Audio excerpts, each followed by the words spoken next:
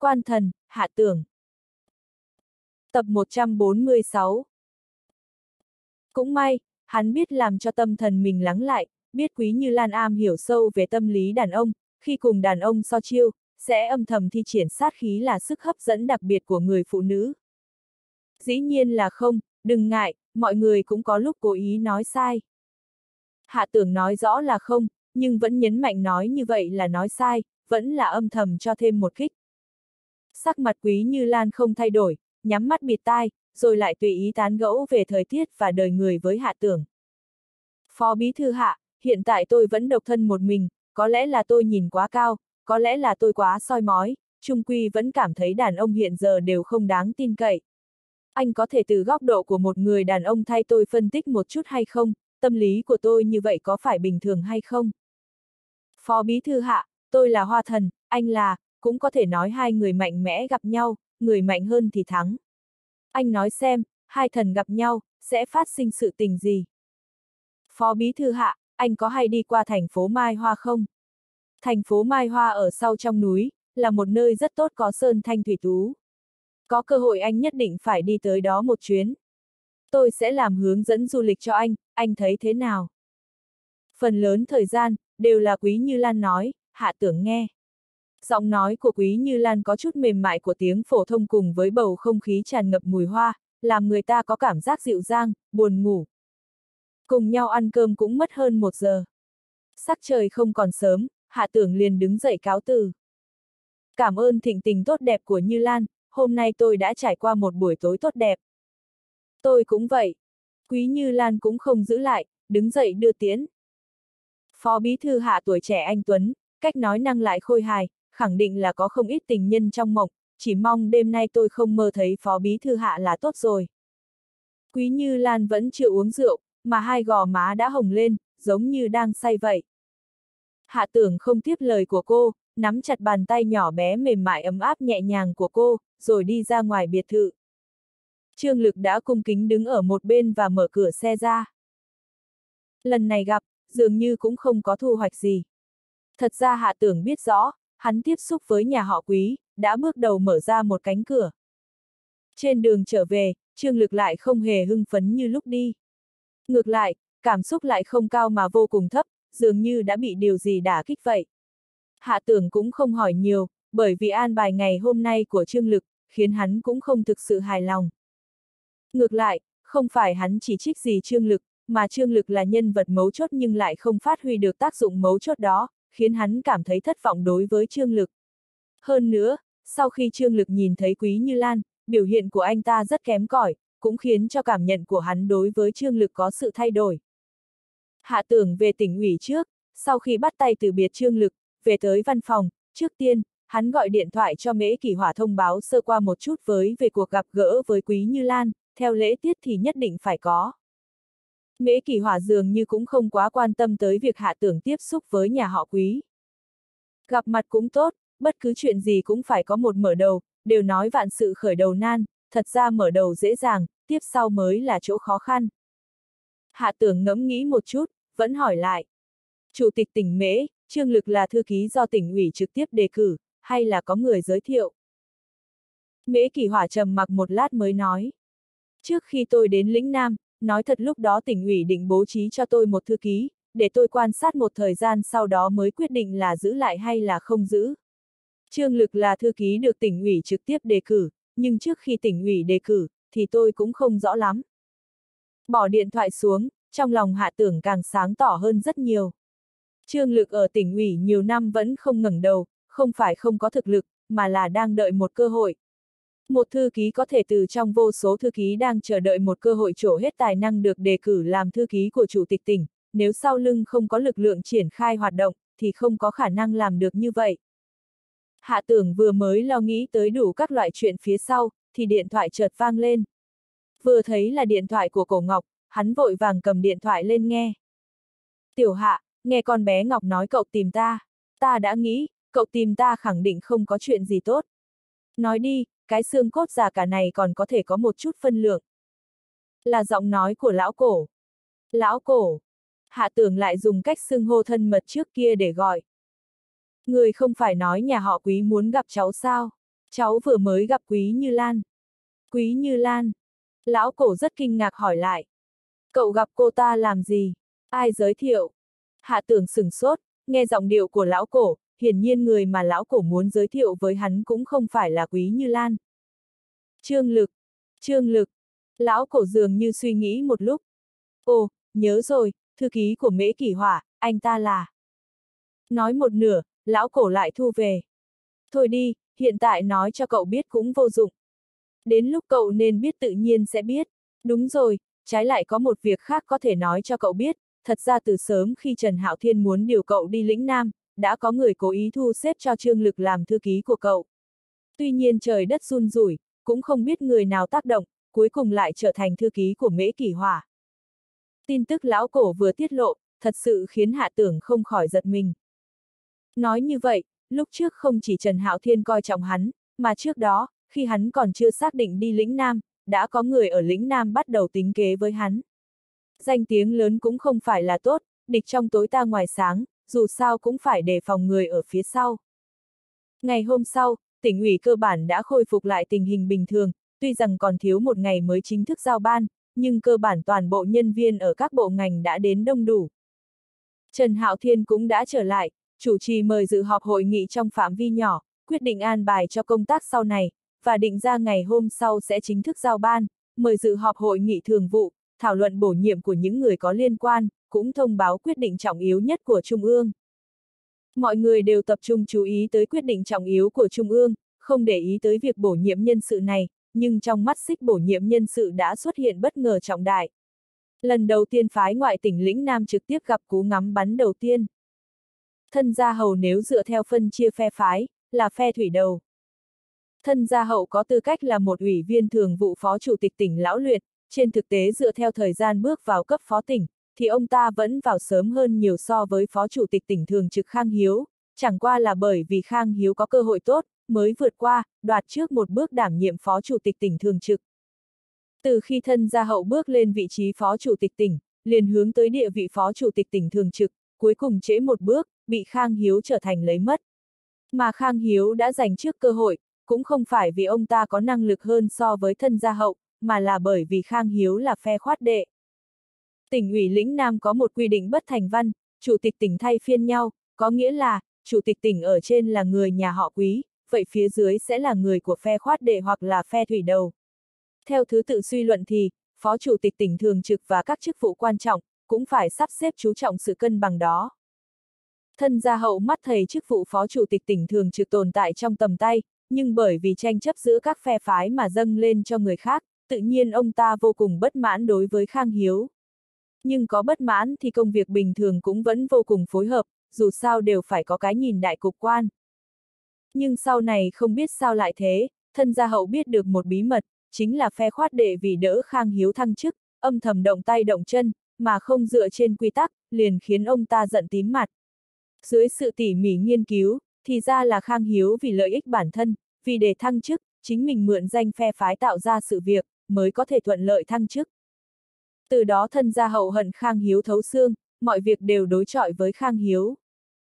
Cho nên hôm nay cho dù thân gia hậu phản đối để cử Lý Giật Phong, đáng lẽ cũng phải có ý kiến riêng của mình, sẽ không thuận theo lời nói của Khang Hiếu, nhưng ngược lại tỏ thái độ cố ý tán thành ý kiến của Khang Hiếu, liền khiến Trần Hạo Thiên lập tức ý thức được đã xuất hiện việc này sinh ngoài ý muốn.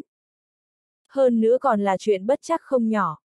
Trần Hạo Thiên nắm quyền lực ở chính phủ tỉnh ủy cũng không lớn lắm, có hai nguyên nhân, thứ nhất dù sao Trần Hạo Thiên là bí thư tỉnh ủy, nếu nhúng tay quá nhiều vào công việc hành chính thì không tốt lắm, thứ hai là trước khi Mễ Kỷ Hỏa nhậm chức, chủ tịch tỉnh là người nhà họ Quý.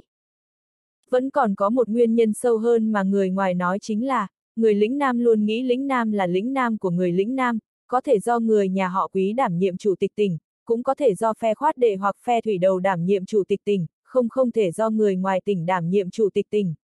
Phó chủ tịch tỉnh cũng phải do người lĩnh Nam đảm nhiệm, cho nên bộ máy chính phủ tỉnh ủy luôn là thiên hạ của thế lực địa phương. Khi Mễ Kỳ Hỏa nhận chức, bộ máy chính phủ tổ chức chật như nêm cối, nước không lọt qua được. Mễ Kỳ Hỏa nhảy dù vào tỉnh lĩnh Nam, mới đánh vỡ tiền lệ người lĩnh Nam đảm nhiệm chủ tịch tỉnh. Nhưng Mễ Kỳ Hỏa dù cho có sự ủng hộ của Trần Hạo Thiên, thì hiện nay thế lực nắm trong tay vẫn còn rất yếu trong bộ máy chính phủ. Do đó, Khang Hiếu và thân gia hậu đồng thanh phản đối với việc bổ nhiệm Lý Giật Phong không những làm cho Trần Hạo Thiên kinh ngạc, càng làm cho mễ kỷ hỏa khiếp sợ. Hạ tưởng cũng bị làm cho sừng sốt, trong lòng hiện lên một ý nghĩ cực kỳ mãnh liệt, không được, không được ba phe ở lĩnh Nam liên kết phản kích rồi. Bí thư thành ủy bằng thành chỉ bình phàm cũng liên kết với Khang Hiếu và thân gia hậu phản đối, hơi ngạc nhiên, tuy nhiên ông ta vẫn kiên quyết với cách nghĩ của bản thân. Tôi tin tưởng vào công việc của ban tổ chức cán bộ, tán thành đề cử của ban tổ chức cán bộ. Chỉ bình phàm của tỉnh Giang ở trong mắt ba phe phái lĩnh Nam, không hề nghi ngờ gì cũng là người ngoại tỉnh.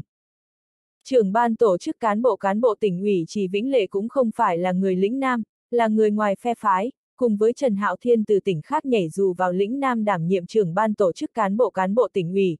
Việc nhảy dù của cô, sau lưng phải chăng có bóng dáng của Trần Hạo Thiên hay không, dường như là sự thật không cần đoán. Mối quan hệ giữa Chỉ Vĩnh Lệ và Trần Hạo Thiên coi như khá tốt, trong công việc hàng ngày, luôn đi theo bước chân của Trần Hạo Thiên, hôm nay cũng không ngoại lệ, vì rốt cuộc nếu như cô ta phản đối thì sẽ thành chuyện khôi hài rồi, bởi vì Lý Giật Phong là đề cử của ban tổ chức cán bộ. Thông thường trưởng ban tổ chức cán bộ và bí thư tỉnh ủy định ra ứng cử viên, các ủy viên thường vụ khác sẽ không phản đối, bởi vì nếu phản đối, không những sẽ đắc tội với người đứng đầu cũng đắc tội với trưởng ban tổ chức cán bộ, mà đắc tội với trưởng ban tổ chức cán bộ thì hậu quả rất là nghiêm trọng, ít nhất trong việc đề bạt cán bộ cấp sở, trưởng ban tổ chức cán bộ có quyền lực rất lớn. Ánh mắt chỉ vĩnh lệ thản nhiên nhưng nhìn kỹ thì có ý kín đáo, tình cờ quét mắt liếc nhìn Khang Hiếu và thân gia hậu, nói. Đồng chí Lý Giật Phong là ban tổ chức cán bộ chọn trong 45 cán bộ phù hợp với điều kiện, người được tuyển chọn, dưới sự khảo hạch thật sự và nghiêm túc của ban tổ chức cán bộ, trình tự cẩn thận, căn cứ vào thái độ kiên trì nghiên cứu phát triển cho rằng, đồng chí Lý Giật Phong phù hợp với điều kiện bổ nhiệm. Hiện tại Lý Giật Phong đã là cấp phó giám đốc sở, phó bí thư thành ủy Hồng Hoa cũng là cấp phó giám đốc sở, cho nên chỉ là bổ nhiệm mà không phải để bạt. Lời nói của chỉ Vĩnh Lệ có lờ mờ ý bất mãn, rốt cuộc người được ban tổ chức cán bộ đề cử nếu như không thông qua thảo luận ở hội nghị thường vụ, là âm thầm gạt bỏ thể diện của bí thư tỉnh ủy, biểu hiện trên càng khiến mặt của trưởng ban tổ chức cán bộ cán bộ không có ánh sáng. Trưởng ban tuyên giáo tỉnh ủy Ti Anh tỏ thái độ là một người tốt bụng, nói chuyện rất khéo léo, nhưng vẫn là ý kiến phản đối. Hội nghị thường vụ là nơi để phát biểu thảo luận ý kiến, là thể hiện cụ thể tính dân chủ tiên tiến, phải không? Các đồng chí có quan điểm không giống nhau là rất bình thường, tuy rằng tôi cho rằng công việc của ban tổ chức cán bộ nhất định là làm rất nghiêm túc rất đúng chỗ, nhưng đối với việc bổ nhiệm đồng chí Lý Giật Phong, tôi vẫn là kiến nghị, hãy xem xét lại. Phương cách của Ti Anh rất có trình độ. Lại một người có ý kiến phản đối. Trần Hảo Thiên và Mễ Kỳ Hỏa trao đổi nhanh qua ánh mắt. Sự lo lắng trong lòng hạ tưởng ngày càng mãnh liệt. Sau Ti Anh, là Thi Khải Thuận tư lệnh quân khu tỉnh. Thi Khải Thuận lần đầu tiên tham gia hội nghị thường vụ tỉnh ủy, lần đầu tiên hành xử với quyền lực của ủy viên thường vụ, liền dơ cao tay phản đối. Nghe nói Lý Giật Phong có vấn đề về kinh tế, vụ án lớn ở thành phố Hồng Hoa, bởi vì vấn đề kinh tế mà hơn mấy chục cán bộ đảng viên xuống ngựa. Đồng chí Lý Giật Phong lại đến thành phố Hồng Hoa, ngộ nhỡ lại phạm phải sai lầm thì phải làm sao? Ha ha, căn cứ điểm xuất phát của Lý Giật Phong, tôi cho rằng việc bổ nhiệm đồng chí Lý Giật Phong, sẽ phải cân nhắc lại. Thì Khải Thuận phản đối đã phản đối rồi, lại còn đề cập đến vấn đề kinh tế của Lý Giật Phong, hạ tưởng liền phát tác. Tôi xin làm gián đoạn một chút. Phó Bí Thư tỉnh ủy đương nhiên có quyền lên tiếng phát biểu giữa chừng, hạ tưởng nhìn thẳng Thi Khải Thuận. Đồng chí Thi Khải Thuận có ý kiến phản đối, hội nghị thường vụ sẽ nghiêm túc suy xét lại. Nhưng lời nói của anh lại chỉ trích đồng chí Lý Giật Phong có vấn đề kinh tế, tôi không biết kết luận này anh lấy từ đâu. Nếu như không có chứng cớ, thì đừng nói lung tung. Đồng chí Lý Giật Phong có vấn đề kinh tế hay không, so với tất cả các vị đang ngồi ở đây thì ủy ban kỷ luật có quyền lên tiếng hơn cả. Đúng là một câu hống hách, các vị đang ngồi, đương nhiên bao gồm cả Trần Hạo Thiên và Mễ Kỷ Hỏa, mà lời hạ tưởng vừa nói, Trần Hạo Thiên không thay đổi sắc mặt khẽ cúi đầu xuống, tỏ vẻ tán thành. Mễ Kỷ Hỏa cũng gật đầu nói. Hy vọng mỗi đồng chí không cần suy luận, phải tin tưởng vào công việc của ban tổ chức cán bộ, đồng thời phải tôn trọng quyền uy của ủy ban kỷ luật. Lời của Mễ Kỳ Hỏa rất có lực sát thương, tương đương với lời trực tiếp cảnh cáo Thi Khải Thuận phát ngôn không thích đáng, đừng cho rằng thân là ủy viên thường vụ tỉnh ủy thì có thể bình luận sự vụ ngoài quyền hạn, thực xin lỗi, anh không có tư cách.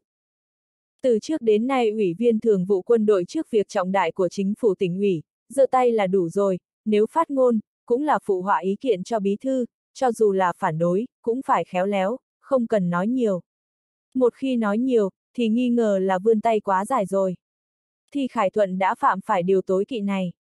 Sau khi bị hạ tưởng và mễ kỳ hỏa của trách, thì Khải Thuận vô cùng xấu hổ ho khan một tiếng, im lặng. Kế tiếp nên là bí thư đảng ủy, giám đốc cục công an tỉnh Sa Nguyên Hải phát biểu. Sa Nguyên Hải ho khan một tiếng, ánh mắt dường như liếc nhẹ qua hạ tưởng, cũng không biết là trột dạ hay là có suy nghĩ khác, cúi đầu nói.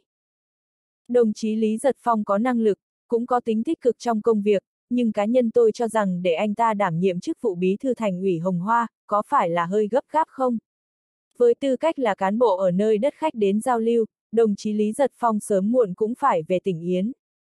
Sa Nguyên Hải cố ý đem, tỉnh Yến, ra nói là một cú cắn rất nặng, ý nghi ám chỉ rất rõ ràng, tức là muốn nhắc nhở các vị đang ngồi, Lý Giật Phong và Hạ Tưởng đều ở tỉnh Yến, đề cử Lý Giật Phong đảm nhiệm chức Phó Bí Thư Thành ủy Hồng Hoa, có phải là Phó Bí Thư Hạ dùng người không khách quan không?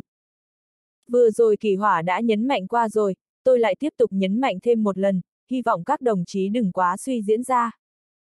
Trần Hạo Thiên cuối cùng đã ra tay, tình hình có chút không khống chế được, ông ta đã đoán được đằng sau phát sinh ra gì rồi, là cần thiết phải thực hiện các biện pháp để kiềm chế khả năng tiếp tục lây lan ra khỏi tầm kiểm soát, ông ta liền tăng lớn độ mạnh âm thanh.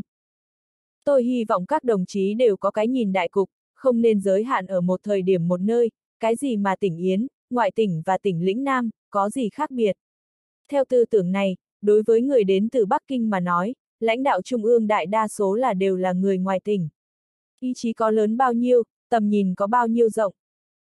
Lời nói của Trần Hạo Thiên không phải không có ý cảnh giác, tuy nhiên, vẫn còn thất bại trong việc ngăn chặn sự lây lan không kiểm soát được tiến thêm một bước nữa. Sa Nguyên Hải bị Trần Hạo Thiên không nêu tên phê bình, nét mặt già nua dưới ánh nắng mặt trời, cúi đầu không nói. Lưu Kim Nam trưởng ban thư ký tỉnh ủy là thân tín mà Trần Hạo Thiên một tay đề bạt, nếu như anh ta tiếp tục có thái độ phản đối, thì chức bí thư tỉnh ủy của Trần Hạo Thiên coi như biến mất. Nếu như nói lời tán thành của Lưu Kim Nam trong dự đoán, như vậy lời phản đối của Lâm Song Bồng bí thư thành ủy Dương Thành, liền vượt xa mong đợi của mọi người. Ngay cả hạ tưởng cũng vô cùng kinh ngạc.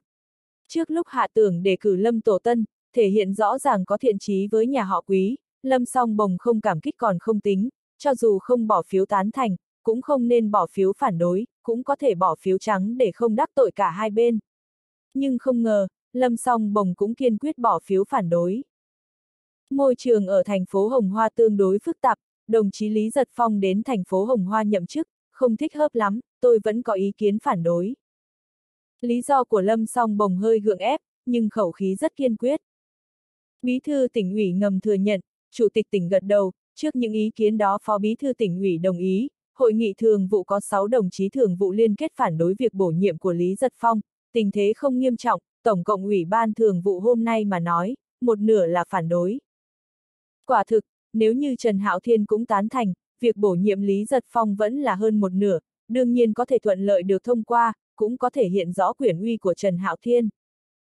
Phải trang Lý Giật Phong thuận lợi nhậm chức phó bí thư tỉnh ủy thành Hồng Hoa, cũng không phải là điểm dừng chân của lợi ích khắp nơi, bất cứ sự việc nào cũng không phải là sự kiện đơn lẻ, là hội nghị thường vụ đầu tiên của năm sau, cũng là hội nghị thường vụ đầu tiên thi Khải Thuận tham gia, sáu đồng chí của Ủy ban thường vụ nhất trí phản đối việc đề cử của ban tổ chức cán bộ, rõ ràng là sự kiện chính trị cùng nhau thiết kế tỉ mỉ.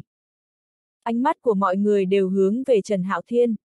Quyết định của Trần Hạo Thiên, đại biểu cho sự định tính của Trần Hạo Thiên về sự việc lần này. Ánh mắt của Mễ Kỳ Hỏa lặng lẽ dừng lại trên người Hạ Tưởng, dễ nhận thấy, bề ngoài chuyện lần này là phản đối đề cử của ban tổ chức cán bộ, nhưng theo như lời Mưu Nguyên Hải nói thì, ai mà không biết Lý Giật Phong là người của ai. Sáu vị ủy viên thường vụ kết hợp lại phản đối, không phải là khiêu chiến quyền uy của Trần Hạo Thiên, cũng không phải là để gây khó dễ cho Chỉ Vĩnh Lệ, thậm chí đối với việc cuối cùng Lý Giật Phong có được thông qua bổ nhiệm hay không cũng không thèm quan tâm. Thắng bại không ở trên người Lý Giật Phong, mà là ở trên người Hạ Tưởng. Nói đúng hơn, dưới sự liên danh phản đối của 6 người, đã đạt được hiệu quả mong muốn khiêu chiến quyền uy của Hạ Tường. Tâm tư của Mễ Kỳ Hỏa dao động, rốt cuộc là vì cuộc gặp gỡ giữa Hạ Tưởng và nhà họ Quý mà dẫn đến cục diện ngày hôm nay, hay là còn có nguyên nhân nào khác? Hoặc cũng có thể là do hành động đặc biệt sắp triển khai, có người cố ý kích động nhiều người làm giảm đi uy phong của Hạ Tưởng, trực tiếp cảnh cáo Hạ Tưởng, khiến cho hắn khi thực hiện hành động đặc biệt, cần phải nhượng bộ một chút, đừng có không biết phân biệt nặng nhẹ. Cũng có thể là do cuộc gặp mặt với nhà họ quý, nếu sự thực đúng là như vậy, thái độ của nhà họ quý đối với hạ tưởng còn có thể suy xét.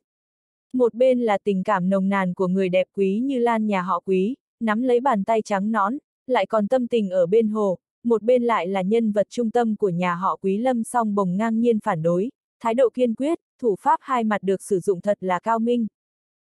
Tuy nhiên, Mễ Kỳ Hỏa nhìn thấy vẻ mặt của Hạ Tưởng vẫn bình tĩnh như cũ, trong lòng cũng yên tâm hơn. Ông còn lo lắng Hạ Tưởng sẽ vì vậy mà bối rối, hoặc là đánh mất phương hướng, rơi vào bẫy của nhân vật đứng phía sau. Ánh mắt Mễ Kỳ Hỏa lại nhìn về phía Trần Hạo Thiên. Trần Hạo Thiên suy nghĩ một lát, dưới ánh nhìn chăm chú của mọi người, cuối cùng cũng đưa ra quyết định. Việc bổ nhiệm đồng chí Lý Giật Phong, sẽ được thảo luận lại sau. Tiếp theo tiến hành thảo luận đề tài thứ ba sắp xếp cụ thể của hành động đặc biệt. Hành động đặc biệt đã sớm được sắp xếp ổn thỏa, hơn nữa vốn dĩ đề tài thảo luận ở hội nghị thường vụ ngày hôm nay cũng không thảo luận về việc sắp xếp cho lần hành động đặc biệt này. Trần Hạo Thiên chỉ hoãn việc quyết định bổ nhiệm Lý Giật Phong, lại đột nhiên thêm đề tài thảo luận về hành động đặc biệt vào, ý đồ là gì không cần nói cũng biết. Vế trước, là muốn tra xét rõ ràng sự tình ngày hôm nay, để sau đó tính sổ, vế sau, là muốn tăng thêm trọng lực cho lần hành động đặc biệt để tiếp tục ra sức ủng hộ hạ tưởng. Chính là muốn cho một số người biết, đừng tưởng rằng một lần liên kết lại với nhau phản đối là có thể tạo thành tấn công gì đó đối với hạ tưởng, tỉnh ủy sẽ vẫn kiên quyết ủng hộ hạ tưởng. Tiếp đó, Trần Hạo Thiên tuyên bố tan họp, sau đó ngay trước mặt mọi người nói. Kỳ hỏa, hạ tưởng, vĩnh lệ, các anh đến văn phòng tôi một chút. Bí thư, chủ tịch tỉnh, phó bí thư và trưởng ban tổ chức cán bộ gặp nhau, thảo luận chuyện gì, không cần nghĩ cũng biết. Không ít người liền liếc mắt với nhau, cùng đi ra khỏi phòng họp. Trên cầu thang, Khang Hiếu và thân gia hậu sánh vai đi cùng với nhau. Gia hậu, buổi trưa cùng nhau ăn một bữa cơm, tôi có chuyện này muốn nói với anh. Khang Hiếu đưa ra lời mời với thân gia hậu. Thân gia hậu vẫn còn đang chần chừ, chưa có quyết định là có đi hay không, Khang Hiếu lại nói thêm. Trước khác nay khác, gia hậu, mấy năm nữa khi về hưu rồi, tôi và anh vẫn còn phải sinh sống trên mảnh đất lĩnh nam này, bán anh em xa không bằng mua láng giềng gần. Thân gia hậu tựa hồ nghĩ thông suốt rồi, với tuổi của ông ta và Khang Hiếu nếu muốn vào chính bộ, thì hy vọng là không lớn, nếu cuối cùng có thể thu xếp được đãi ngộ theo cấp chính bộ đã tốt lắm rồi. Nhưng bộ máy mặt trận Tổ quốc và bộ máy Hội đồng Nhân dân đều nằm trong tay nhà họ quý, nếu muốn tiến vào mặt trận Tổ quốc và Hội đồng Nhân dân, không có sự gật đầu của nhà họ quý là không thể.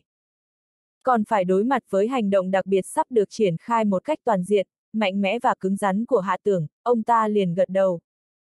Được, quyết định như vậy đi. Khang Hiếu hiểu ý mà mỉm cười. Phía sau Khang Hiếu, Ngưu Nguyên Hải và Trần Hạo Thiên cũng hiểu ý mà mỉm cười. Mà ở đằng sau Ngưu Nguyên Hải và Thi Khải Thuật, Lâm Song Bồng và Chỉ Bình Phàm cũng đang sóng vai đi với nhau. Song Bồng, chuyện ngày hôm nay, có chút bất ngờ. Chỉ Bình Phàm kín đáo hỏi. Lâm Song Bồng cũng hàm xúc đáp lại. Đúng là có chút bất ngờ. Tuy rằng quan hệ giữa Lâm Song Bồng và Chỉ Bình Phàm coi như là khá tốt, nhưng ông cũng biết bản thân là hệ ngoại tỉnh, với tam hệ ở lĩnh Nam luôn có sự ngăn cách, Lâm Song Bồng có chút giữ kẽ với ông cũng là điều dễ hiểu. Ông ta liền hơi lắc đầu, cười nói. Chuyện ẩm ý lên rồi, ai cũng không có lợi, nói không chừng cuối cùng việc tốt không xong, mà người khởi sướng còn bị quả báo. Nghe xong ám chỉ rõ ràng có ý tứ hàm xúc cảnh cáo của Trì Bình Phàm, Lâm Song bồng lắc đầu cười. Sự việc chắc chắn không có kết thúc tốt, nhưng cuối cùng sẽ kết thúc như thế nào, hiện tại ai cũng không nói được. Bí thư Trì, Bằng Thành là địa phương tốt, tuy nhiên có điều quá gần với Dương Thành. Cách Dương Thành quá gần ngụ ý chính là cũng cách tỉnh ủy quá gần, lại ám chỉ bước chân của chỉ Bình Phàm nên theo sát Trần Hạo Thiên. Chỉ Bình Phàm không nói gì nữa, phất tay, xoay người rời đi. Phòng làm việc của bí thư tỉnh ủy. Trần Hạo Thiên vẻ mặt tức giận. Kỳ hỏa, chuyện hôm nay, cậu có ý kiến gì không? Tính cách của mễ kỳ hỏa luôn luôn trầm ổn, bất kể lúc nào cũng nói chuyện không vội vàng hấp tấp. Đây không phải là một sự kiện bị cô lập, nó nhằm vào một mục tiêu cao hơn, điểm dừng chân không phải dừng lại ở việc bổ nhiệm Lý Giật Phong, mà là phủ định đối với hành động đặc biệt. Trần Hạo Thiên gật đầu, Mễ Kỳ Hỏa tuy rằng không có kinh nghiệm chính trị ở địa phương, nhưng ở bên cạnh Tổng Bí Thư hơn 20 năm, ánh mắt rất chuẩn xác, phân tích đi thẳng vào trọng tâm của vấn đề. Hạ tưởng, cậu có cho rằng kế tiếp tỉnh ủy nên đưa ra những biện pháp cứu vãn nào? Trần Hạo Thiên trưng cầu ý kiến của Hạ tưởng, nhưng kỳ thực trong lòng ông ta đã sớm có chủ ý. Bí thư Trần, có chuyện này tôi muốn báo cáo với anh trước. Hạ tưởng không trả lời câu hỏi của Trần Hạo Thiên ngay, mà lại báo cáo chi tiết cuộc gặp trước đó giữa hắn và Quý Như Lan.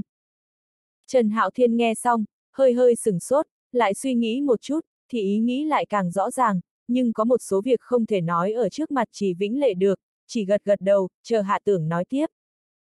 Hạ tưởng nói tiếp, có người phản đối là rất bình thường, không phải sự kiện cô lập, nhưng có thể xem như một sự kiện cô lập mà giải quyết. Mễ kỷ hỏa, ồ, một tiếng. Ý của cậu là, trên con đường kiên trì cải cách, phải cho phép có phản đối. Phản đối, đối với sự nghiệp kiên trì của chúng ta cũng là một loại khuyến khích và thúc giục. Chúng ta có thể ở trong sự khuyến khích và thúc giục đó mà đạt được bước tiến lớn nhanh hơn. Hạ tưởng mỉm cười, chậm rãi nói, không chút bị ảnh hưởng bởi sự việc tại hội nghị thường vụ. Trần Hạo Thiên hiểu ý tứ của Hạ tưởng, ý là anh phản đối là việc của anh, tôi cứ làm là chuyện của tôi, không liên quan đến anh.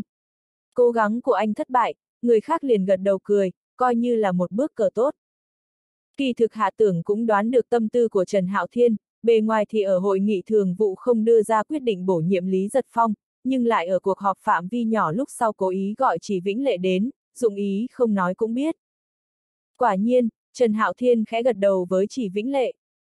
Bổ nhiệm đồng chí Lý Giật Phong, ban tổ chức cán bộ có thể ra công văn công bố rồi. Chỉ Vĩnh Lệ gật đầu đồng ý, xoay người rời đi. Trong lòng hạ tưởng thầm khen, so với Trịnh Thịnh, Trần Hạo Thiên quả nhiên có sự kiên quyết và trí tiến thủ hơn, cũng dám làm dám chịu. Trong hội nghị thường vụ không đưa ra quyết định, sau đó lại lập tức để ban tổ chức cán bộ công bố kết quả bổ nhiệm, tương đương với một lần cảnh cáo trịnh trọng mà hàm xúc quyền uy của bí thư tỉnh ủy, không được phép xâm phạm. Tin chắc khi quyết định bổ nhiệm được công bố ra, sẽ làm không ít người cảm thấy lạnh cả người. Trở lại văn phòng, hạ tưởng nhận chén trà do đường Thiên Vân đưa tới, uống một ngụm cảm thấy hương vị không giống ngày thường, nghi hoặc liếc nhìn đường Thiên Vân một cái. Đường Thiên Vân nói, Bí thư Lâm vừa mới lại đây, tặng cho một gói trà. Lâm song bồng, hạ tưởng cười hiểu ý, trong hội nghị thường vụ tỏ thái độ phản đối, sau lại đến tặng gói trà để thể hiện thiện ý, Lâm song bồng sử dụng thủ pháp hai mặt thực là thành thục. Chẳng qua, hắn còn lâu mới để mình bị quay vòng vòng. Lần này tam hệ ở lĩnh Nam đột nhiên liên kết với nhau tạo áp lực, quả thực là nằm ngoài dự đoán của hạ tưởng. Tuy rằng cũng mới chỉ gặp Quý Như Lan có một lần, hắn cũng không cho rằng chỉ mới gặp mặt một lần liền cho thấy nhà họ Quý có thiện ý, nhưng ít ra cũng phải có chút hòa hoãn chứ. Không ngờ lại trực tiếp như vậy, khiến cho hắn càng tỉnh táo mà nhận thức được, khó khăn mà hắn gặp phải ở lĩnh Nam, phức tạp hơn rất nhiều so với ở tỉnh Tề. Phức tạp thì không lo, chỉ cần nắm bắt được mấu chốt của vấn đề, thì không sợ vấn đề không giải quyết được. Kỳ thực nhà họ quý cũng muốn mượn việc này để cho hắn hiểu rõ một việc, chính là cho dù nhà họ quý có thành ý đàm phán với hắn, cũng kính trọng hắn ba phần, nhưng hắn cần phải biết rõ tình thế, tại những sự việc quan trọng có liên quan đến lợi ích của bản thân, nhà họ quý không có chỗ cho việc đàm phán với hắn, cũng sẽ không nhượng bộ nửa phần. Nói cách khác, hành động tặng trà của Lâm song bồng chính là một lần xoa dịu, ngụ ý chính là, về vấn đề ủy viên thường vụ, xử lý sự việc chứ không phải xử lý con người. Xử lý sự việc chứ không phải xử lý con người là một cách nói rất cao thượng, trên thực tế, con người là động vật có tình cảm, chưa hề có ai chân chính làm được việc xử lý sự việc chứ không xử lý con người. Nhớ tới Quý Như Lan với sự mềm mại nho nhã như hoa lan, hạ tưởng thầm mỉm cười. Nhà họ Quý, đúng là sâu không lường được.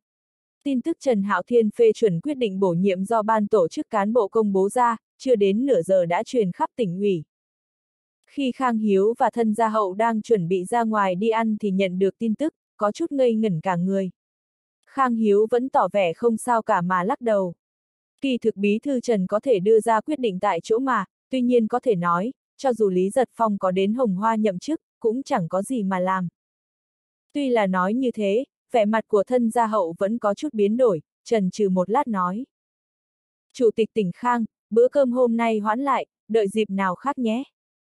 Khang Hiếu nhìn bóng lưng của thân gia hậu, thầm mắng một câu. Đồ nhát gan, thực không có tiền đồ, dũng khí nhỏ như vậy, làm sao mà thành công được. Mắng cũng vô dụng, thân gia hậu vẫn không quay đầu lại mà đi tiếp, khiến mong muốn nhân cơ hội này bắt tay hợp tác với thân gia hậu của Khang Hiếu bị thất bại. Sau khi Lâm song bồng nghe được tin tức, cũng hơi sửng sốt, sau đó lập tức lấy điện thoại ra gọi. Trần Hạo Thiên rất mạnh mẽ. Bên trong điện thoại truyền đến một giọng nói giả nua. Trần Hạo Thiên vẫn luôn rất mạnh mẽ. Dừng lại một lúc lại đột nhiên nói tiếp. Chắc Trần Hạo Thiên đã nhận được cảnh cáo rồi, chỉ cần chờ xem hành động đặc biệt tiếp theo như thế nào đã. Ngay lúc Lâm Song Bồng đang gọi điện thoại, Hạ Tưởng cũng nhận được một cuộc gọi đến. Là do Quý Như Lan gọi đến. Phó Bí Thư Hạ, buổi tối có thời gian hay không, tôi muốn mời anh ăn cơm. Giọng nói của Quý Như Lan vẫn như trước đây khiến người ta say mê, chẳng qua bên trong say mê đó, đã có ý tứ hàm xúc gậy ông đập lưng ông. Không cần, cảm ơn ý tốt của cô, buổi tối tôi không rảnh. Hạ tưởng rất lãnh đạm từ chối lời mời của Quý Như Lan. Tôi nghĩ, nếu tôi nói bên cạnh tôi còn có một người bạn cũ của Phó Bí Thư Hạ, Phó Bí Thư Hạ nhất định sẽ có thời gian, đúng không? Quý Như Lan không hề buồn bực, ngược lại, còn nhẹ nhàng cười. Hạ tưởng nhíu mày, Quý Như Lan chỉ sợ là người phụ nữ khó đối phó nhất mà hắn gặp phải, đúng là người phụ nữ thông minh xinh đẹp như rắn. Cả đời hạ tưởng đã gặp vô số người phụ nữ. Sớm nhất là gặp Mai Hiểu Lâm ở huyện An, đến gặp Đồ Quân và Lưu Nhất Lâm ở thành phố Lang, Bông Hoa Vương Sắc Phi của thành phố Lang, rồi đến Trần Khiết Văn của thành phố Thiên Trạch, tiếp đó là Dương Diêu Nhi ở tỉnh Tương, Ôn Tử Tuyền ở tỉnh Tề. Những người phụ nữ này giải rác trong cả quan trường và thương trường, hoặc học sâu biết rộng, hoặc ngang ngược, hoặc tâm cơ thâm trầm, hoặc ngực to óc bé, hoặc có cả tài cả sắc, ai cũng để lại cho hạ tưởng ấn tượng sâu sắc. Nhưng, không ai giống như Quý Như Lan, khiến hắn vừa mới gặp mặt đã nảy sinh tâm lý đề phòng mãnh liệt. Đúng vậy, là tâm lý đề phòng từ sâu trong nội tâm. Chưa từng có bất cứ người phụ nữ nào khiến hạ tưởng không tự chủ được nghĩ rằng cần phải kính trọng nhưng giữ khoảng cách, vậy mà hôm nay rốt cục hắn đã gặp phải một người. Không tính tới thân phận tiểu thư nhà họ quý của quý Như Lan, cho dù là lúc hắn còn đang non nớt mới quen Mai Hiểu Lâm, dù biết sau lưng Mai Hiểu Lâm là nhà họ Mai khổng lồ kinh người, hắn cũng không nảy sinh tâm lý sợ hãi đối với Mai Hiểu Lâm, hắn vẫn cảm thấy có thể thoải mái kết giao với Mai Hiểu Lâm. Nhưng đối với Quý Như Lan, lần đầu tiên hạ tưởng sinh ra tâm lý cảnh giác mãnh liệt đối với một người phụ nữ, cảm giác Quý Như Lan như một bông hoa tươi cười nhưng sau lưng lại là cạm bẫy sâu không lường được đang đợi hắn bước vào. Bởi vì, giọng nói của Quý Như Lan tuy rằng êm tai nhưng lại như một bóng ma dưới ánh nắng ngoài cửa sổ, trong nháy mắt khiến tim hạ tưởng đột nhiên trầm hẳn xuống. Phó Bí Thư Hạ, tôi và em nghiêm tiểu thì giống nhau. Giọng của Quý Như Lan có ba phần êm dịu, bốn phần nóng bỏng. Tôi và em tiểu thì cùng nhau mời Phó Bí Thư Hạ, không biết Phó Bí Thư Hạ có đồng ý Hạ cố tới hay không? Buông điện thoại của Quý Như Lan, tâm tình Hạ tưởng thật lâu vẫn khó có thể bình tĩnh trở lại. Nếu nói lúc đầu Phạm Tranh và Cao Kiến Viễn xuất hiện, dùng chiêu biết rõ chi tiết của hắn để uy hiếp, thậm chí còn gửi một thư đe dọa có kèm viên đạn cho hắn, hắn vẫn không coi là gì, vẫn có thể hạ bút thành văn đánh lui đối phương, như vậy thủ đoạn của Quý Như Lan lại như một sợi dây mây mềm mại nhưng cực kỳ dai dẳng, cứ tiến dần từng tí, quấn quanh thân hắn. Không ngờ nghiêm tiểu thì lại lặng im không một tiếng động đi tới Dương Thành, trước đó cũng không thông báo trước cho hắn và cũng không gặp mặt hắn, lại ở cùng một chỗ với Quý Như Lan, thật sự khiến hạ tưởng chấn động. Nhà họ Quý, quả thật còn khó đối phó hơn cả thế lực địa phương tỉnh tề. Chỉ riêng một Quý Như Lan đã khiến hạ tưởng có cảm giác không thể ra lực được. Dù sao cô cũng là phụ nữ, một phụ nữ xinh đẹp, có được vũ khí sát thương mạnh nhất của phụ nữ, lại có ưu thế trời sinh của nữ giới, lại hiểu được lấy nhu thắng cương và hiểu được cách tối ưu hóa các tài nguyên của bản thân, quả thật là một đối thủ mạnh nhất mà Hạ Tưởng từng gặp từ lúc chào đời tới giờ. Hành động chuyên nghiệp này vừa mới lên chương trình chi tiết, nhà họ quý đã gia tăng mạnh thế công đối với hắn, sau lưng khẳng định có ẩn giấu mục đích chính trị. Gặp hay không gặp, Hạ tưởng chỉ trần trừ vài giây liền quyết định. Được, tôi đến đúng giờ. Quý Như Lan cười vui vẻ. Tôi vẫn biết Phó Bí Thư Hạ là người thông tình đạt lý, là người tốt mà. Hạ tưởng cười không nói gì, dập điện thoại. Thiên Vân, đến phòng làm việc của đồng chí Hòa Dân một chuyến, lấy phần hồ sơ vụ án chống tham nhũng hồng hoa lại đây. Hạ tưởng nói. Vương Hòa Dân là phó chủ nhiệm ủy ban kỷ luật tỉnh kiêm giám đốc sở giám sát. Sau một lát, đường Thiên Vân đã trở lại, Vương Hòa Dân đi phía sau. Hạ tưởng vươn tay ra. Đồng chí Hòa Dân vất vả, cứ để Thiên Vân mang đến đây là được mà. Vương Hòa Dân sao dám lên mặt như vậy, huống chi y không biết phó bí thư hạ có chỉ thị quan trọng gì hay không, cho nên vội vàng tự mình chạy tới. Vừa lúc vụ án chống tham nhũng hồng hoa có chút tình huống cần báo cáo với phó bí thư hạ một chút. Vương Hòa Dân nói với thái độ vô cùng kính cẩn, cẩn thận 10 phần, không chỉ vì phó bí thư hạ là người lãnh đạo trực tiếp, là chủ nhiệm ủy ban kỷ luật mà còn là phó bí thư tỉnh ủy. Không đợi hạ tưởng lên tiếng, đường Thiên Vân đã rót nước trà cho Vương Hòa Dân, tự mình đưa tận tay cho Vương Hòa Dân. Đây cũng là sự ăn ý giữa đường Thiên Vân và hạ tưởng. Không cần lãnh đạo lên tiếng mà thư ký đã dâng trà, đây chính là một tín hiệu rõ ràng mà đường Thiên Vân muốn truyền đạt cho hạ tưởng, Vương Hòa Dân là có thể tin tưởng được. Đèn đường vừa lên, hạ tưởng đã mặt mày tươi tỉnh, tự tin bước đi, ngồi trên chiếc xe chuyên dụng mà Quý Như Lan phái tới đón hắn. Đó là một chiếc Toyota Crown rất bình thường. Người Dương Thành rất thích xe Nhật, chạy trên đường đều là các loại xe thương hiệu Nhật, ngược lại thương hiệu của Âu, Mỹ thì không nhiều lắm. Bên trong xe chỉ có một người lái xe, đường Thiên Vân ngồi ở vị trí lái phụ. Không sai, lần dự tiệc này, hạ tưởng dẫn theo đường Thiên Vân. Nếu là cuộc gặp mang tính chất cá nhân bình thường, hạ tưởng sẽ không mang thư ký.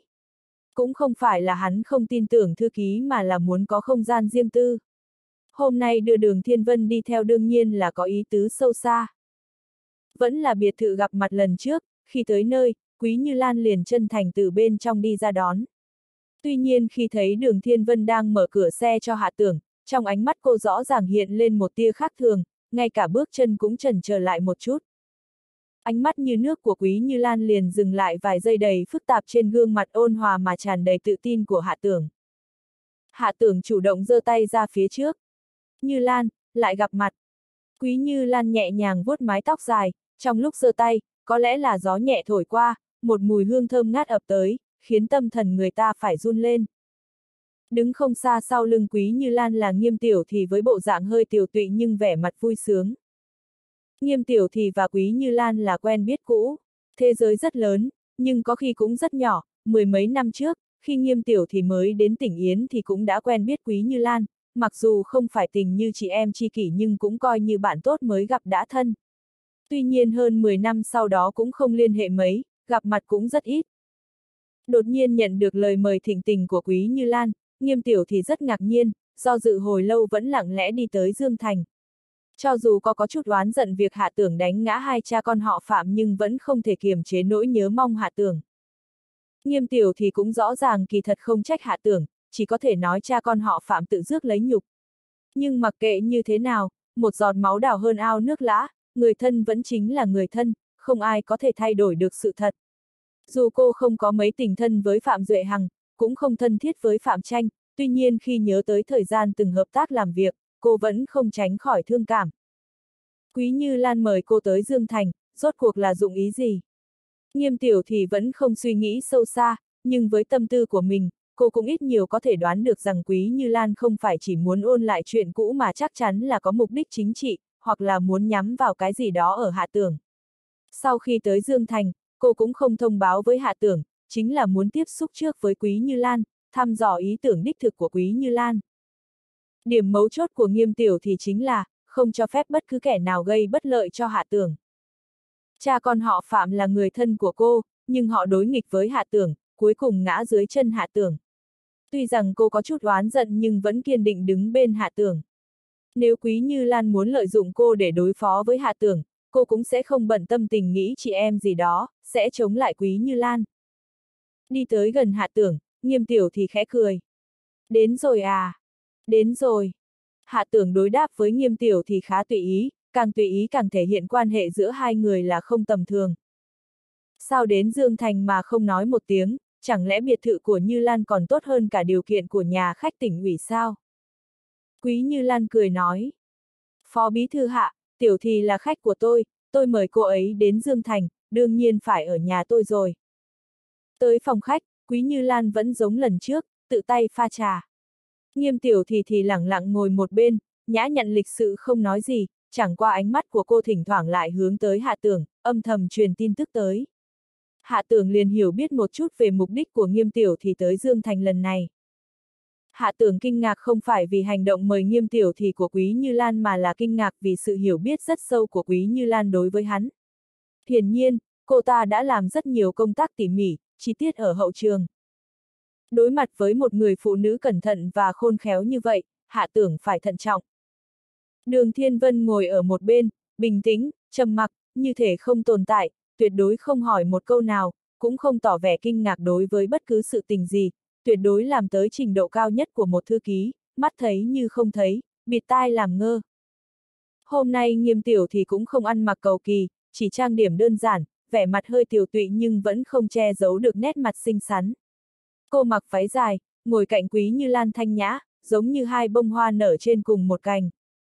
Quý như lan mặc áo màu lam, quần dài trắng, trong sự nhã nhận lịch sự để lộ ra vài phần sắc sảo, chặt chẽ. Điểm khác nhau rất lớn so với lần gặp trước là lần này cô hoàn toàn không ăn mặc theo phong cách ở nhà.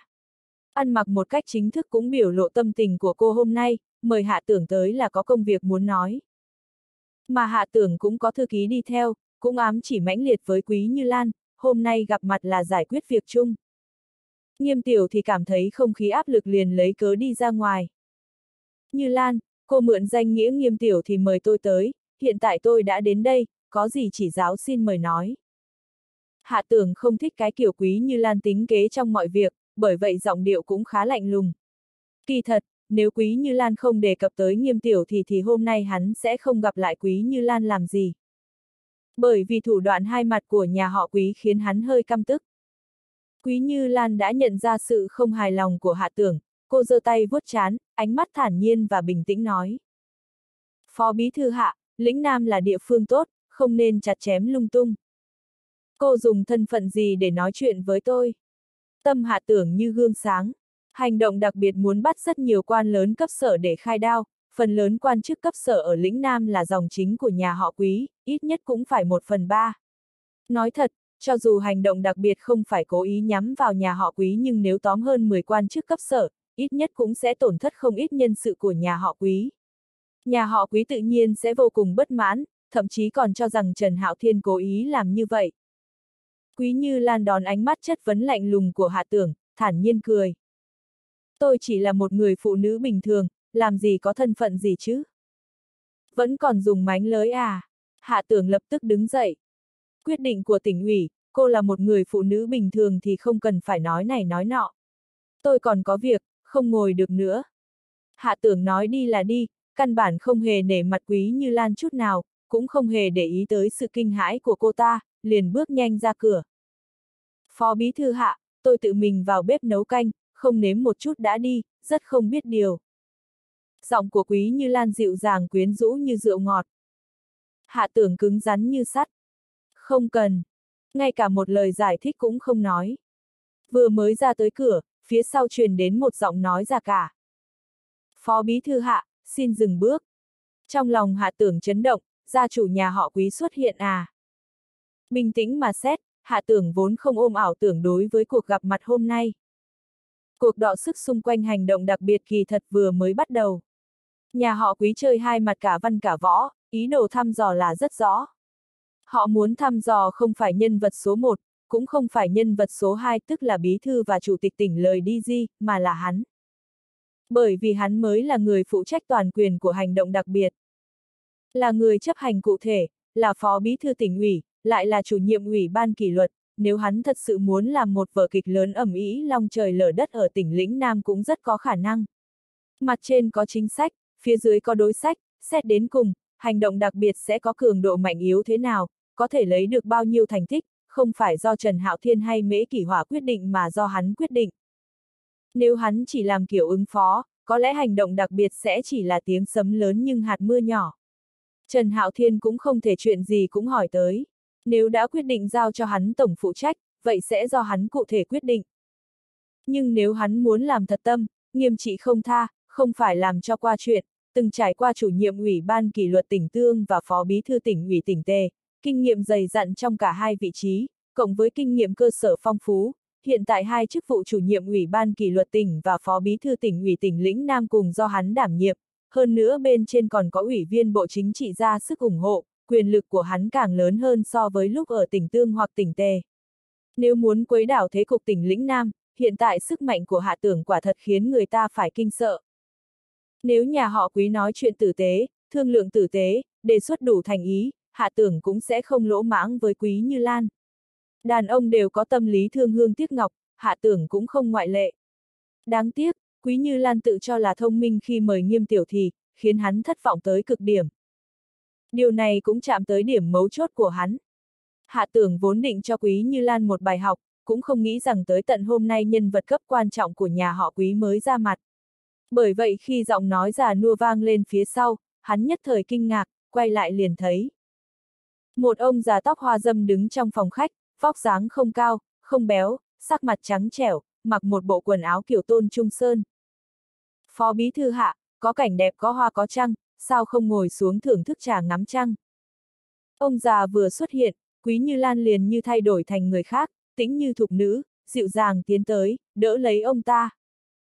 Phó bí thư hạ, lão là quý trường hạnh. Hạ tưởng luôn có phẩm chất tốt đẹp kính dạ yêu trẻ, vừa thấy quý trường hạnh xuất hiện, còn chủ động tự giới thiệu, liền nhanh chóng tiến tới một bước, cung kính nói. Chào ông quý. Quý trường hạnh, đời thứ ba nhà họ quý, hoặc là nói xứng đáng với cái tên cách mạng đời thứ ba. Cha của ông ta là con trai của người có công lớn mở nước, từng quản lý lĩnh Nam mười mấy năm, chứng kiến quá trình mở cửa cải cách ở lĩnh Nam. Thậm chí có thể nói, cha của Quý Trường Hạnh đã sáng lập ra lĩnh Nam hôm nay. Đó là con cháu của người lãnh đạo mở nước chân chính, hạ tưởng đích thân gặp phải, vẫn không kìm nổi hơi hơi kích động. Bởi vì hắn có thiện cảm với tổ tiên nhà họ Quý, không chỉ vì trong số những người có công lớn mở nước, tổ tiên nhà họ Quý vẫn đi rất thẳng, hơn nữa trong sự kiện mấu chốt chuyển biến của lịch sử nước Cộng Hòa, chính bởi vì có tổ tiên nhà họ quý ra sức ủng hộ mới khiến tổng công trình sư của công cuộc cải cách đi lên sân khấu lịch sử cao nhất của chính trị trong nước. Quý trường hạnh rất hiền hòa nắm tay hạ tưởng, giơ tay chỉ quý Như Lan, nói. Như Lan từ nhỏ được nuông chiều, thích đùa giỡn kiểu thông minh trẻ con, xin phó bí thư hạ lượng thứ. Quý Như Lan lặng lẽ thẻ lưỡi, bộ dạng như một cô bé mới lớn, như thể một người khác hẳn với người phụ nữ đàm phán khôn khéo vừa rồi. Điều này khiến hạ tưởng âm thầm cảm thán, quả thật là một người phụ nữ nhiều mặt. Đi vào trong viện, tới một mái đỉnh gỗ, trong đó đã chuẩn bị sẵn trà nước khiến hạ tưởng hơi nghi ngờ sự việc hôm nay là có sự chuẩn bị trước. Quý trường hạnh ngồi xuống rồi vẫy hạ tưởng ngồi. Phó bí thư hạ, tôi luôn phê bình quý như Lan, không được phức tạp hóa những vấn đề đơn giản. Đơn giản hóa những vấn đề phức tạp là nhân tài, còn phức tạp hóa những vấn đề đơn giản là quan liêu. Kỳ thật như Lan cũng có lòng tốt, nó mời anh đến cũng là muốn thể hiện trà đạo và tay nghề làm bếp của nó.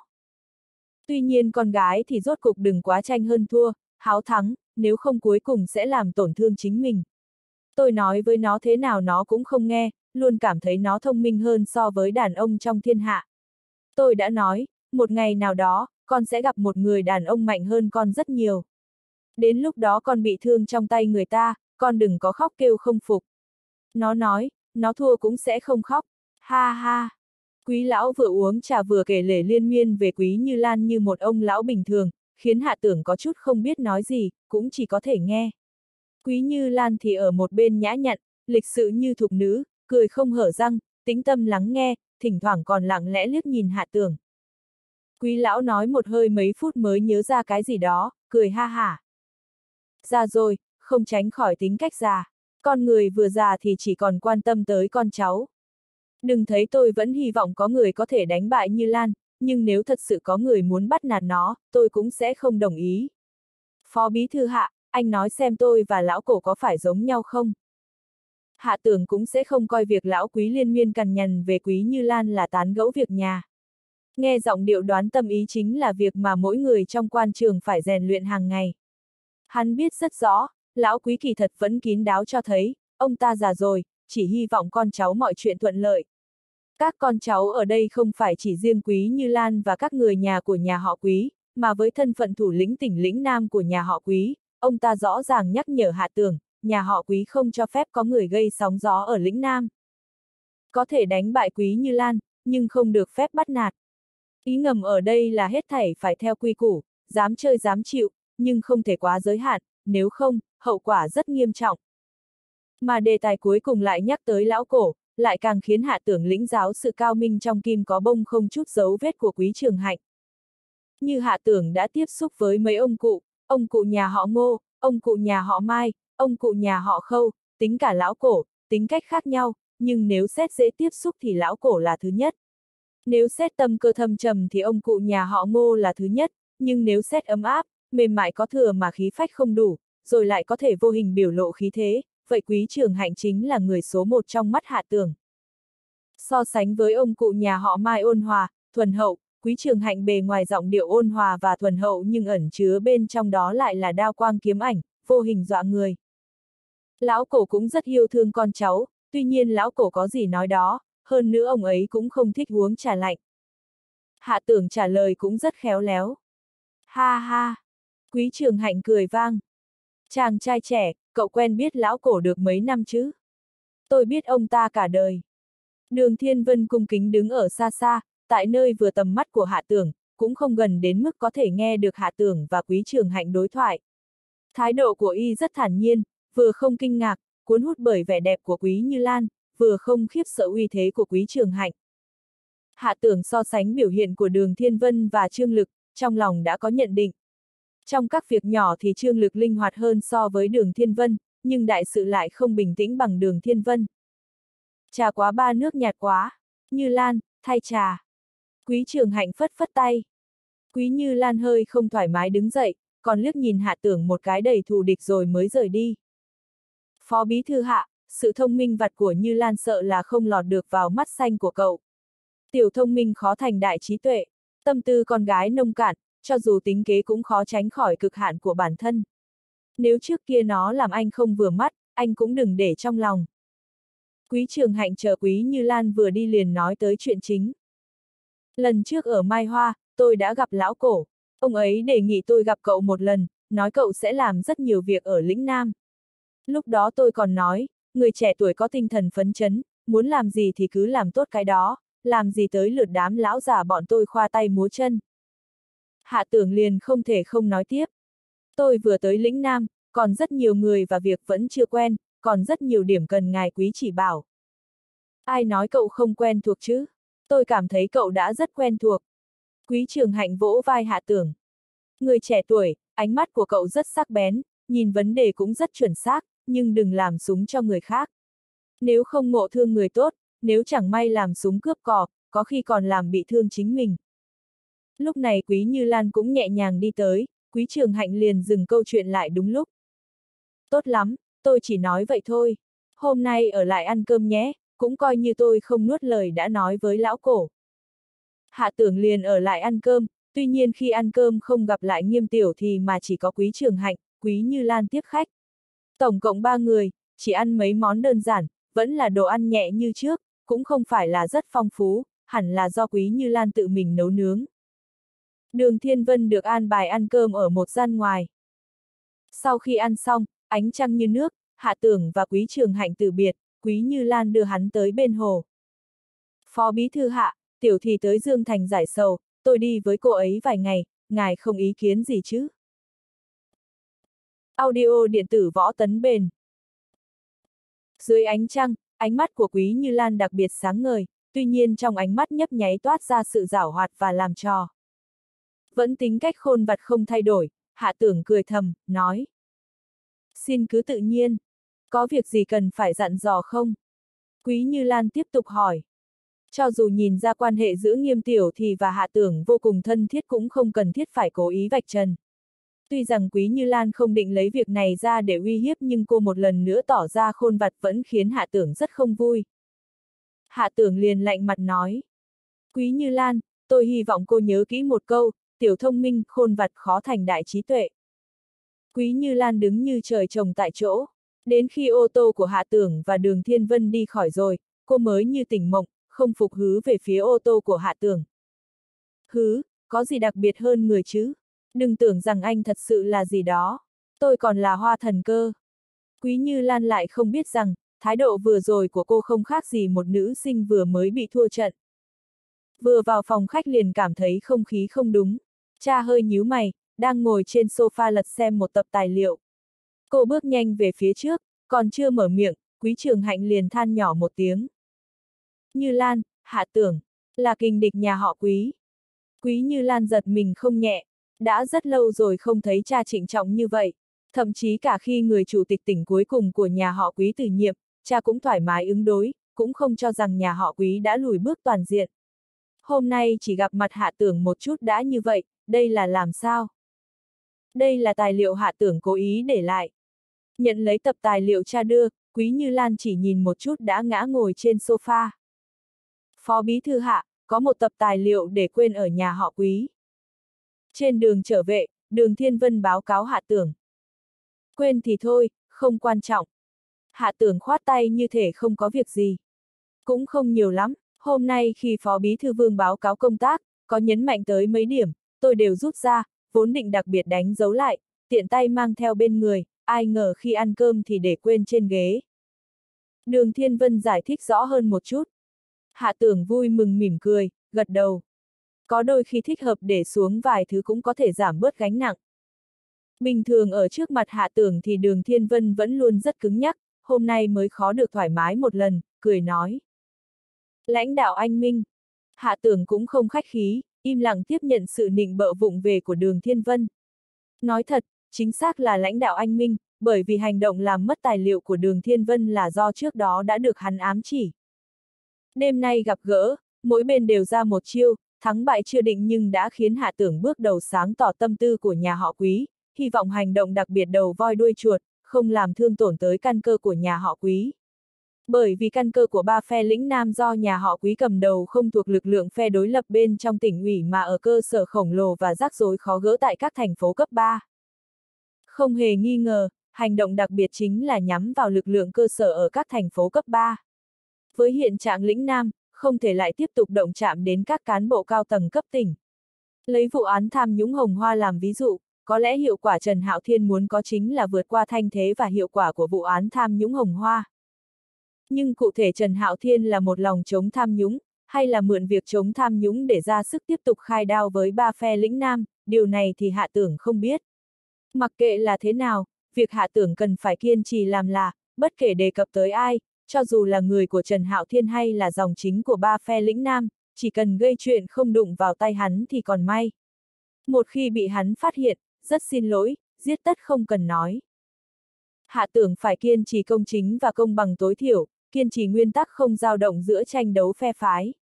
Cũng căn cứ vào nhận thức này mà nhà họ quý thăm dò mấy lần khiến hắn có chút không vui. Hắn không phải là một người thích bị người khác sắp đặt, mặc kệ đối phương là ông già đức cao vọng trọng hay là người đẹp dịu dàng quyến rũ như nước, lẳng lơ như liễu. Trở lại tỉnh ủy, khi lên lầu, Hạ Tưởng bỗng nhiên hỏi đường Thiên Vân. Thiên Vân, cậu có quen với Trương Lực hay không? Đường Thiên Vân lắc đầu. Không quá quen thuộc, không tiếp xúc nhiều lắm. Nghĩ lại cũng đúng, tính cách của đường Thiên Vân và Trương Lực khác nhau quá xa, chưa chắc đã chơi thân. Hạ tưởng liền tùy tiện nói. Có cơ hội thì nên đi lại nhiều một chút, hợp tác là điểm chính. Đường Thiên Vân gật đầu. Tôi nhớ kỹ. Về đến nhà, căn phòng trống rỗng, không khí hơi ẩm ướt, chỉ có một mình tĩnh lặng, hạ tưởng không cảm giác cô đơn mà toàn tâm thả lòng. Một mình suy nghĩ nửa ngày trong bóng tối và yên lặng, hạ tưởng suy nghĩ làm thế nào triển khai, làm thế nào đẩy mạnh hành động đặc biệt, đại khái định ra bước đầu, ngày mai sẽ mời dự họp tổ lãnh đạo hành động đặc biệt lần đầu tiên. Nghĩ tới gì đó, hắn lại mở máy tính, lên mạng. Quả nhiên có tin nhắn của nghiêm tiểu thì. Anh yên tâm, em sẽ không làm anh mất mặt, em cũng không phải là cô gái ngu ngốc, cái gì cũng không hiểu. Quý Như Lan dù thông minh nhưng cũng không phải thông minh đến mức thiên hạ vô địch. Nếu cô ta mời em đến, em sẽ chơi với cô ta dù sao cô ta cũng sẽ không moi được bất cứ tin tức nào có ích từ miệng của em. Nghe nói hiện tại anh đang ở một mình tại Dương Thành. Em lại nhớ tới thời gian tươi đẹp ở thành phố Lỗ. Hạ tưởng mỉm cười, tắt cửa sổ. Thấy cổ ngọc, phó tiên tiên đều không ở trên mạng, hắn cũng không có tâm tư chat với những người khác, liền tắt máy tính. Vừa mới tắt máy, điện thoại liền đổ chuông, là hứa quan hoa. Phó bí thư hạ, Ngô Hiểu Dương và Ngô Công Tử đã từ Bắc Kinh trở về, mới đến quân khu, hành tung rất bí mật, không mấy người biết.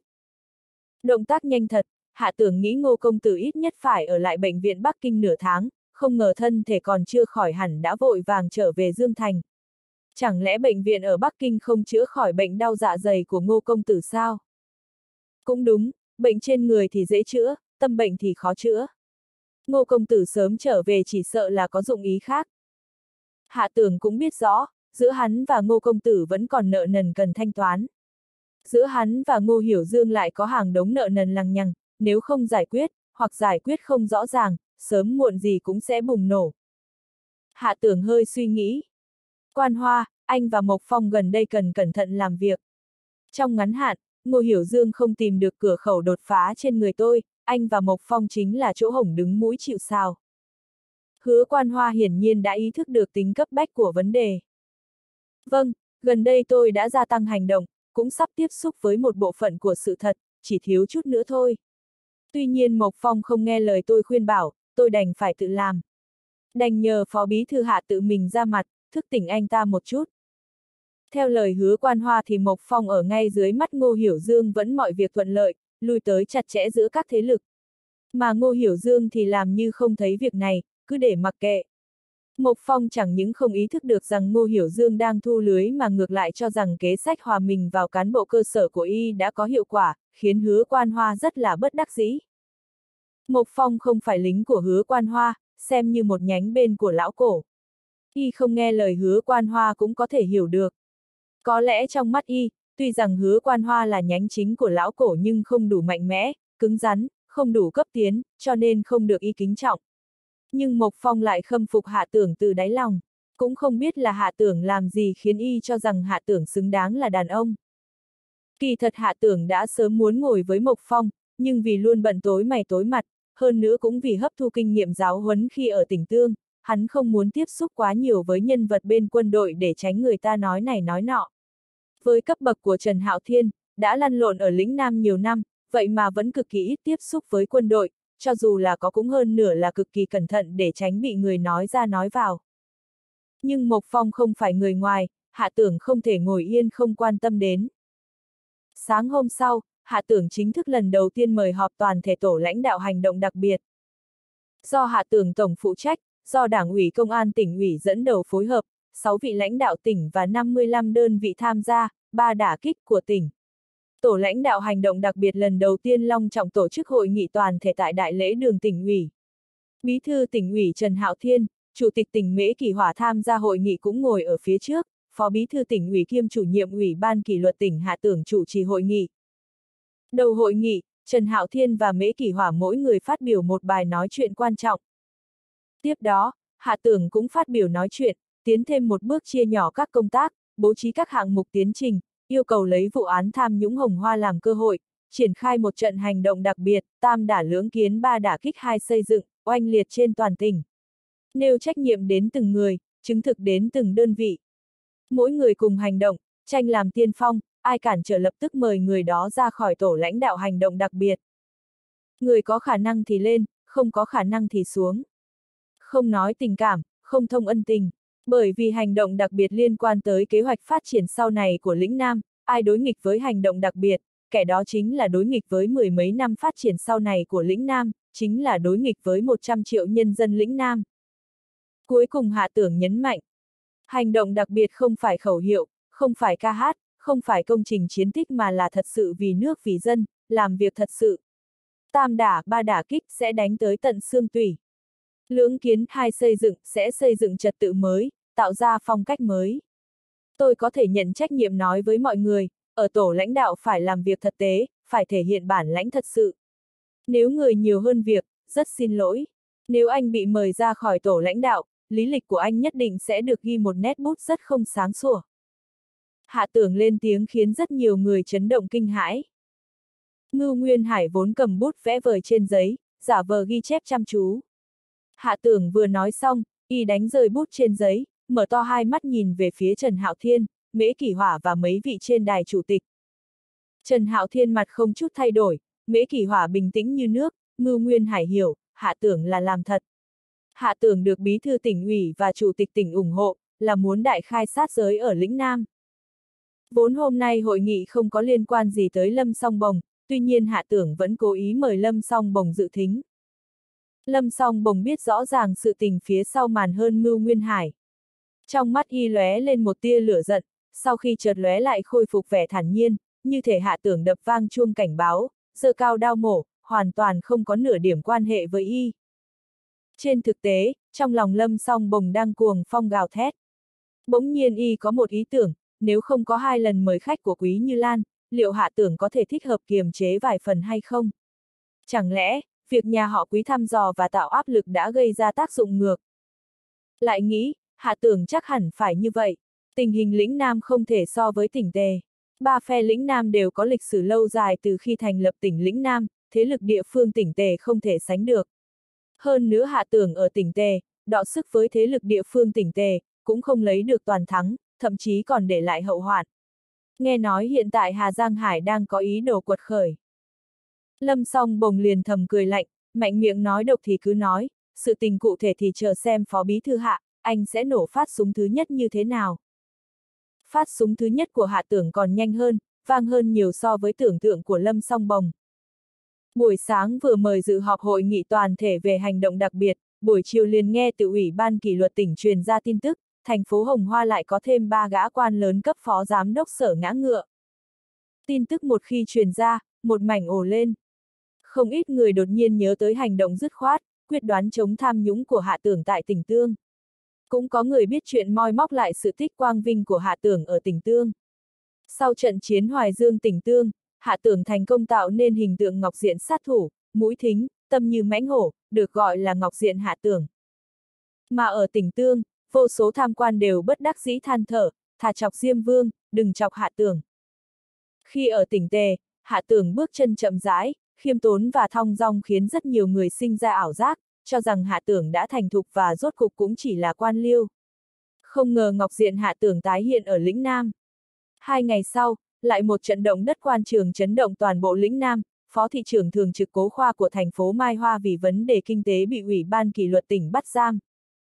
Ai chẳng biết rõ thành phố Mai Hoa chính là đất khởi nguyên của nhà họ quý, cũng là căn cơ hiện tại của nhà họ quý. Hành động này của hạ tưởng là lộ liễu tuyên chiến trực diện với nhà họ quý. Nhà họ quý khẳng định sẽ không tùy ý để hạ tưởng đánh như vậy. Nhà họ quý phản kích nhanh hơn rất nhiều so với dự đoán. Nếu ở thành phố Hồng Hoa có ba gã quan lớn cấp giám đốc sở ngã ngựa xem như phát súng mở màn cho hành động đặc biệt mà hạ tưởng chủ trì, như vậy phó thị trưởng thường trực cố khoa của thành phố Mai Hoa bị bắt giam cũng chính là quả pháo thứ nhất do hạ tưởng chính thức châm ngòi. Đó cũng là trận chiến đầu tiên tuyên chiến trực diện. Kỳ thật, lấy thành phố Mai Hoa để khai đao đầu tiên cũng không phải do hạ tưởng cố tình làm vậy mà là do sự việc vừa đúng lúc gặp được. Trước đó, Ủy ban kỷ luật tỉnh cũng đã nắm giữ rất nhiều chứng cứ chính xác về việc cố khoa tham ô, nhận hối lộ nhưng vẫn giữ lại đó mà không xử lý, một phần vì e rẻ quyền thế của nhà họ quý. Cho dù cố khoa kỳ thật cũng không phải nhân sự chủ chốt của nhà họ quý nhưng ủy ban kỷ luật vẫn không dám có bất cứ hành động gì, chỉ vì ở thành phố Mai Hoa có một lão nhân gia đức cao vọng trọng chấn thủ. Bất luận việc lớn việc nhỏ gì ở thành phố Mai Hoa đều phải được lão nhân gia gật đầu mới được. Lão nhân gia không gật đầu, ngay cả điều động một phó thị trưởng tới thành phố Mai Hoa, tỉnh ủy cũng sẽ không dễ dàng gửi công văn đi. Ủy ban kỷ luật cũng từng cẩn thận trưng cầu ý kiến của lão nhân gia về vấn đề của cố khoa. Lão nhân gia chỉ nói một câu. Mấy năm gần đây, kinh tế Mai Hoa rất khởi sắc. Công hiến của cố khoa đối với Mai Hoa, công lớn hơn tội. Ủy ban kỷ luật cũng không nhắc lại vấn đề kinh tế của cố khoa, định chờ sau khi cố khoa rời khỏi Mai Hoa sẽ quyết định thêm, cũng thể hiện sự tôn trọng đối với lão nhân gia, không muốn để xảy ra chuyện xuất hiện quan chức tham ô tại thành phố Mai Hoa.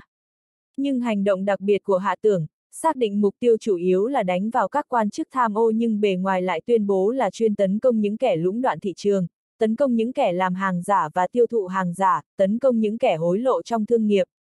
Tuy nhiên, Hạ Tưởng lại đặt việc nghiêm trị các quan chức tham ô lên đầu tiên. Một đám xã hội đen chỉ có thể làm mấy trăm hoặc mấy ngàn người bị nguy hại, nhưng một viên tham quan có khả năng khiến hàng triệu thậm chí hàng chục triệu người bị nguy hại, tuyệt đối không thể nương tay, tuyệt đối không thể nhân nhượng.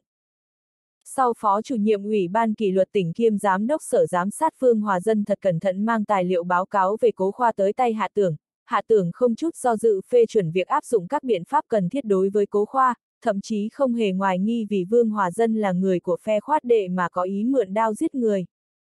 Phó Bí Thư Hạ, Vương Hòa Dân đối nhân xử thế coi như công chính. Anh ta cố ý đề xuất cố khoa có lẽ xuất phát từ công tâm. Đường Thiên Vân lần đầu tiên nói giúp người khác trước mặt hạ tưởng.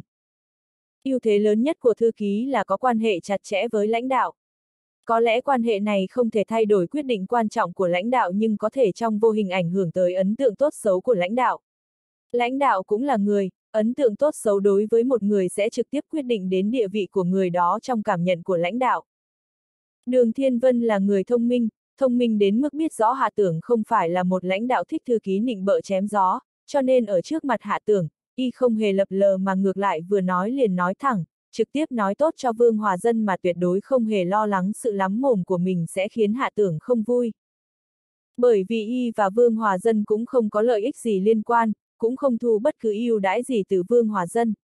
Điểm xuất phát của y chính là căn cứ để khiến hạ tưởng phân biệt rõ tình thế, không để cho lãnh đạo đánh giá sai lầm về Vương Hòa Dân là có tư tâm trong việc Vương Hòa Dân đệ trình tài liệu về cố khoa. Hạ tưởng sao có thể không biết tâm tư của đường Thiên Vân, liền cười nói. Chỉ cần là cán bộ tham ô, hủ bại, mặc kệ đề cập đến ai, cũng mặc kệ là ai tố cáo, tôi đều nhất định phải tra tới cùng. Đường Thiên Vân gật đầu. Phó Bí Thư Hạ có cảm thấy ngạc nhiên vì sao lão nhân gia lại coi trọng cố khoa không? Nói thật, quả thật Hạ tưởng hơi khó hiểu. Hắn không nghĩ rằng lão nhân gia nhà họ quý là người không biết phân biệt phải trái. Nếu đường Thiên Vân chủ động muốn nói ra nội tình, hắn liền gật đầu nói. Cũng hơi ngạc nhiên, cậu nghe được gì à? Cũng là tin vỉa hè thôi, chưa chắc là thật. Đường Thiên Vân nói. Nghe nói cố khoa vô cùng ngưỡng mộ quý như Lan. Trong tình huống còn chưa nắm chắc bất cứ thứ gì đã tự mình ly hôn trước, sau đó mãnh liệt tấn công quý như Lan. Tuy rằng cuối cùng không giành được trái tim của quý như Lan nhưng lại khiến lão nhân gia có ấn tượng tốt đối với y, cho nên mới nói giúp y một câu. Còn có cả giai thoại như vậy sao? Hạ tưởng lắc đầu cười, không ngờ cố khoa cũng là người có cá tính. Người trong quan trường còn có thể si tình như vậy. Tuy nhiên liên tưởng tới việc bí thư thành ủy Dương Thành, khi vừa đảm nhiệm chức bí thư thành ủy liền cưới vợ chính là người nữ dẫn chương trình xinh đẹp của đài truyền hình thành phố, hắn cũng liền cười xòa. Giai thoại thì có thể cười trừ nhưng đối với với việc nhà họ quý sẽ phản ứng như thế nào khi cố khoa bị bắt giam, hạ tưởng vẫn chưa có sự chuẩn bị tâm lý đầy đủ, bởi vì hắn cũng không cho rằng việc mình bắt giam cố khoa là trực tiếp khiêu chiến nhà họ quý. Bên ngoài nghĩ gì về hành động của hắn là việc của bên ngoài, nhà họ quý có hiểu sự công chính của hắn hay không cũng là việc của nhà họ quý, hắn chỉ cần không thẹn với lương tâm là được. Chẳng qua có khi sự việc sẽ xuất hiện những sai lệch không thể dự tính được. Ba ngày sau, một tin tức bình thường trước hết từ truyền thông Bắc Kinh phát ra, tiếp theo đó là cả nước dẫn phát một trận bình luận mạnh mẽ, thị trưởng thành phố Minh Giang đề cử người vào vị trí cục trưởng cục công thương nhưng trong cuộc họp thường ủy hội đồng nhân dân thành phố lại không được thông qua. Không ngờ thường ủy hội đồng nhân dân thành phố lại phủ quyết đề cử của thị trưởng. Theo giải thích của truyền thông các nơi thì đây là hội đồng nhân dân thực hiện quyền lực giám sát chính phủ như bình thường, còn triển khai một loạt các thảo luận. Truyền thông chỉ thảo luận chú ý tới bề ngoài của hiện tượng, còn hàm nghĩa chính trị sau lưng nó lại có ý vị vô cùng sâu xa. Người trong quan trường ai mà không biết rõ rằng, Hội đồng Nhân dân không phải phủ quyết đề cử của thị trưởng mà là đề cử của bí thư thành ủy, hoặc là phủ quyết đề cử của thành ủy. Người trong quan trường đều biết rõ, bất cứ một cục trưởng nào của thành phố được bổ nhiệm không phải là do một lời của thị trưởng liền được quyết định, mà phải là từ ban tổ chức cán bộ khảo sát, sau đó báo cáo lên để thường vụ thành ủy thảo luận, cuối cùng thường vụ thành ủy sẽ đạt được thông qua, cũng được bí thư thành ủy gật đầu, sau đó mới có thể xác định việc chọn người cuối cùng. Tiếp đó là thị trưởng mời dự họp hội nghị thường vụ hội đồng nhân dân, tuyên bố quyết định bổ nhiệm. Khi đệ trình đến hội nghị thường vụ hội đồng nhân dân thì các công tác của giai đoạn trước đã được bố trí xong xuôi, trên thực tế chỉ chờ các thường vụ hội đồng nhân dân giơ tay biểu quyết là xong. Nói chung, chỉ cần 90% các thường vụ hội đồng nhân dân biểu quyết thông qua là được. Không ngờ rằng lại xuất hiện tình huống ngoài dự tính như vậy. Nếu chỉ là thành phố cấp 3 khác thì còn dễ nói một chút, nhưng thành phố Minh Giang lại là thành phố cấp 3 đầu tiên của lĩnh Nam bị phe phái ngoài tỉnh nắm được. Bí thư thành ủy và thị trưởng đều là người ngoài tỉnh, cũng đều là nhân vật số 1, số 2 của thành phố cấp 3 được Trần Hạo Thiên sau khi nhậm chức để bạt lên. Càng trùng hợp chính là, trước khi đến làm bí thư thành ủy thành phố Minh Giang, ông ta lại là bí thư thành ủy thành phố Mai Hoa. Truyền thông bên ngoài chỉ đưa tin hời hợt nhưng ngược lại, trong mắt Trần Hạo Thiên và Hạ Tưởng thì việc Hội đồng Nhân dân thành phố Minh Giang phủ quyết việc bổ nhiệm Cục trưởng Cục Công Thương rõ ràng là một đòn phản kích chính diện, gọn gàng, dứt khoát của nhà họ quý. Văn phòng bí thư tỉnh ủy.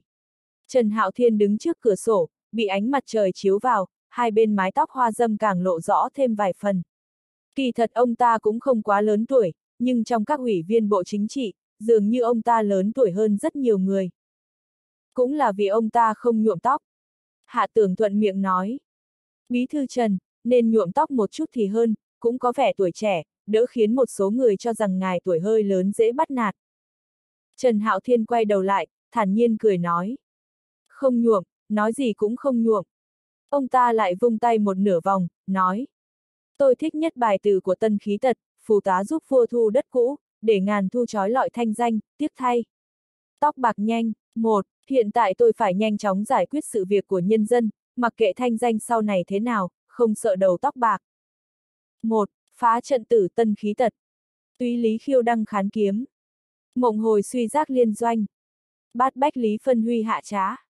Ngũ thập huyền phiên tái ngoại thanh. Sa trường thu điểm binh. Mã tác đích lư phi khoái. cùng như tích lịch huyền kinh. Liễu khước quân vương thiên hạ sự. Doanh đắc sinh tiền thân hậu danh. Khả liên bạch phát sinh.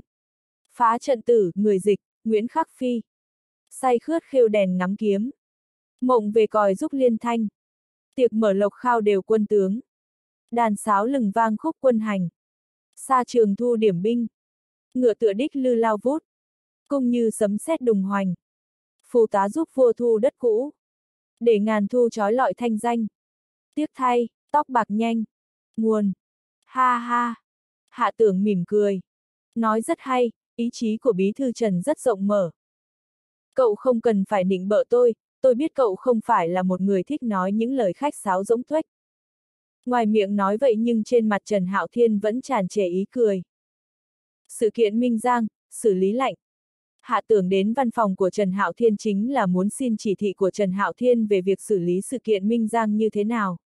Là lãnh đạo tỉnh ủy có toàn quyền phụ trách hành động đặc biệt, quyền lực lớn như thế nào, trách nhiệm nặng nề chừng nào, sự kiện Minh Giang nói lớn cũng lớn, nói nhỏ cũng có thể nhỏ, nên hắn phải trưng cầu ý kiến của Trần Hạo Thiên. Đúng rồi, nếu Quý Như Lan lại mời cậu gặp mặt, cậu thay tôi chuyển một lời cho cô ta. Trần Hạo Thiên quyết tâm rất lớn, ông vung mạnh tay đầy kiên định. Tuy rằng trà dễ uống nhưng nếu uống nhiều quá cũng sẽ nhàm chán. Khi thích hợp cũng nên đổi khẩu vị một chút. Hạ tưởng gật đầu, trong lòng biết rằng Trần Hạo Thiên cũng phát ra lời cảnh cáo rõ ràng tới Quý Như Lan. Trở lại văn phòng, vừa mới uống một ngụm trà liền cảm giác hương vị khác lạ, hạ tưởng ngẩng đầu nhìn thoáng qua đường Thiên Vân. Đường Thiên Vân vội nói. Tôi cảm thấy cứ uống mãi một loại trà thì hơi đơn điệu liền đổi sang uống thiết quan âm, là trưởng ban thư ký Lâm vừa mới đưa tới. Lâm Khang Tân, hạ tưởng khẽ gật đầu, cũng không nói gì, điện thoại liền đổ chuông. Đường Thiên Vân vốn định tiếp lấy điện thoại thì hạ tưởng đã khoát tay, trực tiếp cầm lấy điện thoại. Một giọng nói dịu dàng quyến rũ như rượu từ trong điện thoại truyền đến. Phó Bí Thư Hạ, tôi là Quý Như Lan. Có việc gì? Hạ tưởng không quá thích sự dịu dàng, quyến rũ của Quý Như Lan. Phụ nữ quá mức dịu dàng quyến rũ giống như rượu mạnh. Hoa độc là đẹp nhất, rượu mạnh là thơm nhất, nhưng hoa độc chết người, rượu mạnh thủng ruột. Hơn nữa nhà họ quý trước có quý như Lan sung phong, sau có quý trường hạnh tỉ mỉ bố trí, tâm lý phòng bị quá mức chặt chẽ và chu đáo khiến hắn không muốn tiếp tục lằng nhằng với quý như Lan, bởi vậy hắn nói năng lạnh lùng như nước. Phó Bí Thư Hạ có ý kiến với tôi sao? Tôi rất buồn bực, không biết đã đắc tội gì với Phó Bí Thư Hạ. Giọng của Quý Như Lan vẫn nồng đậm hương hoa như trước. Tuy nhiên Hạ tưởng nghe ra lại chỉ cảm thấy ngọt mà ngấy, không hề có chút hứng thú nào. Có việc thì nói, quý tiểu thư, tôi sắp phải họp. Hạ Tường bất động, giọng điệu không hề có chút cảm xúc. Đúng rồi, bí thư Trần nhờ tôi chuyển lời tới cô một câu. Hạ Tường thuật lại nguyên văn câu nói của Trần Hạo Thiên. Được. Quý Như Lan nghe xong, giọng điệu lạnh lùng thêm mấy phần, lập tức ngắt điện thoại. Vậy không quấy rầy phó bí thư hạ nữa. Hạ tưởng hơi lắc đầu, người phụ nữ thực sự thông minh sẽ không thể khoe khoang thông minh trước mặt người đàn ông, nhất là người đàn ông có quyền thế. Quý Như Lan gọi điện thoại định nói chuyện gì, hạ tưởng cũng lười đoán. Nhà họ Quý đã trả một đòn, tiếp theo để xem thành ủy Minh Giang giải quyết vấn đề hội đồng nhân dân phủ quyết như thế nào. Trần Hạo Thiên rõ ràng muốn xử lý lạnh, ngụ ý chính là tin tưởng mức độ khống chế của bí thư thành ủy và thị trưởng thành phố Minh Giang. Tuy nhiên hạ tưởng vẫn xem nhẹ mức độ trả đòn của nhà họ quý, chỉ nghĩ rằng sự kiện Minh Giang là dừng ở đây, không ngờ nhà họ quý lại ra tay tiếp, hơn nữa mức độ còn mạnh hơn rất nhiều so với sự kiện Minh Giang, rốt cục khiến sự tình lên tới mức độ dương cung bạt kiếm. Trước kia hạ tưởng không hề có ác cảm đối với nhà họ quý, hiện tại cũng vậy. Trước kia, khi lão cổ đề xuất với hắn rằng nhà họ quý cố ý muốn gặp hắn một lần, sự hiếu kỳ và hứng thú của hắn đối với nhà họ quý liền lên tới đỉnh điểm. Chẳng qua sau khi tiếp xúc, hắn mới cảm nhận được rằng nhà họ quý luôn phòng bị quá mức chặt chẽ, chu đáo, chưa nói tới việc mọi chuyện họ đều muốn chiếm cơ hội đầu, mọi chuyện họ đều tính kế quá mức khôn khéo. Khôn khéo không phải chuyện xấu, sự việc nào cũng phải xem lâu dài. Dưới cái nhìn chủ tính đại cục, không tính toán được mất nhất thời mới là phong độ của một đại tướng. Có việc là tính toán chi ly, chịu thiệt một chút liền đáp trả, quá khôn khéo liền có vẻ nhỏ mọn. Không phải nói quý như Lan chỉ để ý việc nhà mà mặc kệ đại cục, trong lòng hạ tưởng liền nghi ngờ, sao dường như là quý như Lan lại ra tay. Buổi tối, hạ tưởng và hứa quan hoa gặp nhau, ăn một bữa tối đơn giản. Trạng thái của hứa quan hoa không tồi. Dịp Tết ở Bắc Kinh, hạ tưởng đại triển thần uy ở nhà họ phó, y không được chính mắt nhìn thấy, nhưng lúc định Giang Sơn tại Tam Bình, y lại có mặt tại hiện trường, hơn nữa còn làm cho Ngô Hiểu Dương bị bắt phải cúi đầu, khiến cho y thật sự hãnh diện một lần. Bởi vậy tâm tình cũng rất tốt. Phó Bí Thư Hạ, lão cổ chỉ thị, mời anh mau chóng tiếp xúc với nhà họ quý. Hứa quan hoa truyền đạt cho hạ tưởng chỉ thị tinh thần của lão cổ. Hai người ở một phòng khách sạn không phải là xa hoa, là một cứ điểm mà hứa quan hoa thường tới, chủ yếu kinh doanh đồ ăn Bắc Kinh là việc chính. Hứa quan hoa không quen ăn món Quảng Đông. Theo lời y nói, miệng người Dương Thành rất dọa người, bay trên trời chạy dưới đất, cái gì cũng dám ăn. Thì ra lão cổ còn chưa biết hắn và nhà họ quý đã đánh nhau sao. Liên hệ giữa hạ tưởng và lão cổ không chặt chẽ bằng hứa quan hoa và lão cổ. Mỗi lần hắn trò chuyện với cổ lão đều nhờ cổ ngọc trung chuyển, cũng là điều phiền toái.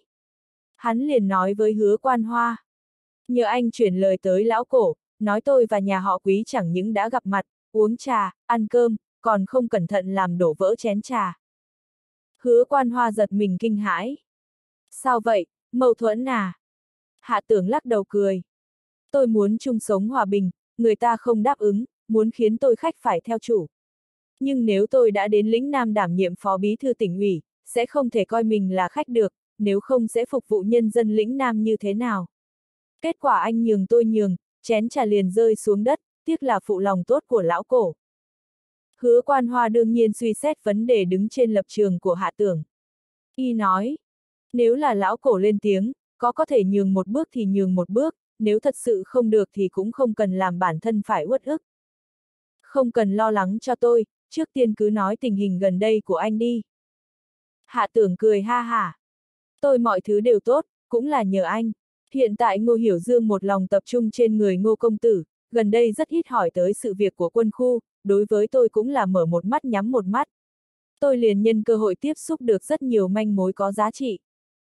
Hạ tưởng lại nói, tôi nghe nói Nam Quốc Chi Xuân là một nơi rất tốt. Hứa quan hoa hiểu ý mỉm cười. Nam Quốc Chi Xuân rất có tiếng tăm, ở quân ủy cũng có không ít người biết. Chỗ dựa của Ngô Hiểu Dương rất cứng rắn, tướng quân phù muốn động y, ngay cả sự việc Nam Quốc Chi Xuân cũng đều đưa lên, quân ủy lại đè ép xuống. Hiện tại muốn lật đổ Ngô Hiểu Dương còn thiếu một chút lửa. Tuy nhiên căn cứ những tài liệu mà tôi thu thập được, tôi tin tưởng trong vòng 3 tháng khiến Ngô Hiểu Dương rơi đài. Ngô Hiểu Dương ngồi trong phòng khách xa hoa, một tay áp vào thái dương, một tay nhẹ nhàng gõ lên chiếc sofa giá trị hơn trăm ngàn tệ, nói với Thi Khải Thuận ngồi bên dưới. Khải Thuận, cậu cho rằng nhà họ quý và hạ tưởng so chiêu, có thể ngày càng nghiêm trọng hay không? Khó mà nói. Thi Khải Thuận hơi hơi suy nghĩ. Hạ tưởng là một người rất kiềm chế. Tôi nghe nói mỹ nhân số một nhà họ quý là quý như Lan ra mặt mời hắn, hắn cũng bất động. Hơn nữa bởi vì quan hệ giữa Phụ Huyên và Lão Cổ, hắn cũng rất tôn kính nhà họ quý, chỉ sợ đến lúc mấu chốt, hắn sẽ thu tay lại. Phân tích của cậu rất có đạo lý, tôi cũng lo lắng hạ tưởng sẽ nhượng bộ. Trong mắt Ngô Hiểu Dương ánh lên vẻ căm hận. Nếu nhà họ quý ra đòn mạnh với hạ tưởng, có trò hay để xem, tôi sẽ không cần phải phiền não làm gì. Thì Khải Thuận tất nhiên biết Ngô Hiểu Dương hận hạ tưởng thấu xương, nhưng trước mắt lại không có biện pháp nào tốt để đối phó với hạ tưởng. Mượn tay nhà họ quý để đối phó với hạ tưởng là biện pháp tốt nhất. Nếu có thể liên kết với nhà họ quý để đối phó với hạ tưởng, phần thắng sẽ lớn hơn. Ngô Hiểu Dương khẽ lắc đầu. Quy định của nhà họ quý là không qua lại với người trong quân đội. Hơn nữa nhà họ quý và tôi cũng không có quan hệ gì, nhà họ quý lại không dễ tiếp xúc. Cậu đã quên, trước kia ngay cả Trần Hạo Thiên cũng mấy lần hút vào tường đó sao? Biện pháp xử lý tốt nhất chính là, tìm một người phát ngôn ở tỉnh ủy, thông qua y truyền đạt tin tức tới nhà họ quý, chỉ cần nhà họ quý ra tay, chúng ta có thể ở sau lưng ủng hộ vô điều kiện. Tin tưởng rằng nhà họ quý sẽ không từ chối ý tốt này. Thi Khải Thuận nói, ở tỉnh ủy, ai thích hợp nhất? Ti Anh. Ngô Hiểu Dương hẳn là đã sớm nghĩ tốt ứng cử viên, lập tức nói ngay. Thi Khải Thuận mỉm cười. Thủ trưởng anh Minh. Ngô Hiểu Dương cũng cười. Anh Minh chó gì, trong tỉnh ủy, Ti Anh là người ba phải nhất. Chuyện này giao cho cậu đi làm, còn có một việc phải giao cho Tống Cương đi làm. Tống Cương vẫn đứng thẳng tắp ở một bên, không nói câu nào. Vừa nghe thấy Ngô Hiểu Dương điểm danh, y lập tức lớn tiếng nói. Mời tư lệnh chỉ bảo. Ngô Hiểu Dương cười mắng. Nghỉ, ở nhà còn đứng giống như cột điện cho ai xem chứ. Gần đây cậu theo dõi Mộc Phong tiến hành thế nào rồi? Báo cáo tư lệnh, hết thảy chuẩn bị ổn thỏa. Tốt, bắt đầu đi. Vâng. Biệt thự bên hồ. Trong phòng thoảng mùi hương thơm ngát, Quý Như Lan mặc một bộ quần áo bung sát người, càng hỗ trợ cho dáng người của cô. Cô như một quả đào mật mọng nước, ngon lành. Tuy rằng đã qua tuổi 30 nhưng cô vẫn giữ được dáng người thon gọn như thiếu nữ thanh xuân. Bên ngoài làn da lồ lộ là một lớp mồ hôi mịn màng. Có lẽ do không khí ấm áp dễ chịu nên làn da quý như lan vừa trắng nõn vừa mịn màng. Hơn nữa cuộc sống của cô rất quy củ và chú ý cẩn thận mọi chuyện cho nên toàn thân cô gần như hoàn mỹ, không chỗ nào không tuyệt đẹp động lòng người. Quý Như Lan đang luyện yoga. Luyện tập khoảng hơn nửa giờ, toát mồ hôi toàn thân, cô dừng lại, chân đất bước vào phòng tắm. Chỉ lát sau, trong phòng truyền ra tiếng nước chảy ào ào. Tắm xong, Quý Như Lan để xóa tóc, mặc quần áo ở nhà, đi một đôi dép lê có hình phim hoạt hình. Lúc này cô không còn vẻ dịu dàng, quyến rũ như những minh tinh màn bạc nữa mà thanh thoát như một cô gái rất bình thường. Cô ngồi xếp bằng trên sofa, đang định tỉa tót lại móng chân non mềm như móng chân trẻ con thì điện thoại đổ chuông. Như Lan, sao ông cụ nói không biết sự tình ở Minh Giang? Trong điện thoại truyền đến giọng nam trung trầm thấp. Dù sao cũng đã xảy ra, cũng không thể lùi về được. Quý Như Lan hơi hờn dỗi nói. Anh cũng có ý kiến đối với tôi sao? Không phải là có ý kiến mà là cảm thấy quá đột ngột. Do dự một chút, y còn nói thêm. Hạ tưởng bắt cố khoa, chưa chắc là cố tình khiêu chiến nhà họ quý. Cô không cần liên tưởng mọi chuyện quá mức, tôi nghe người ta nói là, cố khoa là do vương hòa dân kéo xuống, hạ tưởng chẳng qua là thuận nước đẩy thuyền, không áp chế thôi. Có lẽ tôi nhìn không chính xác nhưng tôi kiên trì cho rằng, cố khoa vừa bị bắt, Minh Giang cũng lập tức xảy ra sự việc, có vẻ nhà họ quý hơi không phóng khoáng. Lâm song bồng, anh chỉ trích tôi lòng dạ hẹp hòi thì nói rõ đi, đừng quanh co lòng vòng. Đừng tưởng rằng tôi không biết anh vẫn không quen nhìn tôi. Quý Như Lan đột nhiên nổi giận, ném điện thoại đi. Trong phòng trên lầu, nghiêm tiểu thì đang nghiêng tai lắng nghe. Nghe được hết những lời Quý Như Lan vừa nói, cô khẽ nhếch miệng cười đắc ý. Quý Như Lan hồn nhiên quên mất rằng nghiêm tiểu thì vẫn ở trên lầu, cứ một mình đi lại vòng vo dưới lầu mấy vòng, bỗng nhiên ngồi xuống, cầm lấy điện thoại bấm một dãy số. Phó Bí Thư Thành ủy thành phố Hồng Hoa Lý Giật Phong. Buông điện thoại, Quý Như Lan tự nói với mình. Tôi cũng không tin không đấu lại được hạ tưởng. Hắn là người bên ngoài, mới đến lĩnh Nam bao lâu mà đã muốn gây sóng gió chứ? Phải cho hắn nếm chút đau khổ mới được. Suy nghĩ một chút, cô quay người đi lên lầu, tới trước cửa phòng của nghiêm tiểu thì. Tiểu thì, đã ngủ chưa? Tôi muốn nói chuyện với cô một lát. Gọi liên tục mấy câu, bên trong mới truyền tới giọng nói ngái ngủ của nghiêm tiểu thì. Ai già, sao mình lại ngủ gật nhỉ? Mau vào đi, Như Lan. Quý Như Lan đẩy cửa đi vào, thấy nghiêm tiểu thì vẫn mặc nguyên quần áo nằm trên giường, dáng vẻ ngái ngủ, liền cười nói. Cô đúng là một con sâu ngủ, trời vừa tối liền mệt dã rời. Đừng ngủ nữa, nói chuyện với tôi đi. Được rồi. Nghiêm tiểu thì mở to mắt, nửa nằm nửa ngồi, ôm lấy một cái gối ôm. Tiểu thì, tôi muốn hỏi cô một chút, hạ tưởng. Sốt cục là người như thế nào? Trong mắt quý như lan toát lên sự tò mò và khát vọng. Anh ta có phải là một người tự cao tự đại, bảo thủ nhưng lại tự cho là đúng hay không? Cô có biết không, ngay từ lần đầu tiên nhìn thấy, tôi đã rất không thích anh ta, còn cực kỳ chán ghét anh ta. Vốn lĩnh nam thật vất vả mới có cục diện tốt đẹp hiện tại, gần đây anh ta liền triển khai cái gì mà hành động đặc biệt, khiến lòng người hoảng sợ, còn như hổ rình mồi đối với nhà họ quý. Cô nói xem, người này có phải thích gây chuyện, sinh sự hay không? Trong mắt nghiêm tiểu thì chợt lóe lên một tia bất mãn rồi lại cười hì hì. Kỳ thật muốn nói hạ tưởng là dạng người thế nào, tôi đúng là không biết phải nói sao nữa. Có đôi khi anh ta sẽ rơi lệ vì một người dân công chưa từng quen biết, có đôi khi lại không thể cho người bên cạnh mình phạm chút sai lầm nhỏ nào. Có đôi khi anh ta cực kỳ tốt, có đôi khi lại hư hỏng như sói già xấu xa. Sói già xấu xa, ha ha, hình dung của cô rất hình tượng, về sau tôi sẽ gọi anh ta là sói già xấu xa. Cô không ý kiến gì chứ? Quý Như Lan tươi cười nhưng ẩn chứa trong đó là một tia nghi vấn và soi mói, chăm chú nhìn vào hai mắt nghiêm tiểu thì. Nghiêm tiểu thì vẫn vẻ mặt hồn nhiên. Tôi có thể có ý kiến gì chứ? Đàn ông vẫn nói, anh em như tay chân, đàn bà như quần áo. Nhưng tôi nói, chị em như tay chân, đàn ông như quần áo. Quý Như Lan đảo mắt mấy cái, lại cười khanh khách, hơn nữa cười rất vui vẻ. Trong tiếng cười của Quý Như Lan, trong đêm đó, đầu đường ở Dương Thành đã xảy ra chuyện. Người gặp chuyện không may tên là Mộc Phong. Mà sau hừng đông, thành ủy thành phố Hồng Hoa cũng xảy ra chuyện, người gặp chuyện không may tên là Lý Giật Phong. Mặc kệ là gió đông hay là gió tây, toàn bộ đều là gió lốc nhằm vào hạ tưởng. Vốn hắn rất có thiện cảm đối với nhà họ quý nhưng sau khi biết được hai tin tức này vẫn giận tím mặt, lần đầu tiên thật sự nổi giận đối với nhà họ quý. Sự kiện Mộc Phong, nhìn biểu hiện bên ngoài, đúng là sự kiện ngẫu nhiên. Ban đêm ở Dương Thành, vừa mới bắt đầu phồn hoa và huyên náo, đối với người Dương Thành quen sống về đêm mà nói, tuy là vừa mới qua Tết âm lịch, nhiệt độ không cao lắm, nhưng nhiệt huyết cũng đã dâng lên, sau 10 giờ tối, đầu phố vẫn đông người qua lại, náo nhiệt lạ thường.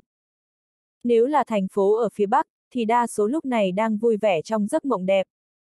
Sau khi Mộc Phong tụ họp với bạn bè, một mình lái xe quay về trụ sở.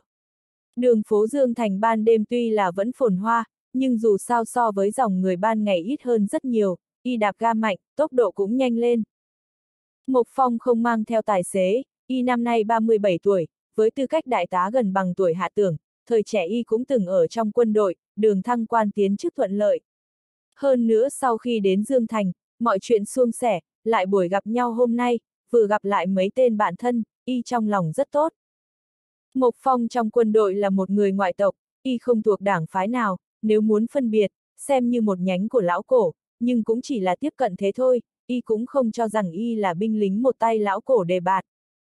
Nhưng Mộc Phong cũng đã là đại tá 37 tuổi, hơn nữa nếu vững bước tiến tới, khi 40 tuổi thăng chức lên thiếu tướng cũng không thành vấn đề, cũng đã chứng minh một điểm, y có lai lịch. Không sai, một người không cội không nguồn, dù có năng lực cũng không có khả năng từng bước thăng chức trong quân đội. Hiện tại là những năm tháng hòa bình, không phải sau những năm tháng chiến tranh thắng trận là có thể một bước thành thiếu tướng. Ông nội của Mộc Phong là một trong những vị tướng khai quốc, tuy không bằng tổ tiên nhà họ quý có công lớn dựng nước, cũng không đức cao vọng trọng như lão cổ, nhưng sau khi lập quốc cũng là một trong những tướng lĩnh cấp cao sau khi qua sàng lọc. Mộc Phong vẫn cho rằng, nếu không phải ông nội chết sớm, thì hiện tại ông nội đã có địa vị trong quân đội, so với lão cổ càng có trọng lượng. Chỉ tiếc, ông nội đã qua đời 10 năm trước. Mộc Phong hiểu rất rõ, nếu ông nội còn sống, y hiện tại đã là thiếu tướng rồi. Cũng may ông nội đã giải đường thay y rồi, y tin chỉ cần y làm việc thật miệt mài, cho dù đi chậm một chút, cuối cùng cũng sẽ có một ngày thế giới rộng mở.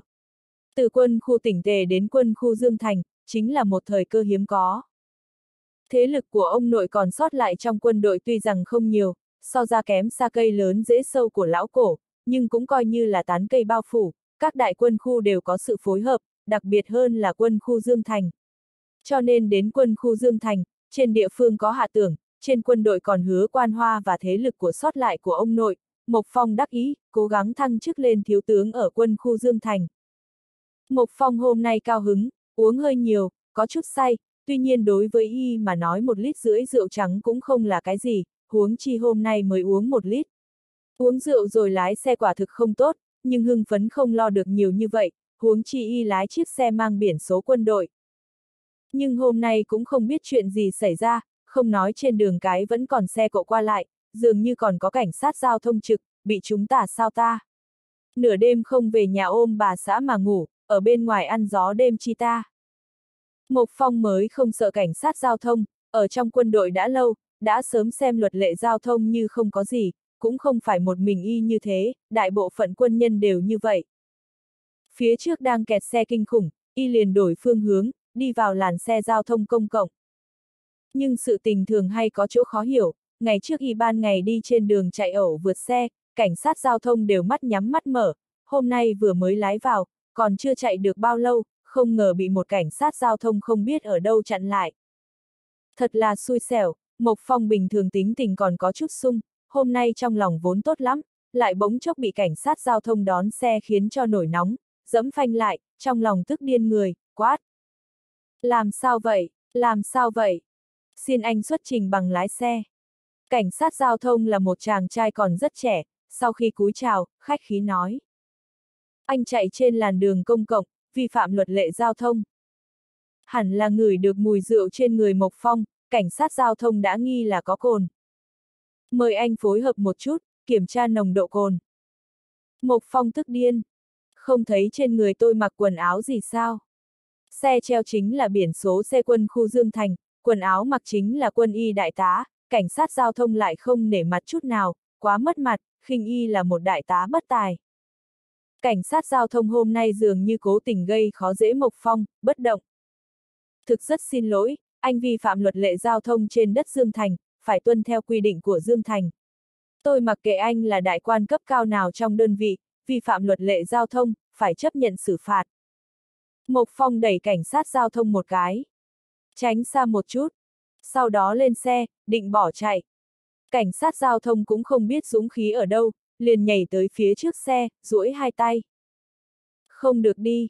Mộc Phong cứ tiến thẳng về phía trước, dậm ga vọt đi qua đương nhiên dưới chân không ra hết lực, chân ga khá mạnh, thực ra không hoàn toàn khởi động bộ ly hợp, xe đột nhiên lao về phía trước một cái. Cảnh sát giao thông hoảng sợ, lùi lại sau một bước, rồi lại đột nhiên bổ nhào về phía trước, nhào lên phía trước xe. Mộc Phong cũng hoảng sợ, y chính là lần đầu tiên gặp cảnh sát giao thông dũng cảm như thế, thì ra là muốn liều mạng. Tận chung với cương vị đến nước này, cũng thật sự là trước đây chưa từng gặp. Lúc này y tỉnh rượu hơn nhiều, cũng ý thức được sự việc hôm nay bên ngoài xem là sự việc ngẫu nhiên buổi tối kiểm tra rượu không phải điều đặc biệt ở Dương Thành, cả nước đều có nhưng dũng cảm quên mình làm nhiệm vụ như cảnh sát giao thông này, sợ là sau lưng có cạm bẫy. Mộc Phong quyết định, dừng xe tắt máy, xuống xe sẽ bỏ chạy. Một cảnh tượng càng làm cho người ta kinh ngạc hơn, đột nhiên xung quanh xuất hiện bốn, năm tên cảnh sát giao thông, vây lấy y, một người tiến về phía trước đoạt lấy chìa khóa của y, một người ở một bên quay lại video, còn một người lớn tiếng rêu rao, đám người xung quanh náo nhiệt dường như bàn bạc. Anh là quân nhân mà làm gì vậy? Anh đi trên đường ở Dương Thành, xe anh đi là xe của Đảng Cộng sản, không phải xe của anh. Đừng nói anh là đại tá, dù anh chính là thiếu tướng, lái xe ở Dương Thành, phải tuân thủ luật lệ giao thông ở Dương Thành. Chất vấn hùng hồn, lời thoại chính nghĩa, dẫn phát quần chúng xung quanh gieo hò. Mộc Phong cuối cùng cũng rõ, hôm nay đã mắc vào một cái bẫy được thiết kế tỉ mỉ, y hiểu rõ giờ có nói gì cũng sẽ bị quần chúng hiểu lầm sự việc không rõ chân tướng, đơn giản là không nói gì nữa, tùy cho vài tên cảnh sát giao thông bao vây, đưa y đi khỏi hiện trường. Sau đó, xe của y cũng bị xe kéo kéo đi. Hiện trường chỉ để lại những dấu chân lộn xộn và những nghi vấn liên tiếp. Thành phố Hồng Hoa nằm ở Tây Nam Bộ lĩnh Nam, là một trong những thành phố công nghiệp khá phát triển, cũng là bến cảng thành phố nổi tiếng, bởi vậy, Lý Giật Phong từ chủ tịch quận trực thuộc Dương Thành một bước bị điều đi nhận chức phó bí thư thành ủy ở thành phố Hồng Hoa, tuy là cấp thấp, nhưng người có con mắt tinh tường đều rõ, Lý Giật Phong là nhằm phủ chính ngay tại chỗ ở thành phố Hồng Hoa mà đến. Có rất nhiều ý kiến phản đối bổ nhiệm Lý Giật Phong tại hội nghị thường vụ tỉnh ủy, trước khi Lý Giật Phong chưa đến nhận chức, trên dưới thành phố Hồng Hoa cũng đã xôn xao. Nhưng sau khi Lý Giật Phong đến nhận chức không đến ba ngày, các tin đồn đều tan thành mây khói, chỉ vì y tính tình hiền hòa lại có cương có nhu, thường nói cười, việc nên làm cũng làm, không nên làm cũng làm nốt, sau đó còn làm cho người ta nghĩ rằng, không thể không bội phục sự lợi hại của y. Nhưng lúc thấy Lý Giật Phong sắp mở ra cục diện đứng vững gót chân ở Hồng Hoa, thì có sự tình xảy ra. Sáng sớm hôm nay, sự việc Mộc Phong ở Dương Thành còn chưa truyền tới Hồng Hoa, Lý Giật Phong đi vào phòng làm việc, mới ngồi xuống, còn chưa cầm văn kiện phê duyệt, thư ký đã báo cáo, nói là có một phó chủ tịch huyện phía dưới đến báo cáo công tác. Lý Giật Phong vừa tới, mọi việc đều phải cư xử ôn hòa một chút, tuy rằng phó chủ tịch huyện chưa sắp xếp đột nhiên đến thăm hỏi, gã cũng là xuất phát từ yêu cầu công việc, mời gã vào.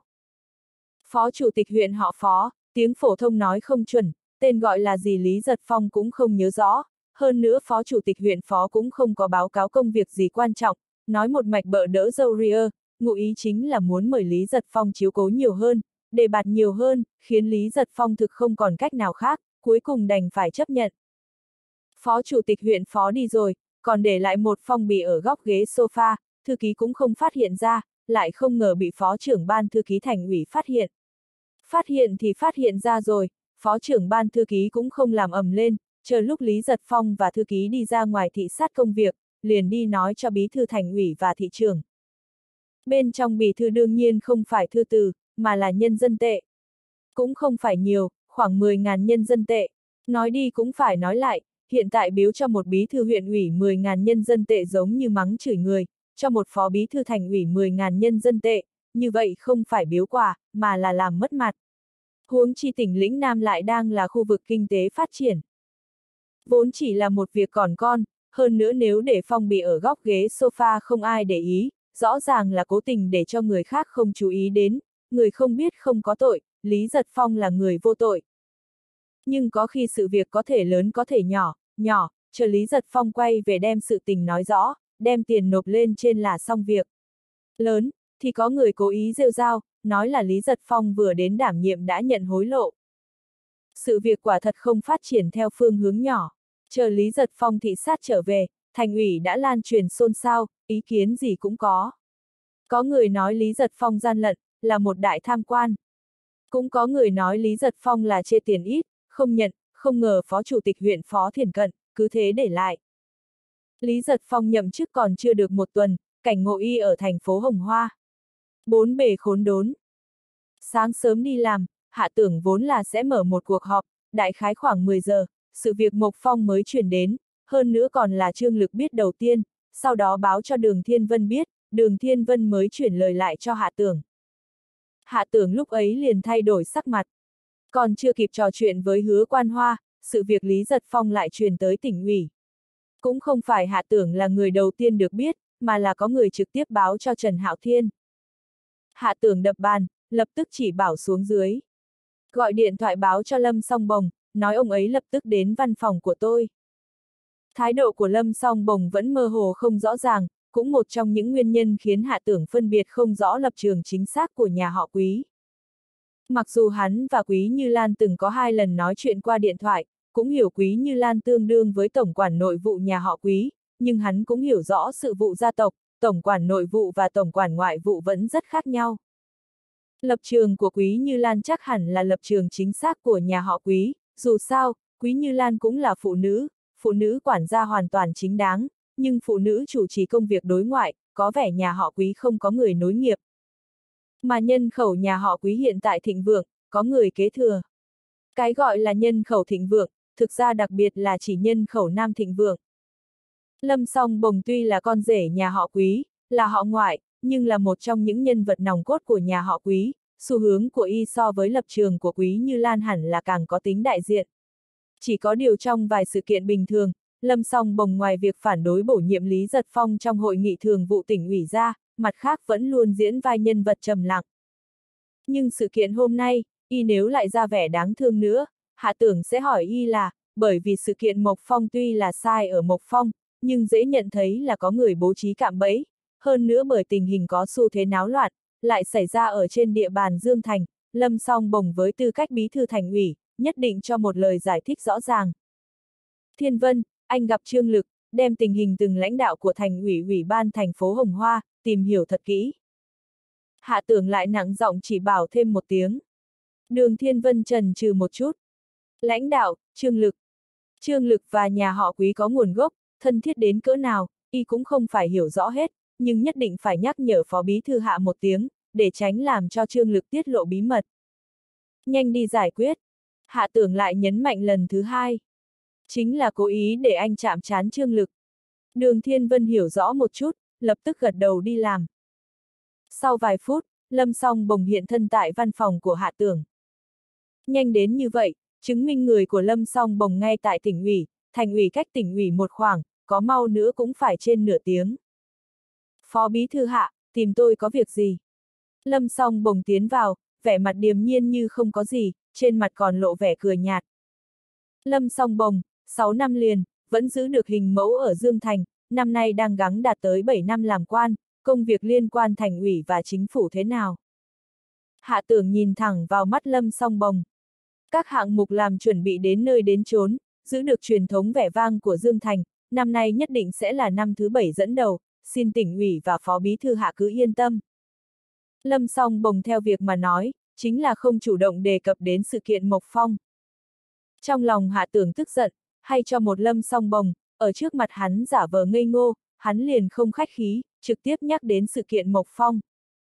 Lâm song bồng, sắp được bình chọn thành phố điển hình, địa phương và quân đội muốn có quan hệ tốt, cần có trí tuệ chính trị nhất định, Mộc Phong sau khi uống rượu lái xe là sai, nhưng luật lệ giao thông cũng đã quy định không được cưỡng chế thi hành chặn xe, anh là bí thư thành ủy, nói xem việc này xử lý như thế nào. Lâm song bồng hơi trầm tư, dường như lưỡng lự gì đó, sau một lát nói. Việc này tôi vẫn chưa hiểu rõ, cũng mới nghe nói qua, chờ tôi nghe ngóng tỉ mỉ, sẽ báo cáo lại phó bí thư hạ. Là muốn kéo dài sao? Hạ tưởng đem máy vi tính trên bàn quay lại. Anh xem, dễ nhận thấy sự việc là do cùng một người sắp đặt gây ra, trên một con đường làm sao có đến 7-8 người trực. Sắp xếp phiên trực thật sự thông thạo đây, lấy chìa khóa, bắt người, camera, đứng nói với tôi đây là sự việc ngẫu nhiên xảy ra.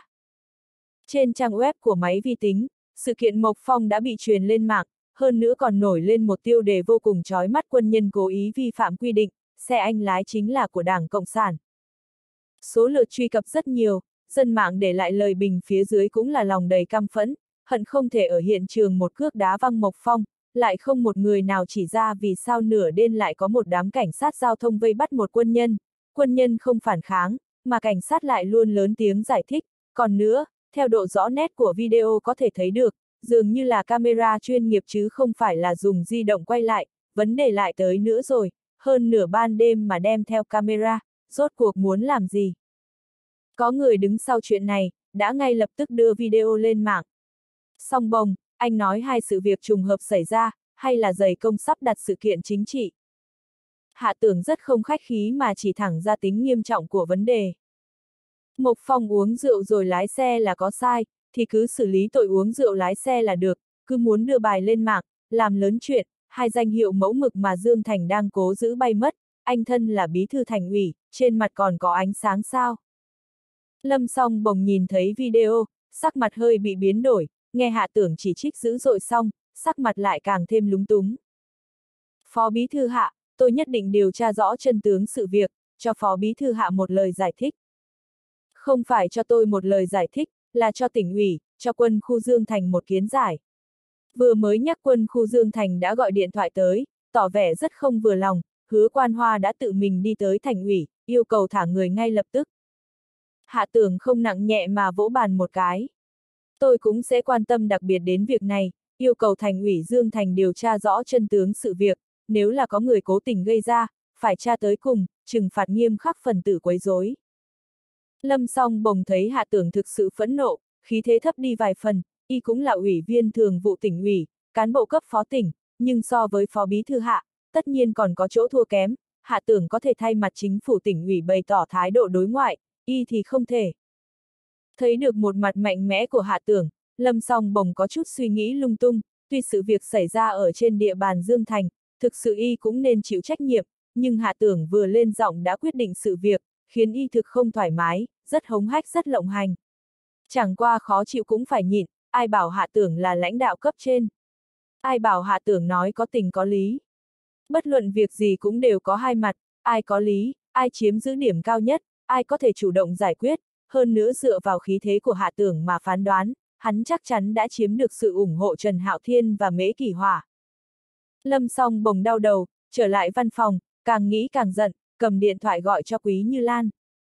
Rốt cuộc chuyện gì đã xảy ra? Lâm song bồng cố gắng nén cơn thịnh nộ, không thể không khống chế cảm xúc.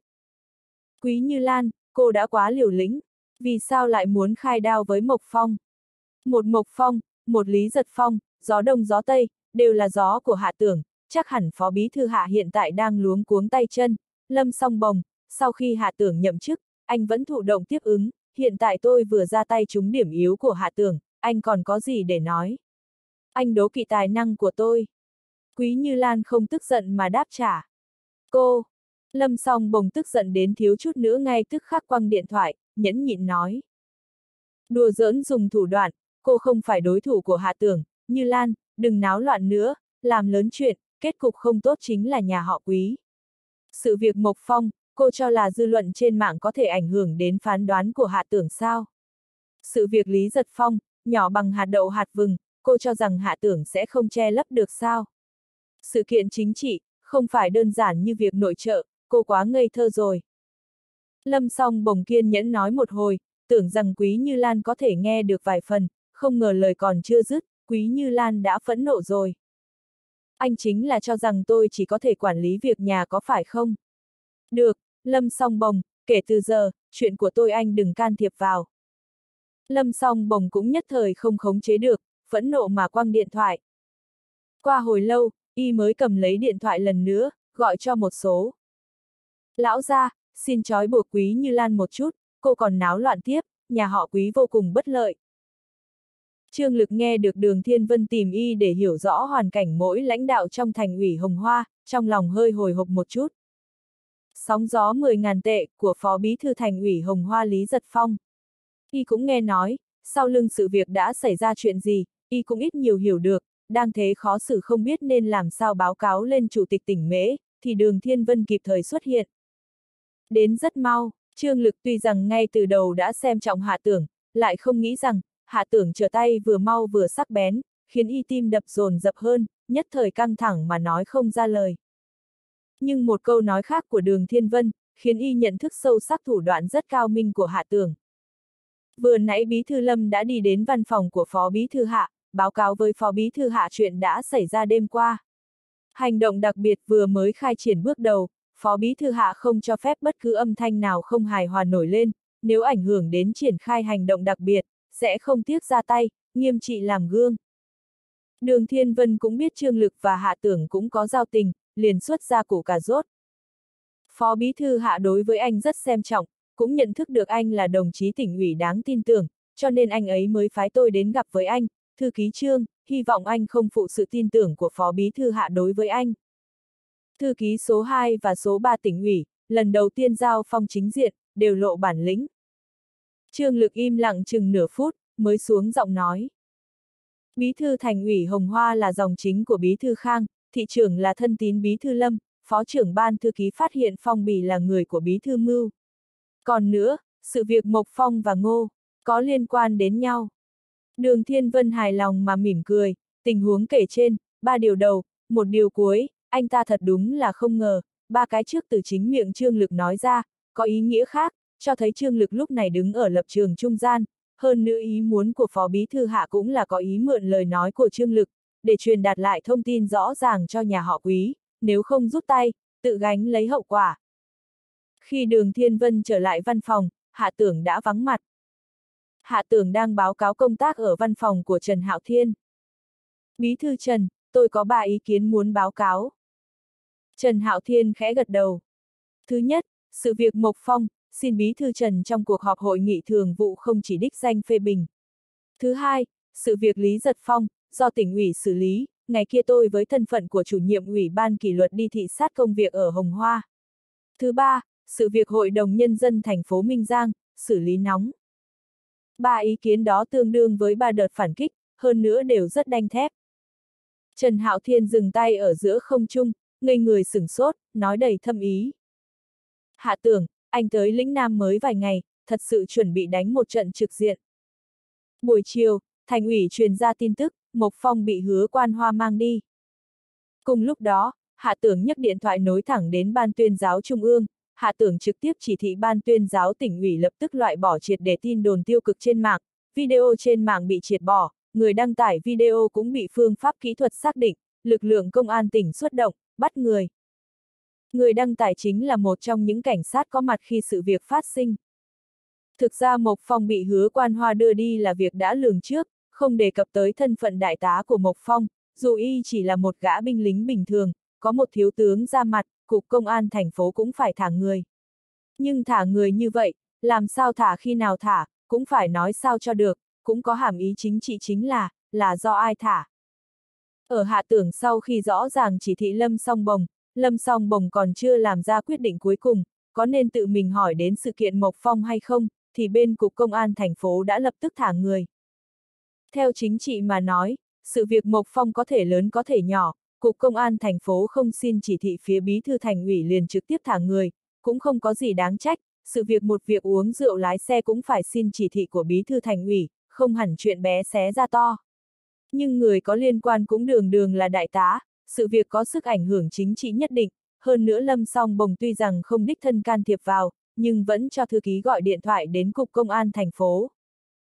Kết quả lại là, Cục Công an thành phố lại không báo cáo xin chỉ thị liền trực tiếp thả người, theo trình tự mà nói không hề làm sai điều gì, nhưng từ trong hàm ý mà nói, cũng là lách qua Lâm Song Bồng, khiến người ta không thể không suy nghĩ sâu xa phía sau sự việc rốt cuộc có ai đang âm thầm thúc đẩy. Lâm Song Bồng không muốn thừa nhận một điểm, lực khống chế của y đối với Cục Công an thành phố không được nhiều, còn không bằng thị trưởng Chu Quốc Trung. Sự việc Mộc Phong khiến y rất tức giận chính là, trước khi việc xảy ra thì chẳng hề biết rõ tình tiết, sau khi sự việc xảy ra lại trúng lời phê bình của Hạ Tưởng, giống như bị oan ức. Sau lưng sự việc có thể khẳng định chính là có bóng dáng của Quý Như Lan, nhưng trong thành ủy rốt cuộc là ai đã âm thầm phối hợp với Quý Như Lan, y hiện tại vẫn chưa biết được, còn có một vấn đề y vẫn chưa hiểu rõ, Mộc Phong là từ cuộc tụ họp sau khi trở về bị vây đổ, chứng tỏ là có nhân vật quân đội trong ngoài phối hợp, mật báo cho cảnh sát địa phương. Sự tình phức tạp đây, gia huấn nhà họ quý, không nhúng tay vào việc địa phương, quý như Lan nếu thực liên thủ với quân đội, thì đã phạm vào tối kỵ, lão ra lại cưng chiều cô, cũng muốn đưa ra cách thức, không thể để mặc quý như Lan quấy rối thêm. Ông cụ quý cưng chiều quý như Lan nhất, lão nhân ra còn đỡ, không dung tùng quý như Lan như ông cụ quý, nhưng ông cụ quý năm nay đã 90 tuổi, trên cơ bản không hỏi việc đời, nếu ông ấy mở miệng, nhất định có thể khiến quý như Lan đứng sang một bên.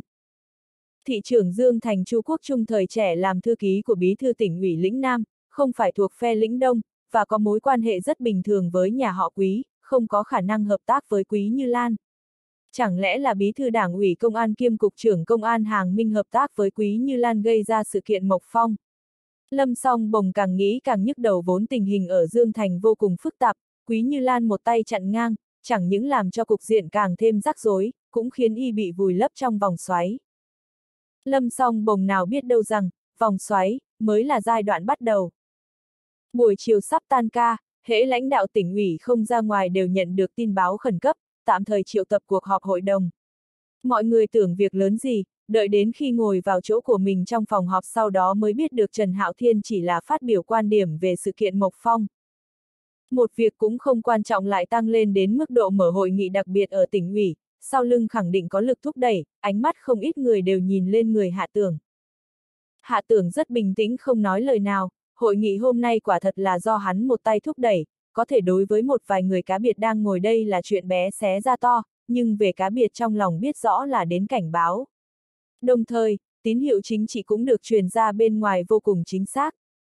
Trần Hạo Thiên nói không hề nghiêm khắc, nhưng thái độ kiên quyết, hơn nữa không phê bình chỉ ra có người cố ý trong lúc mới bắt đầu tiến hành hành động đặc biệt gây ra những tiếng động không hài hòa, còn chỉ đích danh Ngưu Nguyên Hải, yêu cầu Sở Công an tỉnh điều tra rõ chân tướng sự việc trong kỳ hạn. Sau khi nghe tin cảnh sát đăng tải video đã bị khống chế, không ít người không khỏi kinh ngạc, một là khiếp sợ công tác của Sở Công an tỉnh cực nhanh vượt quá tưởng tượng, hai là mức độ phản ứng mạnh của Hạ Tường, vô cùng kinh ngạc.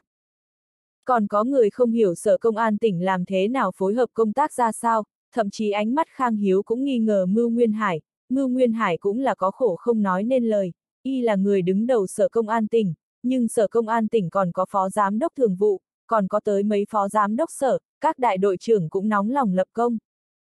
Sau cuộc họp, Hạ Tưởng trở lại văn phòng, thu thập các đồ đạc, chuẩn bị tan ca, thân gia hậu liền gõ cửa bước vào.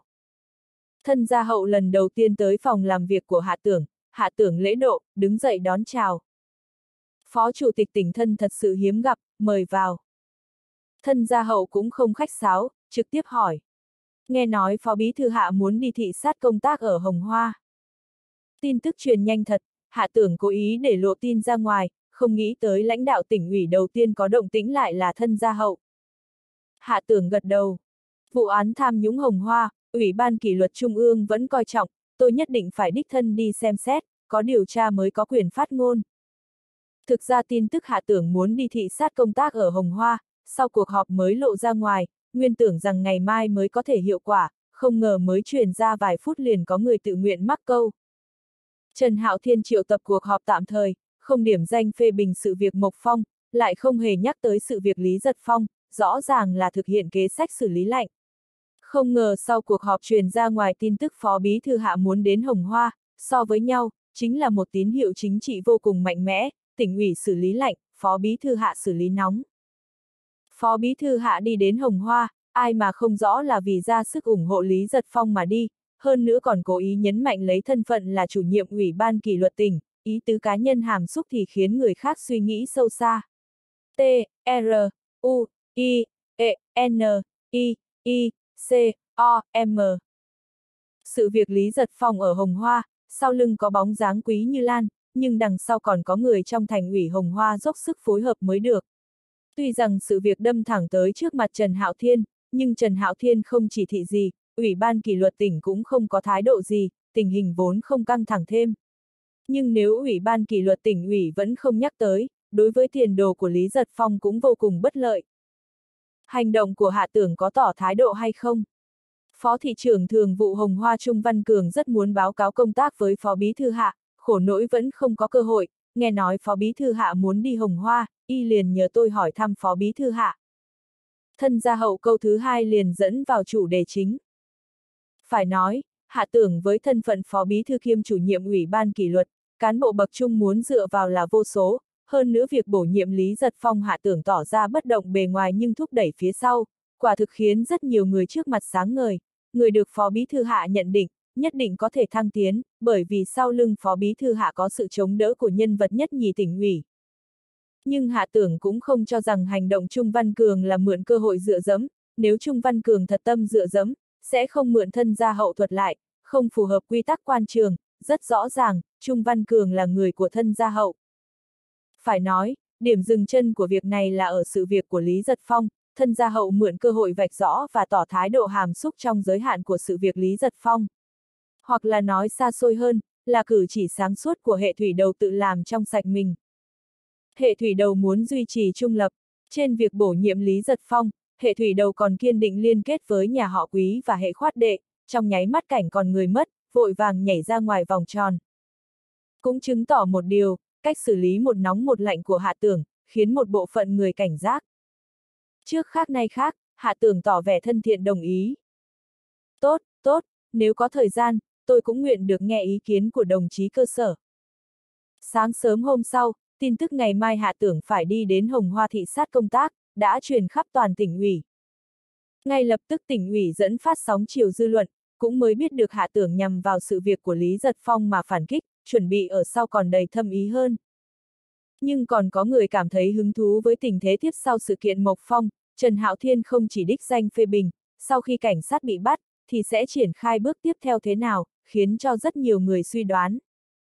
Tuy nhiên cũng có người cho rằng, sự việc Mộc Phong dù sao cũng đề cập tới quan hệ quân nhân, chỉ sợ cuối cùng vẫn sẽ không giải quyết được gì. Không có kết cuộc sao? Muốn yên chuyện. Hứa quan hoa gọi điện thoại đến, vừa bắt đầu thì rất phẫn nộ nói. Dù là tính kế với lái xe của tôi cũng không có gì, nhưng tính kế Mộc Phong, sẽ không thể tính xong đâu. Ai chẳng biết Mộc Phong là người của Phó Bí Thư Hạ. Tính kế là với Mộc Phong, nhưng là ngấm ngầm mưu tính với Phó Bí Thư Hạ. Hạ tưởng ngược lại mỉm cười. Tức giận không giải quyết được vấn đề, hơn nữa, tôi có khi nào nói muốn bỏ mặc đâu. Anh quay về chuyển lời Mộc Phong một tiếng, nên làm như thế nào, đừng vì một việc như vậy mà tinh thần xa sút anh ta là quân nhân, tiếp tục tỏ ra khí phách quân nhân, lận đận về sau còn rất nhiều, không phải sợ. Được, phải như vậy. Hứa quan hoa tuy rằng cũng oán giận Mộc Phong không nên uống rượu rồi lái xe, bình thường cũng trách cứ Mộc Phong có chút tự cho là đúng, nhưng người một nhà chỉ có thể phê bình chính mình, để cho người khác hãm hại, y trong lòng khó chịu à. Tuy nhiên Ngô Hiểu Dương dường như muốn mượn cơ hội giải quyết Mộc Phong, cũng may, chính ủy không đồng ý. Quân khu Dương Thành cũng không phải thiên hạ của một mình Ngô Hiểu Dương, hạ tưởng yên tâm. Sự việc Mộc Phong trước thả ra, bởi vì, hắn đang chờ đợi một cơ hội thích hợp. Lúc này, phải giải quyết phiền toái của Lý Giật Phong trước. Ngày hôm sau, Hạ Tưởng cùng đi với Phó chủ nhiệm ủy ban kỷ luật kiêm giám đốc sở giám sát, Phó trưởng ban thư ký thành ủy Lâm Khang Tân, thư ký Đường Thiên Vân, đi tới Hồng Hoa thị sát công tác. Người không nhiều lắm, một hàng ba xe, năm sáu người, nhưng đồng hành còn có Vương Hòa Dân, khiến cho không ít người nghi ngờ. Vương Hòa Dân tuy là thuộc phe khoát đệ, nhưng y là lãnh đạo ủy ban kỷ luật nổi tiếng công chính nghiêm minh, mặc kệ là người phe nào, chỉ cần thực có chuyện rơi xuống tay y, y nhất định sẽ theo lẽ công bằng mà xử lý, tuyệt đối không thiên vị. Theo hạ tưởng lên đường, tượng trưng cho việc hạ tưởng nhậm chức ở lĩnh Nam chính thức tiến vào giai đoạn thứ hai. Nếu nói hành trình đến hồng hoa của hạ tưởng rốt cuộc sẽ có bao nhiêu ý nghĩ tượng trưng và kết quả thực tế, thu hút sự chú ý của mọi người, như vậy đồng thời một tin tức bị người ta bỏ qua là thị trưởng Minh Giang lại lần nữa để danh triển vân đạo làm cục trưởng cục công thương lên hội đồng nhân dân mà lần trước đã bị bác bỏ. Chờ khi sự kiện hồng hoa nổi lên biến chuyển, dẫn phát một vòng dung chuyển hết sức hỗn loạn, không ít người tỉnh ủy mới chú ý tới mắc xích của sự việc Minh Giang, nghĩ lại mới tỉnh ngộ, hạ tưởng đánh ra một đường truyền bóng tuyệt đẹp. Biệt thự bên hồ, Quý Như Lan đang khom lưng thu dọn hoa cỏ trong sân. Đầy sân hoa cỏ đặc biệt tươi tốt, hồng hồng xanh xanh mọc lan tràn, dường như là một biển hoa. Quý Như Lan mặc một bộ quần áo phong tình của người khách ra, lộ ra cánh tay và bắp chân trắng nõn mà cân xứng, hiện lên sự khỏe mạnh mà tuyệt đẹp, có lẽ là do ánh mặt trời quá mãnh liệt, trên đầu cô đội một chiếc mũ che nắng độc đáo mà lại rất khác biệt, là dùng thân cây lúa mạch và nan che đan thành. Trừ mặt bên ngoài, mũ che nắng bốn phía còn rủ xuống một tấm vải được gấp đều đặn, xen lẫn giữa màu hồng và trắng, nhìn từ xa giống như một đóa hoa tươi xinh đẹp. Là vì vải buông xuống, hai đoạn vải buông xuống còn dệt hai mảnh duy băng đầy màu sắc. Nếu như hiểu được hàm ý trong trang phục của người khách ra, vừa nhìn thấy cách ăn mặc của Quý Như Lan sẽ hiểu ý mà cười, trên chiếc mũ che nắng có treo giải lụa màu hay không là tiêu chí có phải con gái đã có chồng hay chưa. Nói đúng là, Quý Như Lan đệ nhất mỹ nữ của nhà họ Quý, đến bây giờ vẫn chưa có ý trung nhân, là một thằng nữ lớn tuổi chính hiệu. Quý Như Lan rất cẩn thận cắt tỉa, tưới nước cho mỗi bồn hoa, cô thỉnh thoảng ngồi xổm xuống, sẽ lộ ra vùng thắt lưng trắng mịn, hoặc là khom lưng, eo nhỏ duyên dáng, đùi thẳng tắp, hoặc là duỗi hai tay cao cao, liền lộ ra dáng người mê hồn. Không thể không nói, Quý Như Lan giống như một đóa hoa lan tươi đẹp ướt át. Chỉ có điều từ bố cục tao nhã và tính mịch của biệt thự bên hồ mà xem, Quý Như Lan người như hoa lan, nhưng trong lòng lại có một khoảng trống như rằng lan vắng. Vài giọt mồ hôi chảy xuống từ trên má Quý Như Lan, dường như khuôn mặt sáng bóng không chịu được sức nặng của những giọt mồ hôi, chảy xuống dưới cằm nhọn nhọn, cô nâng tay lau mồ hôi, vừa ngẩng đầu, liền phát hiện dưới bóng cây xa xa nghiêm tiểu thì đang ngủ, không khỏi lắc đầu cười. Nghiêm tiểu thời thật là một cô gái không có tâm sự, mỗi ngày đều nhàn nhã uống trà, đi dạo, hoặc nói chuyện cùng cô, vừa rảnh liền mệt mỏi buồn ngủ, thật không biết làm thế nào với cô ấy. Có điều, ánh mắt của Quý Như Lan có chứa ba phần hứng thú xem kỹ, cẩn thận đánh giá nghiêm tiểu thì trong chốc lát, vẫn không phát hiện điều gì bất thường. Nghiêm tiểu thì thật sự an tâm tiếp cô. Trong lúc cuộc đọ sức giữa cô và hạ tưởng càng ngày càng nghiêm trọng, nghiêm tiểu thì có thể tình như chị em. Khó tránh khỏi nghiêm tiểu thì tiếp cô là vì làm nội ứng cho hạ tưởng. Chính vào lúc trong lòng suy nghĩ bất định, trong phòng khách truyền đến tiếng chuông điện thoại. Quý Như Lan buông bình phun trong tay ra, chạy về phía phòng khách, cô quay người lại, nghiêm tiểu thì đang nằm chợp mắt trên trên ghế mây liền mở to đôi mắt linh động chuyển động vài cái, hơi lộ ra một tia ý cười đầy thâm ý, lại lặng yên nhắm hai mắt, và giỏng tai lên nghe cuộc nói chuyện trong phòng khách. Cách khá xa, nghe không rõ, lại mơ hồ có thể nghe được thanh âm như chú chim nhỏ phẫn nộ của Quý Như Lan. Hạ tưởng đi hồng hoa thì làm sao? Không cần ngạc nhiên có được không? Minh Giang lại có chuyện sợ cái gì, cho dù hội đồng nhân dân thông qua, mặt mũi cũng không thể lấy lại được. Quý Như Lan rất không phục mà phản bác. Mộc Phong và Lý Giật Phong cùng lúc xảy ra chuyện, hạ tưởng còn có thể không biết xảy ra chuyện gì. Lĩnh Nam không phải là tỉnh tề, lĩnh Nam là Waterloo của hạ tưởng. Chị, chị cứ ở Hồng Kông giúp chồng dạy con, đừng quan tâm đến việc đâu đâu nữa, chị lại chưa bao giờ quan tâm đến chính trị, đừng vừa nghe tiếng gió đã bảo là mưa. Được rồi, em không giải thích rõ với chị được, không nói với chị nữa. Quý Như Lan thở phì phì ngắt điện thoại, uống một ngụm trà, nói một mình. Lâm song bồng, người nhất định phải quấy rối phải không? Thực đáng ghét, người dựa vào cái gì mà cho rằng ta không đấu lại hạ tưởng. Bố và ông còn không nói gì, người dựa vào cái gì mà khoa tay múa chân với ta. Trong lòng con trai, đều trời sinh khinh thường con gái. Đầy một bụng bực mình, quý như Lan Lai càng cảm thấy bực mình và khô nóng, liền nói với nghiêm tiểu thì đang ở trong sân. Tiểu thì, lại đây chơi trò chơi với chị. Được thôi. Tính cách của nghiêm tiểu thời cực kỳ tốt, quý như Lan nói gì cô liền đồng ý cái đó. Phía trước sân biệt thự bên hồ là biển hoa, phía sau sân là hồ bơi. Quý như Lan mặc bộ bikini màu đỏ, nghiêm tiểu thì lại là một thân màu xanh, cùng là thân thể mềm mại trắng mịn, cùng là dáng người duyên dáng, hai người đua nhau tranh sắc, ai cũng không thua ai nửa phần. Trong bể bơi sóng nước dập dềnh, Quý Như Lan lười biếng thả mình trong nước, bưng một ly trà chanh vắt, nhìn cặp núi đôi ngạo nghễ và cái eo nhỏ xinh của nghiêm tiểu thì, cảm thán nói. Tiểu thì, thời gian đẹp nhất của người con gái chỉ có vài năm, một khi đã qua đi, liền như một mai hoa tàn rồi. Chị muốn hỏi em, có phải chị quá kén chọn cho nên mới mãi không lấy chồng được? Nghiêm tiểu thì lấy tay sờ soạng đùi của quý Như Lan một chút, cười hi hi. Như Lan, dựa vào thân người như hoa của chị, tên đàn ông nào lại không muốn có được. Chị quá tranh cường háo thắng, sao lại cứ phải phân cao thấp với đàn ông. Quý Như Lan bị nghiêm tiểu thì sờ soạng làm cho cả người ngứa ngáy, mặt lại đỏ, nhìn đôi chân gần như hoàn mỹ trong làn nước xanh, cặp núi đôi cao ngất, eo nhỏ không một chút sẹo, quả thực rất làm người khác yêu quý, chỉ có điều, trung quy không có người con trai nào có thể chinh phục được trái tim cô.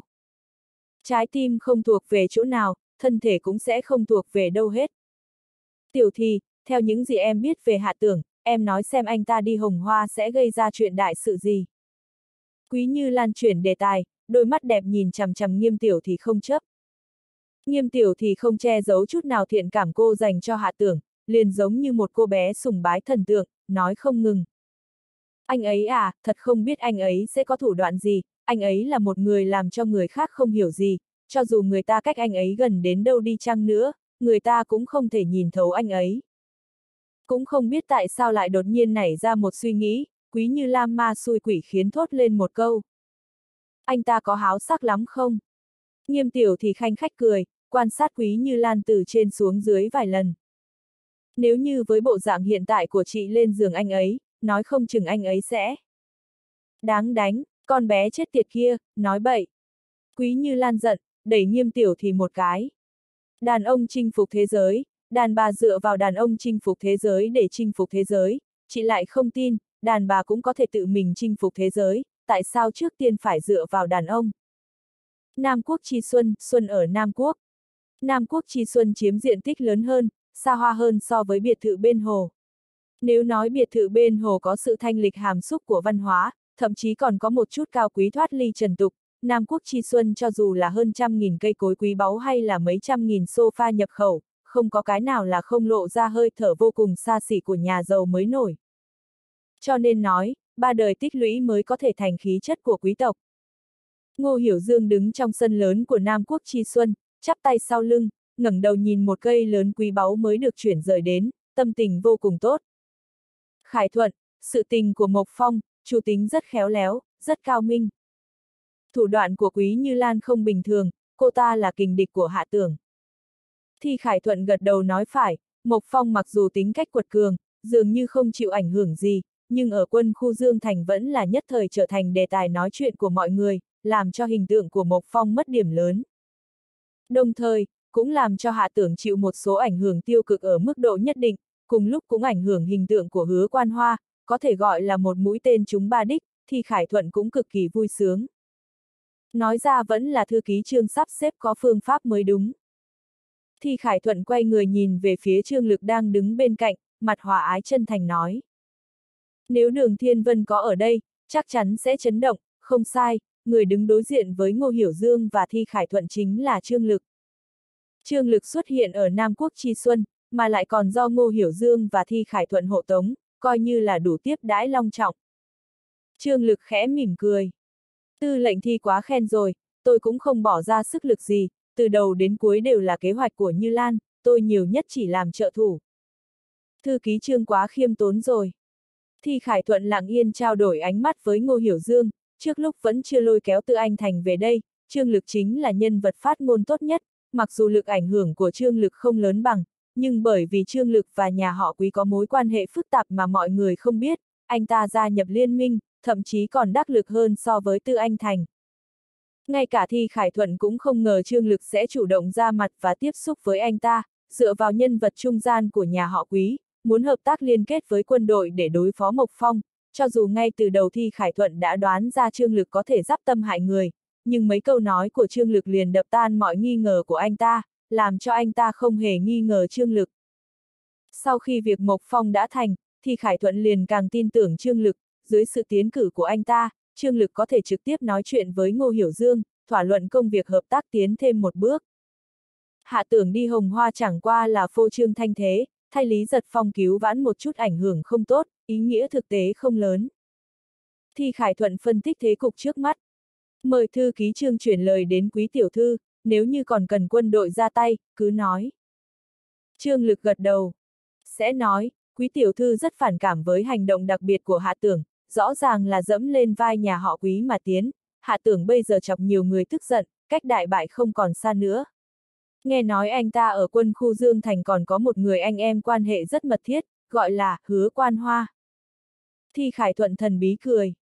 Hứa quan hoa, cũng sắp rồi, y luôn không an phận ở sau lưng, sớm muộn cũng phải trả giá đắt. Đợi công tử khỏe rồi, để anh ta và thư ký trương đi lại miều một chút. Ngô Hiểu Dương biết tầm quan trọng của trương lực, thậm chí có thể nói nếu thủ đoạn thích đáng, trương lực còn quan trọng hơn một ủy viên thường vụ tỉnh ủy. Người trẻ tuổi các cậu hẳn là có thể chơi đến cùng, ha ha. Tôi cũng nghe nói ngô công tử đa tài đa nghệ, từ lâu đã muốn ngồi cùng anh ta. Ngô Hiểu Dương và Thi Khải Thuận liếc nhau một cái, cùng cười ha ha. Trương Lực cũng hàm xúc mà sảng khoái cười phụ họa. Chỉ có điều, một ngày sau, Ngô Hiểu Dương mới phát hiện anh ta cười hơi sớm. Không chỉ là anh ta, Quý Như Lan cũng mới biết xem nhẹ quyết tâm của Hạ Tưởng, điều chủ yếu nhất là xem nhẹ thủ đoạn của Hạ Tưởng. Hạ Tưởng sau khi đi một chuyến đến Hồng Hoa, ngày đầu tiên mọi việc thuận lợi, trước tiên mở một hội nghị tọa đàm với lãnh đạo chủ yếu của thành ủy, sau đó lại dưới sự hộ tống của bí thư thành ủy, chủ tịch tỉnh và phó bí thư thành ủy, khảo sát vài công việc, không ngoài dữ liệu là những công việc thị sát đều nằm trong phạm vi Lý Giật Phong quản lý. Nhằm vào sự kiện phong ba bốn trăm nghìn nhân dân tệ của Lý Giật Phong, Hạ Tưởng không phát biểu ý kiến gì, thậm chí ngay cả ám chỉ cũng không có, làm cho không ít người âm thầm đoán rốt cuộc phó bí thư Hạ Tưởng đến Hồng Hoa thị sát công việc là vì cái gì. Đêm đó, bọn Hạ Tưởng ở Hồng Hoa, một buổi tối xảy ra chuyện gì, không có ai biết, phó bí thư Hạ lại gặp vị lãnh đạo nào của thành ủy, cũng không ai rõ. Nhưng vào ngày tiếp theo, Hạ Tưởng đột nhiên tuyên bố mời họp cuộc họp toàn thể cán bộ, tuyên bố một quyết định trọng đại. Hội trường thành ủy Hồng Hoa, không còn chỗ ngồi, Hạ Tưởng ngồi ở giữa, Phương Hòa Dân ngồi ở vị trí tiếp theo, đường kỳ danh bí thư thành ủy Hồng Hoa, thị trưởng Thôi An Kỳ, phó bí thư thành ủy Lý Giật Phong, phó thị trưởng thường vụ Trung Văn Cường và các lãnh đạo khác của thành ủy, toàn bộ đều ngồi ở bàn chủ tọa. Dưới đài, cán bộ cấp trung tầng trở lên của thành ủy Hồng Hoa, cục trưởng các cục, các nhận vật số 1, số 2 các quận huyện gần như đều đến đủ. Nếu hạ tưởng chỉ là chủ nhiệm ủy ban kỷ luật tỉnh, yêu cầu thành ủy Hồng Hoa triệu tập đại hội toàn thể cán bộ thì không hợp quy định, nhưng hạ tưởng ngoài là chủ nhiệm ủy ban kỷ luật ra, còn có một thân phận càng quyền cao chức trọng hơn đó là phó bí thư tỉnh ủy. Nếu thêm một danh hiệu, còn là người phụ trách toàn quyền tổ lãnh đạo hoạt động đặc biệt. Đường Kỳ Danh và Thôi An Kỳ liếc mắt nhìn nhau, trong mắt đều lóe lên vẻ nghi hoặc, bởi vì đều nghĩ hôm nay Phó Bí Thư Hạ Tưởng sẽ kết thúc công tác thị sát Hồng Hoa, chuẩn bị quay về, lại không biết vì nguyên cớ gì mà đột nhiên đề nghị triệu tập đại hội toàn thể cán bộ, hơn nữa còn không tiết lộ trước là quyết định trọng đại gì, làm cho hai người rất buồn bực. Rõ ràng là Hạ Tưởng không tín nhiệm bọn họ, có đại sự không nói trước với nhân vật số một số hai thành ủy Hồng Hoa. Tuy nhiên hai người cũng hiểu rõ, Phó Bí Thư Hạ có ý lạnh nhạt với bọn họ là do chuyện của Lý Giật Phong, nếu như đem chuyện của Lý Giật Phong ngăn chặn ở thành ủy Hồng Hoa sẽ không vấn đề gì nữa, lại cố ý chọc tới tỉnh ủy, rõ ràng là không coi trọng quyền uy của Hạ Tường. Không tôn trọng quyền uy của Phó Bí Thư Hạ, Phó Bí Thư Hạ cũng không coi Bí Thư Thành ủy và thị trưởng là cán bộ, cũng có thể hiểu được. Nói đi cũng phải nói lại, đường kỳ danh và Thôi An Kỳ trong lòng vô cùng buồn bực, thực sự là lo lắng không yên. Bởi vì nếu hạ tưởng chỉ là phó bí thư tỉnh ủy còn được, triệu tập đại hội toàn thể cán bộ nhân viên, ngoài việc truyền đạt quyết định trọng đại của tỉnh ủy, về cơ bản không có chuyện xấu gì. Nhưng hạ tưởng còn là chủ nhiệm ủy ban kỷ luật tỉnh, ai biết được hôm nay đại hội mời dự họp, phó bí thư hạ sẽ lấy thân phận nào để phát ngôn. Hạ tưởng lại trầm mặc rất lâu chính là muốn cho toàn thể cán bộ thành ủy Hồng Hoa hiểu một điểm, cho dù là phái lĩnh đông, phái khoát đệ hay là phái thủy đầu đều nằm dưới sự lãnh đạo của tỉnh ủy. Hôm nay nhiệt liệt chào mừng các đồng chí đến đây, cùng ngồi trong hội trường này, là có chuyện trọng đại muốn thông báo với các đồng chí. Hạ tưởng lên tiếng, phá vỡ không khí áp lực mà nặng nề ở hội trường. Tỉnh ủy từ lúc khai triển, tam đả lưỡng kiến, hành động đặc biệt đến nay, các thành phố cấp 3 tích cực hưởng ứng lời kêu gọi của tỉnh ủy, làm ra lượng lớn công việc thiết thực có hiệu quả, đặc biệt là thành phố Hồng Hoa so sánh dọc các thành phố cấp 3 toàn tỉnh, thành tích càng tốt. Lúc này, tôi thay mặt tỉnh ủy và ủy ban nhân dân tỉnh biểu dương thành ủy và ủy ban nhân dân thành phố Hồng Hoa. Đường Kỳ Danh và Thôi An Kỳ ngơ ngác nhìn nhau, không hiểu tại sao Phó Bí Thư Hạ lại nói vậy. Sau khi thành phố Hồng Hoa ở dưới sự bố trí hành động đặc biệt của tỉnh ủy, chỉ triệu tập sư một lần hội nghị công tác, sau đó liền không có phần sau, đừng nói là làm ra thành tích, hoàn toàn là cách làm ứng phó cho xong chuyện, lời phó bí thư hạ nói là nói mát. Nên nói, từ tỉnh ủy cho đến thành ủy thành phố Hồng Hoa đều biết rõ, lần này hạ tưởng đến Hồng Hoa mục đích chủ yếu là ra sức ủng hộ Lý Giật Phong, nói cách khác chính là làm bộ làm dáng, ý nghĩa tượng trưng lớn hơn rất nhiều ý nghĩa thực tế. Tuy nói có phó chủ nhiệm ủy ban kỷ luật tỉnh Vương Hòa Dân cùng đi, lúc bắt đầu làm cho không ít người đoán có phải hạ tưởng đến hồng hoa phía sau ý nghĩa tượng trưng, cũng có mục đích khác. Nhưng sau khi hạ tưởng ở lại hoa hồng một ngày, liền có kết luận, hạ tưởng đến để du lịch, hưởng thụ gió mát, ngắm cảnh, làm ra vẻ sau đó liền quay về. Thậm chí ngay cả quý như Lan, vào thời gian buổi chiều, từ lúc theo con đường cũng biết được hành tung một ngày của hạ tưởng, cũng chỉ nhẹ nhàng cười khẩy một tiếng, nghĩ rằng hành trình du lịch công khoản của hạ tưởng thật sự không cần thiết. Cảnh sắc của hồng hoa còn lâu mới bằng mai hoa, muốn nhàn nhã giải sầu thật sự thì thả đi đến mai một chuyến. Cô thậm chí còn nguyện ý rộng lượng làm hướng dẫn viên miễn phí cho hạ tưởng một lần. Quý như lan liền vì hạ tưởng không thu hoạch được gì mà tâm tình cực tốt, lại muốn nghiêm tiểu thì luyện yoga cùng cô một lát, mấy ngày sống cùng nhau, cô ngược lại càng ngày càng thích nghiêm tiểu thì, thậm chí còn thỉnh giáo nghiêm tiểu thì bí quyết dưỡng da, và thường xuyên hỏi một số vấn đề nam nữ. Lần nào nghiêm tiểu thì cũng bị cô hỏi đến đỏ mặt. Quý Như Lan còn lấy sự kiện bổ nhiệm cục trưởng cục công thương thành phố Minh Giang một lần nữa so chiêu, gọi Điền về nhà, trả lời là yên tĩnh mà xem biến hóa. Nhưng hôm nay vừa sáng sớm lại nhận được một tin tức làm cho tâm tình tốt đẹp của cô phút chốc trở nên tệ hại vô cùng, Lâm song bồng suốt đêm trở về Mai Hoa muốn nói chuyện với ông cụ. Lâm song bồng thật lắm chuyện, Quý Như Lan muốn gọi điện thoại cho Lâm song bồng ngay lập tức, chặn hỏng lâm song bồng vài câu, ai biết vừa cầm lấy điện thoại, điện thoại lại reo trước. Vừa nhìn số gọi đến, cô nhất thời tim đập nhanh hơn, là số điện thoại của Hồng Hoa, chẳng lẽ là... Cũng không quan tâm nghiêm tiểu thì đang ở đây, cô tức khắc nghe điện thoại. Hồng Hoa có chuyện. Trong điện thoại truyền đến thanh âm ngắn ngủi mà rồn rập Còn là đại sự. Quý Như Lan vốn tưởng rằng sẽ nghe thấy tin tốt lành là hạ tưởng đã rời khỏi thành phố Hồng Hoa, không ngờ lại là tin xấu, cô thở dồn dập. Xảy ra chuyện gì rồi? Hạ tưởng tạ đại hội toàn thể cán bộ, tại chỗ bắt một lãnh đạo thành ủy, ba bí thư huyện ủy, một ông phó chủ tịch huyện. Hả? Quý Như Lan khó bảo toàn được sự tao nhã và chấn tĩnh, lập tức hoa dung thất sắc. Sau khi hạ tưởng ở trước mặt mọi người tuyên bố quyết định của Ủy ban kỷ luật tỉnh, trước nhân viên công tác ở Ủy ban kỷ luật tỉnh tại Đại hội toàn thể cán bộ, sau khi đem Ủy viên thường vụ thành ủy, Phó thị trưởng Hồng Hoa Lăng Trấn Hà tại chỗ mang đi, cả hội đường lặng ngắt như tờ. Bao gồm cả đường Kỳ Minh và Thôi An Kỳ đều chấn kinh không biết lý do, bởi vì trước đó không nghe một chút phong thanh gì. Cho đến tận lúc này, mọi người đều lĩnh ngộ ra, trả trách phó bí thư hạ lại đến Hồng Hoa thị sát công việc, muốn mang theo Vương Hòa Dân, hóa ra là mang sát thủ đến đây. Trong lúc mọi người trợn mắt há hốc mồm, lời nói của hạ tưởng còn văng vẳng bên tai. Tại sao nói chống tham nhũng liên quan đến đại kế chấp chính? Bởi vì xã hội đen chỉ là một phần tử quấy rối ở bên ngoài, chỉ cần ra tay nhất định có thể đánh bại đánh đổ, nhưng hủ bại là cái u trên người chúng ta, không nhẫn tâm cắt đứt, sớm muộn sẽ nguy hại đến sinh mệnh. Có một câu chuyện, nói về thị trấn nhỏ ở Tây Balia bị tuyết lớn đóng băng, một vị bác sĩ ngoại khoa mắc bệnh viêm ruột thừa cấp tính, đau đến mức không biết làm sao, ông ta dũng cảm soi gương tự mổ cho mình, tự cứu bản thân. Tôi thấy rất ngạc nhiên, nhớ kỹ đến tận bây giờ. Trên thế giới thật sự có thể khai đao với bản thân mình có được mấy người. Bất luận là cá nhân hay là một cấp tổ chức, muốn giải quyết vấn đề tồn tại trong chính bản thân, đều phải có dũng khí và lòng can đảm như vậy. Khoa học kỹ thuật là sức sản xuất đầu tiên, nhưng hủ bại là lực phá hoại thứ nhất. Hủ bại không trừ, quốc gia không thể hưng thịnh.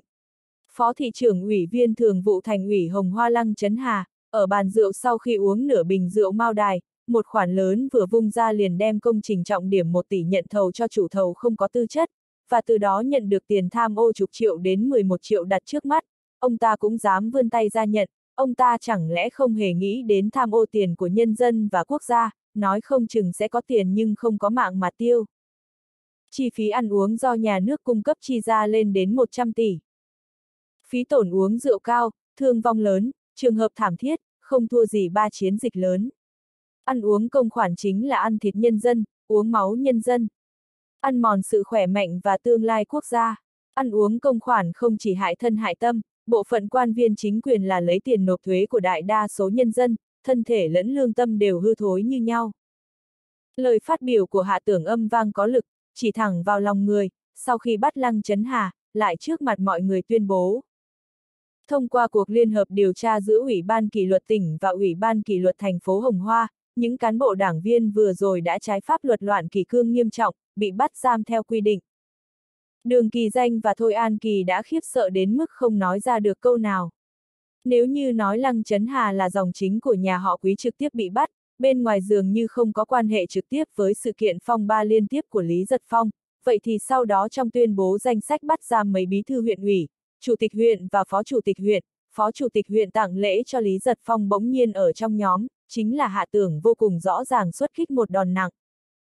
Chính là muốn nói cho các vị ngồi đây, ai đứng đầu sẽ không chút khách khí đập lên đầu một súng. Hơn nữa triệu tập đại hội toàn thể cán bộ thành phố Hồng Hoa, tại đại hội tuyên bố quyết định và tại chỗ dẫn năm, sáu người đi, hạ tưởng chính là muốn cứng rắn, mạnh mẽ đáp lại nhân vật phía sau màn gây ra sự tình, không sợ va chạm đến mức đầu rơi máu chảy thì cứ việc phóng ngựa lại đây, muốn xem xem, quyền lớn rốt cuộc nằm trong tay ai. Tuy nói thành phố Hồng Hoa trải qua một loạt dung chuyển, trải qua trường hợp đặc biệt bí thư thành ủy tiền nhiệm ở trụ sở tỉnh ủy không thông qua ủy ban kỷ luật tỉnh bắt giam mà trực tiếp bị viện kiểm sát mang đi, cũng trải qua việc sau khi bí thư thành ủy tiền tiền nhiệm thăng lên làm lãnh đạo tỉnh ủy, cũng ầm ầm xuống ngựa, trở thành bộ xuống ngựa đầu tiên trong năm nay, thậm chí còn trải qua cuộc càn quét lớn, trên dưới gần trăm vị cán bộ bị điều tra, nhưng hôm nay hạ tưởng thủ đoạn mạnh mẽ, cứng rắn trình diễn một cảnh tượng.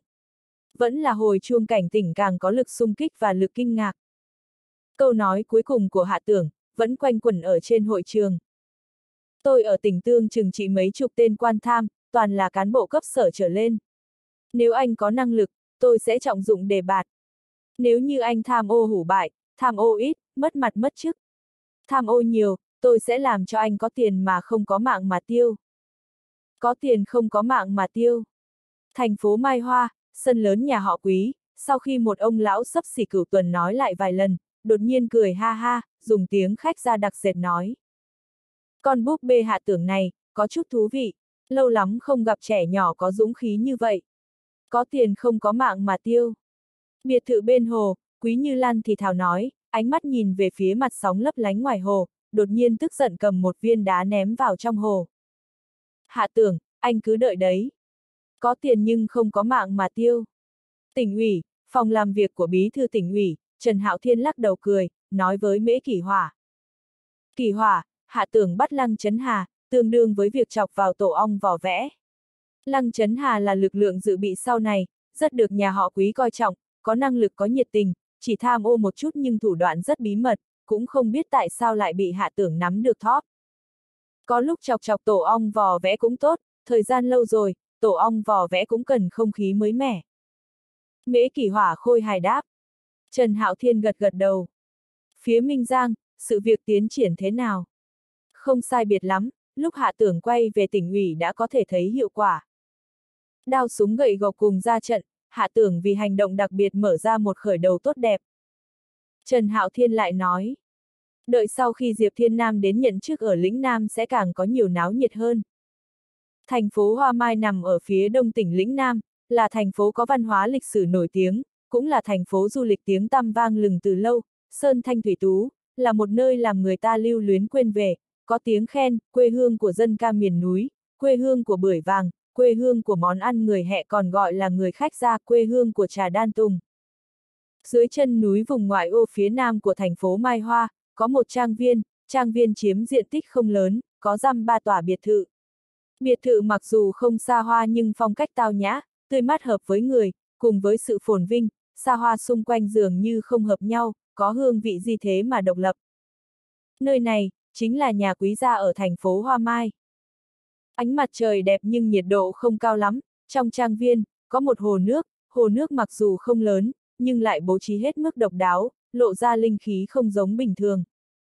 Đặt mình vào trong trang viên, chỉ phóng mắt nhìn đi, thấy sơn thủy và lâm viên, và mỗi kiến trúc trước mặt đều được cấu trúc rất tỉ mỉ, không thể không cảm thán bề dày của lịch sử và chiều sâu của văn hóa tuyệt đối không phải là thứ tiền tài có thể mua được. Bên cạnh hồ nước, có một ông lão tóc bạc phơ đang ngồi.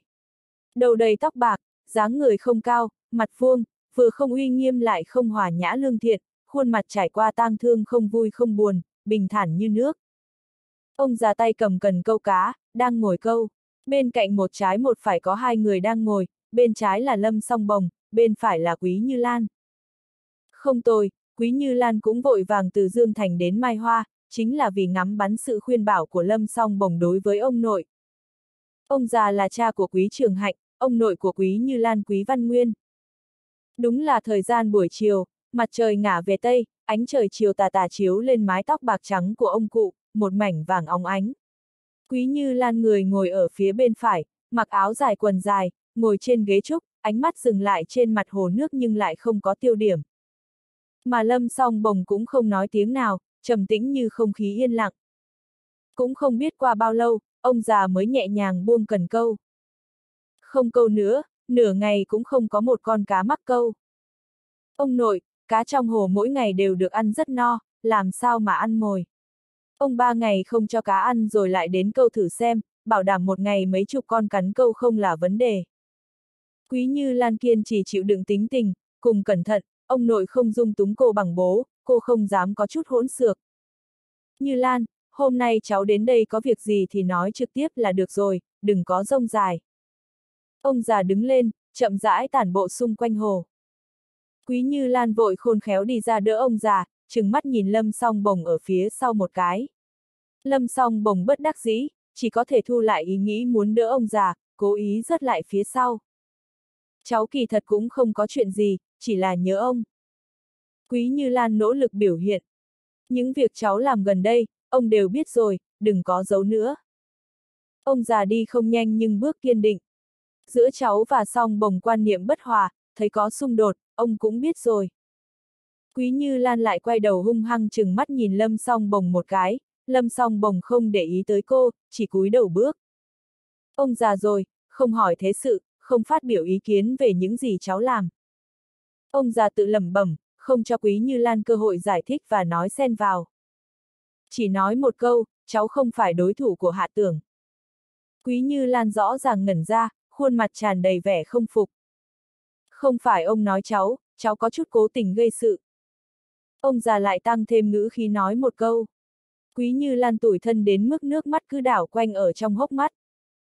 Được rồi, ông nói xong rồi, cháu có việc thì đi làm trước đi, không cần theo giúp ông, ông muốn yên tĩnh một mình.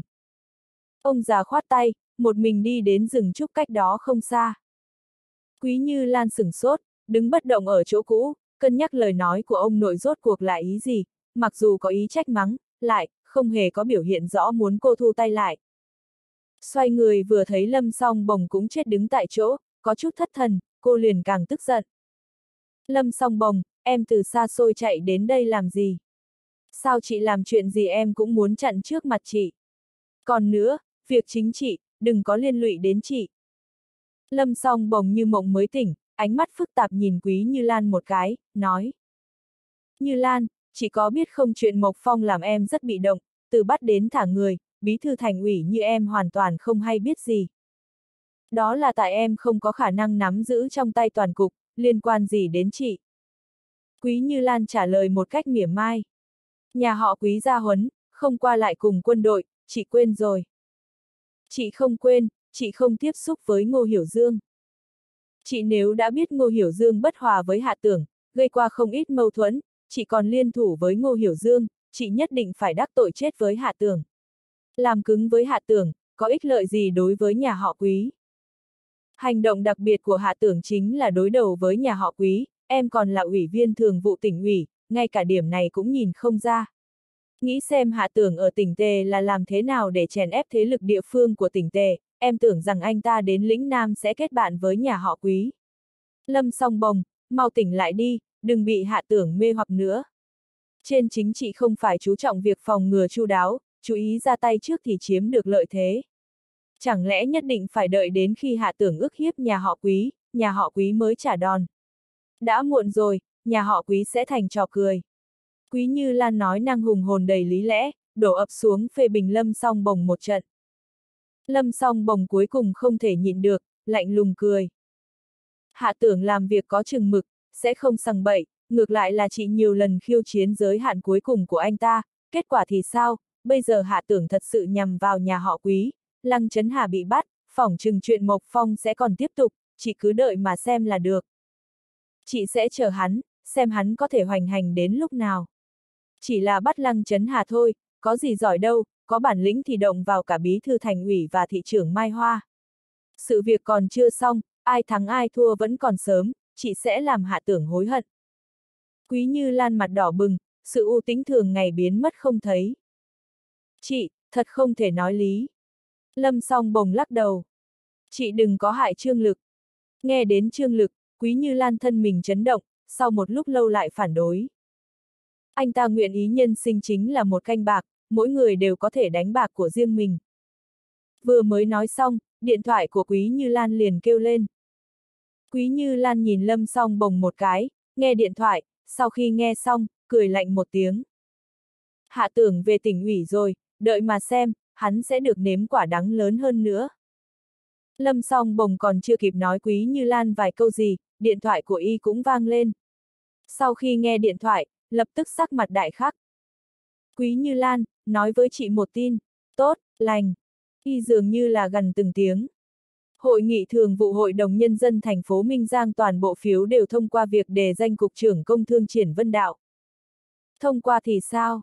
Trong lòng quý như Lan Đại chấn động, không ngờ thủ đoạn của hạ tưởng kín không kẽ hở, sóng này nối tiếp sóng khác, cùng lúc chủ động tiến công ở thành phố Hồng Hoa, lại còn bắn ngược phát đạn ở Minh Giang, quả thực làm cô trong lòng phát lạnh, nhưng vẫn không chịu cúi đầu, hãy còn mạnh miệng. Chỉ là nơi từng ngã xuống lại đứng lên, người đã mất rồi, thể diện cũng không còn, có thông qua cũng là thua thôi. Thua rồi. Lâm song bồng đã liên tục cười lạnh. Lời của em vẫn chưa nói hết không chỉ thông qua bổ nhiệm, Phó Chủ tịch Thường trực Hội nghị Thường vụ Hội đồng Nhân dân thành phố Hà Kế Thiên bởi vì bệnh xin nghỉ dài hạn, không có gì bất ngờ thì nửa năm sau sẽ bàn giao công việc về hưu. Sao? Quý Như Lan chấn kinh, bởi vì việc đề danh Cục trưởng Cục Công Thương gặp phải phủ quyết, chính là vì Phó Chủ tịch Thường trực Hội nghị Thường vụ Hội đồng Nhân dân Hà Kế Thiên bí mật một tay giúp mà thành, thân thể ông ta rất tốt, sao lại xin nghỉ bệnh dài hạn. Nghĩ kỹ một chút, tương đương với việc lực lượng của nhà họ Quý ở Minh Giang bị trực tiếp đẩy tận gốc, nếu tính cả Phó Thị trưởng ủy viên Thường vụ Lăng Trấn Hà, nói đúng là mỗi lần ra tay cô đều làm lộ ra lực lượng của nhà họ Quý, mà hạ tưởng không chút lưu tình một kích phản lại liền trúng mục tiêu. Nói cách khác, nếu không phải cô chủ động khiêu khích hạ tưởng, có lẽ lực lượng của nhà họ quý sẽ không bại lộ, không bại lộ sẽ không tổn thất. Quý Như Lan nghĩ thông suốt vấn đề này, nhất thời ngạc nhiên, điện thoại lỡ tay rơi xuống, rơi vào trong nước. Lúc bọn hạ tưởng quay về tỉnh ủy đã là buổi chiều, gần đến thời gian tan tầm. Bình thường vào lúc này, tỉnh ủy người qua người lại, gần như khoảng một nửa số người đã dọn dẹp đồ đạc rời khỏi văn phòng, nhưng hôm nay, tỉnh ủy truyền tin tức đến nói phó bí thư hạ sẽ đến tỉnh ủy vào thời gian tan tầm, lại không một ai rời khỏi. Đương nhiên, không phải vì uy danh của hạ tưởng cao hơn Trần Hạo Thiên, mà là đều muốn đợi xem, muốn sớm một chút nhìn thấy phó bí thư hạ, người đã thống trị cục thế thành phố Hồng Hoa, là thái độ thắng lợi chiến thắng trở về như thế nào. Hạ tưởng lại làm tất cả mọi người thất vọng, sau khi xuống xe, hắn vẻ mặt bình tĩnh, bước thoải mái lên lầu, gật đầu tỏ ý với vài người hắn gặp, vừa không đường hoàng cũng không thấp thế, lại càng không ngạo mạn, hoàn toàn giống với bình thường, ai cũng không thể nhìn từ vẻ mặt của hắn mà thấy được sự đắc ý và vui sướng của hắn sau khi toàn thắng. Đối với việc hạ tưởng hoành đao nhanh gọn, hành động sai lý giật phong đao chảm lăng chấn hạ ở thành phố Hoa Hồng, tỉnh ủy mọi người đều xôn xao, có người âm thầm tán đồng, có người liên tục lắc đầu, có người vui sướng khi người khác gặp họa, có người bàng quan, nhưng cho dù là tâm trạng gì đi nữa, cũng đều có một nhận thức không hẹn mà chung, đó là hạ tưởng thắng ngay từ trận đầu, cũng không có nghĩa là hạ tưởng sẽ cười đến cuối cùng. Đặc biệt là người hiểu rõ tình hình ví dụ như trương lực càng rõ ràng, thực ra nhà họ quý từ đầu đến cuối chưa từng thật sự ra tay, hiện tại đọ sức với hạ tưởng chỉ có mình quý như Lan mà thôi, thực lực khổng lồ thật sự của nhà họ quý còn chưa lộ ra một góc. Tuy nhiên Trương Lực cũng tin rằng, theo Quý Như Lan trước thua một ván, thế cục của lĩnh Nam nhất thời sẽ ổn định rất nhiều, bởi vì sau khi Quý Như Lan mới nếm thử mùi vị thất bại, phỏng chừng sẽ kiềm chế vài phần. Khi hiểu rõ Quý Như Lan, sau khi Quý Như Lan đại bại, sẽ tổng kết kinh nghiệm, phân tích lại thủ đoạn của Hạ Tưởng, sau đó mới phát động một cuộc phản công mới. Trương Lực đoán đúng được một phần ba, liên quan đến kết luận của Quý Như Lan y nói chính xác, nhưng thế cục của lĩnh Nam không vì Quý Như Lan tạm thời thu tay mà ổn định, bởi vì hạ Tưởng không thu tay lại, hắn còn muốn trả lại một ván, không phải nhằm vào Quý Như Lan, mà là Ngô Hiểu Dương. Còn có một điểm nữa là với cấp bậc của Trương Lực không thể biết một cục diện thay đổi, Diệp Thiên Nam sắp nhậm chức ở lĩnh Nam.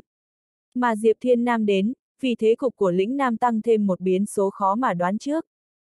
Càng làm cho Trương Lực không ý thức đến đó là, hạ tưởng rất nhanh cũng đem mũi giáo quay vào y. Hạ tưởng vẫn ở tỉnh ủy làm việc đến tận khuya mới trở về. Đường Thiên Vân ở lại giúp, cũng bận rộn cho đến khuya. Lãnh đạo làm việc, bất cứ lúc nào thư ký cũng phải ở bên cạnh chờ sai bảo, chẳng có gì lạ. Nhưng không có quy định phó trưởng ban thư ký tỉnh ủy phải ở lại cùng. Ngọn đèn ở văn phòng của Lâm Khang Tân cũng vẫn đang sáng, cho đến khi hạ tưởng rời khỏi anh ta mới tắt đèn về nhà. Cảnh này mà để người có quan tâm nhìn thấy sẽ không khỏi cảm thán, Lâm Khang Tân hoàn toàn có ý tiếp cận hạ tưởng. Phó Bí Thư ủy ban kỷ luật Vương Hòa Dân cũng ở lại làm việc với hạ tưởng đến tận khuya, lại không có ai đi suy đoán lập trường và khuynh hướng của ông. Vương Hòa Dân đối nhân xử thế ngay thẳng, ở tỉnh ủy ai cũng biết ông chỉ tuân theo nguyên tắc chứ không tuân theo tình cảm riêng. Trước kia ông ta đã từng có va chạm với Trần Hạo Thiên, hiện tại mọi chuyện lại theo sát nhịp chân của hạ tưởng liền chứng tỏ một điều, những gì mà hạ tưởng làm hoàn toàn xuất phát từ công bằng. Khiến cho không ít người ở tỉnh ủy ngầm cảm thấy kỳ quặc.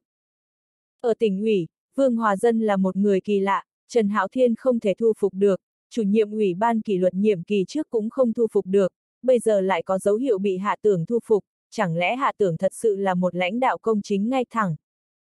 Tuy nhiên hạ tưởng đến thành phố Hồng Hoa là vì ra sức ủng hộ Lý Giật Phong, không tiếc giao thủ mãnh liệt với nhà họ quý, bắt Lăng Chấn Hà ngay tại trận, không phải là dùng công báo thủ tư đi.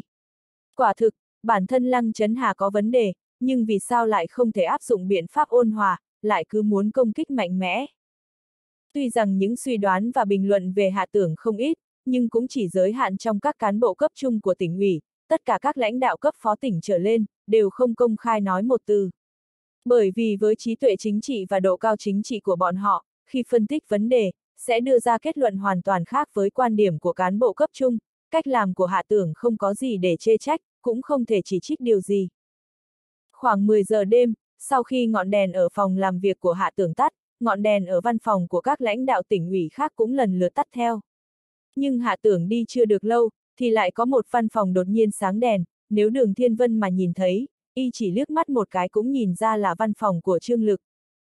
Không khí ở Dương Thành so với thành phố Lỗ và thành phố Yến đều ẩm ướt hơn, thời gian hạ tưởng tới chưa lâu nên chưa thích ứng lắm với cảm giác cả người dính dính, vừa về đến nhà đầu tiên là phải tắm rửa.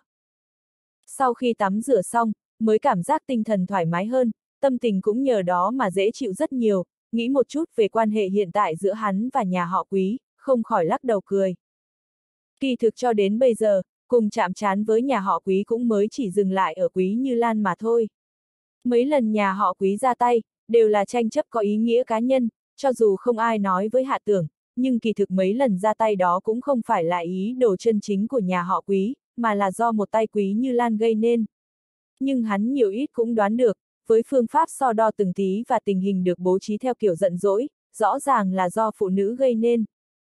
Không phải hạ tưởng coi thường phụ nữ, phụ nữ trời sinh đã thiếu khoan dung về mặt chính trị khuyết thiếu, không phân biệt được công tư rõ ràng. Ngày trước có Tần Huệ Vương theo yêu cầu của chính trị lập ra luật ngũ mã phanh thây, nhưng lại vẫn âm thầm làm theo luật cũ. Mà Từ Hy cũng chỉ vì tranh chấp cá nhân, cũng không biết việc thú tuất thay đổi điều luật là tốt xấu như thế nào, chỉ vì quang tự tự thay đổi luật pháp mà không xin ý kiến của bà, bà vì sĩ diện của bản thân đã phủ định toàn bộ những thay đổi đó, lại bởi vì thế lực ngoại quốc cũng ủng hộ biến pháp, đã đem nghĩa hòa đoàn điều đến Bắc Kinh đối kháng với quân đội của Liên minh tám nước. Kết quả chính là Bắc Kinh bị công phá, Từ Hy phải chật vật chạy trốn. Nói đi cũng phải nói lại, Quý Như Lan liên tiếp ra tay, nhà họ Quý cũng không ra tay ngăn cản, không đồng ý cũng không phản đối, chỉ khoanh tay đứng nhìn, cũng rất có thâm ý. Hạ tưởng từ lúc mới bắt đầu đảm nhiệm vị trí phó chủ tịch thường trực huyện An sau đó một đường tiến lên, hiện tại là phó bí thư tỉnh ủy, đối với thái độ bình thản của quan trường và các loại ám chỉ thỏa thuận ngầm đã rõ như lòng bàn tay. Người nắm vai trò chính trị trong nhà họ quý tuy chưa chính thức ra mặt, nhưng lại không can thiệp việc quý như Lan ra tay, như vậy đã gián tiếp chứng tỏ rất nhiều vấn đề. Ban đêm ở Dương Thành vẫn phồn hoa và náo nhiệt như vậy, chỗ ở của ký túc xá tỉnh ủy nơi hạ tưởng ở cách xa quốc lộ, cũng coi như yên tĩnh. Đêm đã khuya, nhưng hạ tưởng cũng không thấy buồn ngủ, lên mạng, tưởng rằng nghiêm tiểu thì không lên mạng. Không ngờ cô vẫn đang online. Avatar của nghiêm tiểu thì là hình một người con gái đi chân đất đang tiến vào cánh đồng lúa mì, cô gái mặc váy dài, đội mũ rơm, bóng dáng yểu điệu, gió khiến váy tóc lên, lộ ra đôi chân ngọc, đồng lúa mì ở phía xa hóa thành một mảnh vàng óng ánh, tạo thành không gian không giới hạn để cho người ta tưởng tượng. Hạ tưởng rất thích avatar của tiểu thì, khi cô không online, ảnh bị xám lại, nhìn không rõ, lúc cô online, bóng dáng người con gái trong avatar trở nên vô cùng rõ ràng, như là đang ở trước mặt. Cũng không biết vì sao nghiêm tiểu thì từ nhỏ sinh ra ở phía nam lại thích cánh đồng lúa mì. Hạ tưởng thích nhất cũng là cánh đồng lúa mì. Vừa online, đã nhận được tin nhắn của nghiêm tiểu thì. Đăng nhập thì nhớ lên tiếng, tôi có chuyện muốn nói với anh. Sao còn chưa ngủ? Hạ tưởng nhìn thời gian nhận được tin nhắn là một giờ trước, mà hiện giờ avatar của nghiêm tiểu thì vẫn còn sáng, chứng tỏ cô vẫn luôn chờ. Anh rốt cục cũng lên, làm tôi chờ lâu muốn chết. Nghiêm tiểu thì gửi một cái mặt tươi cười, còn nói. Tôi có bí mật muốn nói cho anh. Bí mật gì vậy, thần thần bí bí. Hạ tưởng hỏi ngay. Quý như Lan quay lại Mai Hoa rồi, đêm nay không về, đúng lúc tôi có cơ hội nói với anh mấy bí mật, anh có muốn nghe hay không? Sao không trực tiếp gọi điện thoại cho tôi, mà lại muốn nói trên mạng? Hạ tưởng khó hiểu hỏi. Tôi đang ở nhà cô ấy, không biết rõ tình hình, nếu chẳng may có máy nghe trộm lén thu lại cuộc nói chuyện giữa tôi và anh, không phải hỏng sao? Hạ tưởng không nói gì, không ngờ nghiêm tiểu thì còn có tiềm chất của gián điệp, ngay cả máy nghe trộm mà cũng nghĩ đến được, thực bó tay với cô. Được, cô lợi hại, nói nghe xem là cái gì. Có ba chuyện muốn nói cho anh, gần đây quan hệ giữa tôi và cô ta càng ngày càng thân mật, hiện giờ cô ta vô cùng tín nhiệm tôi, còn thường xuyên hỏi tôi một ít về những vấn đề bí mật của phụ nữ. Hạ tưởng không có gì để nói, hắn cũng không có lòng suy nghĩ tìm tòi nghiên cứu về đề tài phụ nữ giữa nghiêm tiểu thì và quý như Lan, liền vội nói. Nói chuyện chính, nói chuyện chính. Nghiêm tiểu thì gõ một ký hiệu đại biểu cho khuôn mặt tươi cười. Khảo nghiệm anh một chút, xem có phải anh có hứng thú với tâm tư của quý như Lan hay không. Nếu không nói chuyện nghiêm chỉnh thì tôi đi ngủ đây. Hạ tưởng uy hiếp nghiêm tiểu thì. Nghiêm tiểu thì đành vội nói. Đừng nóng giận, tôi sai rồi được chưa? Tôi nói, nói ngay đây. Thứ nhất, Quý Như Lan rất có thành kiến với anh, mấy chuyện gần đây, đều là do một tay cô ta thúc đẩy, ngay cả Lâm Song Bồng cũng phản đối việc cô ta đối nghịch với anh. Tin tức thứ nhất mà nghiêm tiểu thì đưa ra tuy rằng khá trống rỗng, nhưng đối với hạ tưởng mà nói thì lại rất có ích, bởi vì hắn vẫn đang suy đoán mọi chuyện ở sau lưng là do một mình quý như Lan gây ra hay là có cả sự cho phép của nhà họ quý. Tin tức của nghiêm tiểu thì chứng thực suy đoán của hắn, quý như Lan ra tay, rõ ràng là mang xu hướng ý thức chủ quan cá nhân. Đồng thời, việc lâm song bồng phản đối quý như Lan, làm hắn càng tự tin hơn trong hành động tiếp theo của mình. Không ngờ, nghiêm tiểu thì càng ngày càng có đầu óc chính trị. Thứ hai, theo như quan sát của tôi thì, tuy quý như Lan ở nhà họ quý rất được sủng ái, nhưng chỉ có quý trường hạnh thôi, còn quý văn nguyên thì lại không dung túng cho cô ta. Tin tức thứ hai này khiến hiểu biết của hạ tưởng về nhà họ quý lại càng rõ ràng hơn một chút, đối với việc làm thế nào để xử lý quan hệ giữa ba phía hắn, quý như Lan, lâm song bồng và nhà họ quý, càng có phương hướng rõ ràng hơn. Không tôi, vốn quý như Lan muốn dùng nghiêm tiểu thì để uy hiếp hắn, lại không ngờ đã lợn lành chữa thành lợn què, ngược lại lại để một quả bom ở bên cạnh mình. Phải nói rằng, Như Lan là một cô gái có tâm cơ, nhưng vẫn là còn kém, bị nghiêm tiểu thì lừa lại. Thứ ba, kỳ thực Như Lan không phải là một người xấu, cô ấy chỉ là hơi cố chấp thôi, tôi hy vọng có một ngày hai người có thể bắt tay giảng hòa. Nếu nói hai điều trên là do nghiêm tiểu thì cố ý ở lại bên cạnh quý như Lan là vì một lòng suy nghĩ ủng hộ cho hắn, thì điều cuối cùng chứng tỏ nghiêm tiểu thì xét đến cùng vẫn là một cô gái thiện lương, cô hoàn toàn không thể trở thành một người hiểm ác giả dối và dễ trở mặt trong chốn quan trường. Cho dù như thế nào, hạ tưởng đối với việc nghiêm tiểu thì một lòng vì hắn suy nghĩ mà tìm hiểu tin tức, đều cảm thấy vô cùng an ủi. Nghiêm tiểu thì hôn một cái hôn gió. Nhớ kỹ phải có phần thưởng tốt cho tôi đấy, tôi lớn như vậy rồi, nhưng đây vẫn là lần đầu tiên trốn ở sau lưng làm người xấu, đều là vì anh. Nếu như lúc nào đó như Lan phát hiện được chân tướng và muốn đoạt tuyệt quan hệ với tôi, tôi có thể là thực sự bị cô lập hoàn toàn đấy.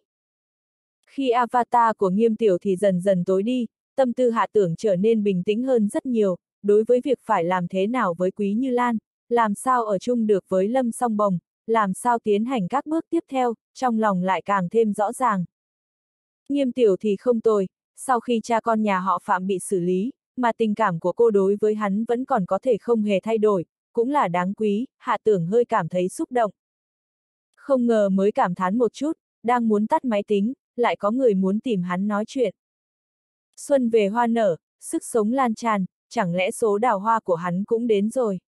Vừa mới nghĩ như vậy, thì thực có chuyện rồi, Phó Tiên Tiên muốn đến Dương Thành. Tôi biết anh đang online, cha, nói cho anh biết, tôi muốn đến Dương Thành giải sầu, anh chuẩn bị thật tốt để tiếp đái bản cô nương đi. Biết chưa? Xem ra, tâm tình của Phó Tiên Tiên đã dễ chịu hơn rất nhiều, hạ tưởng ngạc nhiên nói. Làm sao cô biết tôi đang online? Không nhớ là ai đưa cho anh cái máy vi tính này à, tôi cài phần mềm gián điệp, chỉ cần anh lên mạng, cho dù là sáng đèn hay không, tôi đều biết. Muốn ở sau lưng tôi làm chuyện xấu, thì anh trước hết phải suy nghĩ kỹ lại đi. Anh bây giờ đang vào trang web xe trinh, sắc tình tôi cũng có thể tìm ra được. Cái gì thế này, xem như hôm nay hạ tưởng bị hai người con gái làm cho đầu óc choáng váng. Sáng sớm hôm sau, hạ tưởng vừa vào văn phòng, mới ngồi xuống, ngay cả nước còn chưa kịp uống được ngụm nào, lâm song bồng đã gõ cửa đi vào. Sau khi cùng nhà họ quý so chiêu vài lần, rốt cục đây là lần đầu tiên lâm song bồng xuất hiện ở phòng làm việc của hạ tưởng. Tuy rằng muộn một chút, nhưng ít ra Lâm Song Bồng vẫn biểu lộ thái độ, báo cáo kết quả điều tra sự kiện Mộc Phong cho Hạ Tưởng. Thành ủy yêu cầu Cục Công an thành phố tiến hành một cuộc điều tra kỹ lưỡng đối với một số cảnh sát giao thông đang thi hành công vụ, kết luận là, sự kiện Mộc Phong đã được lập kế hoạch có âm mưu có tổ chức từ trước, mục đích là để gây thiệt hại cho việc xây dựng mô hình kiểu mẫu cho thành phố Dương Thành, người có trách nhiệm liên quan đã được thẩm vấn, chuẩn bị tiếp tục truy cứu trách nhiệm hình sự.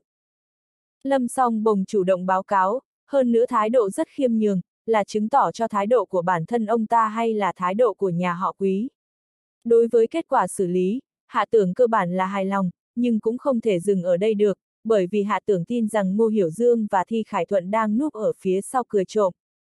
Hạ tưởng gật đầu, đầu tiên là tỏ thái độ tán thành đối với cách làm của thành ủy, sau đó chuyển trọng tâm câu chuyện, hỏi ra một câu khiến Lâm Song Bồng kinh ngạc. Song Bồng, nếu là có tổ chức có âm mưu hãm hại từ trước, vậy đã thẩm tra xem trong quân đội ai là người mật báo cho cảnh sát giao thông chưa? Lâm song bồng nhất thời ngạc nhiên, tim đập mạnh, phó bí thư hạ không muốn giàn xếp ổn thỏa, còn muốn mượn cơ hội lần này để khởi binh vấn tội với Ngô Hiểu Dương sao? Chuyện này không thể truy đến cùng được, nếu truy đến cùng, không chỉ liên lụy tới mấy người cùng nhau uống rượu với Mộc Phong, còn có thể liên lụy đến trương lực. Trong lòng lâm song bồng lo lắng, không biết nên trả lời như thế nào. Sở dĩ tối hôm qua suốt đêm từ Mai Hoa trở về Dương Thành, Quý Như Lan cũng trở về theo, cùng đường với ông ta, nhưng lại không cùng đi, lại càng không ngồi chung xe. Sáng sớm nay ông ta không để ý vất vả cũng muốn biểu lộ thái độ cho Hạ Tưởng thấy, là muốn cố gắng cứu chữa mối quan hệ ngày càng căng thẳng giữa Hạ Tưởng và Quý Như Lan do sự ra tay thẳng thừng của Quý Như Lan gây nên. Nếu nói hành trình của Hạ Tưởng ở Hồng Hoa, ngay tại trận hạ bệ lăng chấn hà và vài cán bộ cấp cục làm cho Lâm Song Bồng còn chưa đủ khiếp sợ không biết phải nói như thế nào, bởi vì Lâm Song Bồng hiểu rõ, hạ tưởng là được Vương Hòa Dân giúp đỡ, bởi vì Vương Hòa Dân nắm giữ khá đầy đủ các bằng chứng tham nhũng hủ bại có căn cứ xác thực của Lăng Chấn Hà. Hơn nữa, Vương Hòa Dân ở Ủy ban kỷ luật tỉnh đã nhiều năm, luôn có quan hệ không tồi với chủ nhiệm Ủy ban kỷ luật thành phố, muốn xử phạt mấy cán bộ cấp huyện chỉ là chuyện dễ dàng. Vương Hòa Dân tuy muốn được mặc sức vùng vẫy, nhưng tiếc là vẫn không thành công, bởi vì chủ nhiệm ủy ban kỷ luật trước kia không đủ mạnh mẽ, cứng rắn, lại là người lĩnh nam, không hỗ trợ cho Vương Hòa Dân những biện pháp quyết liệt để thực hiện việc chống tham nhũng. Vương Hòa Dân có ý chí nhưng lại chỉ có một mình nên không cách nào phát huy được, hiện tại lại được hạ tưởng tiếp thêm sức mạnh, nắm quyền lớn trong tay, đương nhiên sẽ đồng ý giơ tay chém xuống. Làm lâm song bồng khiếp sợ chính là biến cố ở Minh Giang. Chủ nhiệm thường vụ Hội đồng Nhân dân thành phố Minh Giang Hà Kế Thiên đột nhiên xin nghỉ bệnh dài hạn, khiến Lâm Song Bồng kinh ngạc vô cùng, thực sự là không thể lý giải nổi sau lưng đã xảy ra biến cố gì. Ngay cả khi ông ta tự mình gọi điện thoại đến để hỏi cho rõ ràng, Hà Kế Thiên cũng chỉ lập lờ, nói là mình già rồi, sức khỏe quả thực không được như xưa, để có thể sống lâu thêm vài năm nữa, xin nghỉ bệnh cũng là việc bất đắc dĩ. Tuy nói không ít, nhưng cuối cùng cũng không nói rõ lý do là gì. Sức khỏe không tốt, vừa nghe cũng biết là lừa người, lâm song bồng rất rõ ràng sức khỏe Hà Kế Thiên còn rất tốt. Mà Hà Kế Thiên đối nhân xử thế ngay thẳng, chưa từng nghe nói ông có hành vi tham ô nhận hối lộ nào, như vậy hạ tưởng làm cách nào mà ép Hà Kế Thiên phải lui được. Hà Kế Thiên cả đời làm quan thanh liêm chính trực, cũng không có nhược điểm và vết như nào, lâm song bồng suy nghĩ mãi mà vẫn không có lời giải đáp hạ tưởng tìm ra được điểm đột phá từ đâu để hủy bỏ lòng trung thành nhiều năm qua của Hà Kế Thiên đối với nhà họ quý. Chính vì vậy, mới khiến Lâm Song bồng đối với hành động khiêu chiến hết lần này tới lần khác của Quý Như Lan với hạ tưởng mà vô cùng phẫn nộ, sau khi hạ tưởng phất tay làm tan giã thế công của Quý Như Lan, trong lòng ông ta cuối cùng cũng có một tia hàn ý. Lăng Chấn Hà thất thế còn được, ông ta quả thực biết rõ Lăng Chấn Hà có chút lòng tham. Còn Hà Kế Thiên sau khi bị bước lui cực khổ mà khó nói nên lời, mới là điều chủ yếu khiến ông ta đột nhiên lạnh lùng với hạ tưởng. Không nhìn rõ được thủ đoạn của đối thủ, mới là điều khiến cho lòng người bất an. Lâm song bồng quyết định làm dịu đi mối quan hệ với hạ tưởng, cần phải tỏ thái độ cần thiết, vậy nên mới sáng sớm đã đến báo cáo với hạ tưởng kết quả xử lý bước đầu đối với mấy tên cảnh sát giao thông, để bày tỏ thiện ý. Kỳ thực chuyện Mộc Phong cuối cùng lấy việc xử lý cảnh sát giao thông làm kết thúc, cũng coi như là đã đủ nể mặt hạ tưởng. Nếu không phải Mộc Phong có quan hệ với hạ tưởng, phía Dương Thành cũng không đến mức phải tự tát vào má mình như vậy, bởi vì Mộc Phong có lỗi trước. Hạ tưởng còn có ý gì đây? Xử lý cảnh sát giao thông rồi còn chưa đủ, thực có bản lĩnh gây phiền phức cho quân đội hay sao? Thật quá ngang tang. Còn chưa điều tra rõ. Lâm song bồng trả lời qua loa, chuyện này liên lụy đến rất nhiều người và việc khác, nếu thật sự muốn truy đến cùng, sẽ không thể kết thúc được.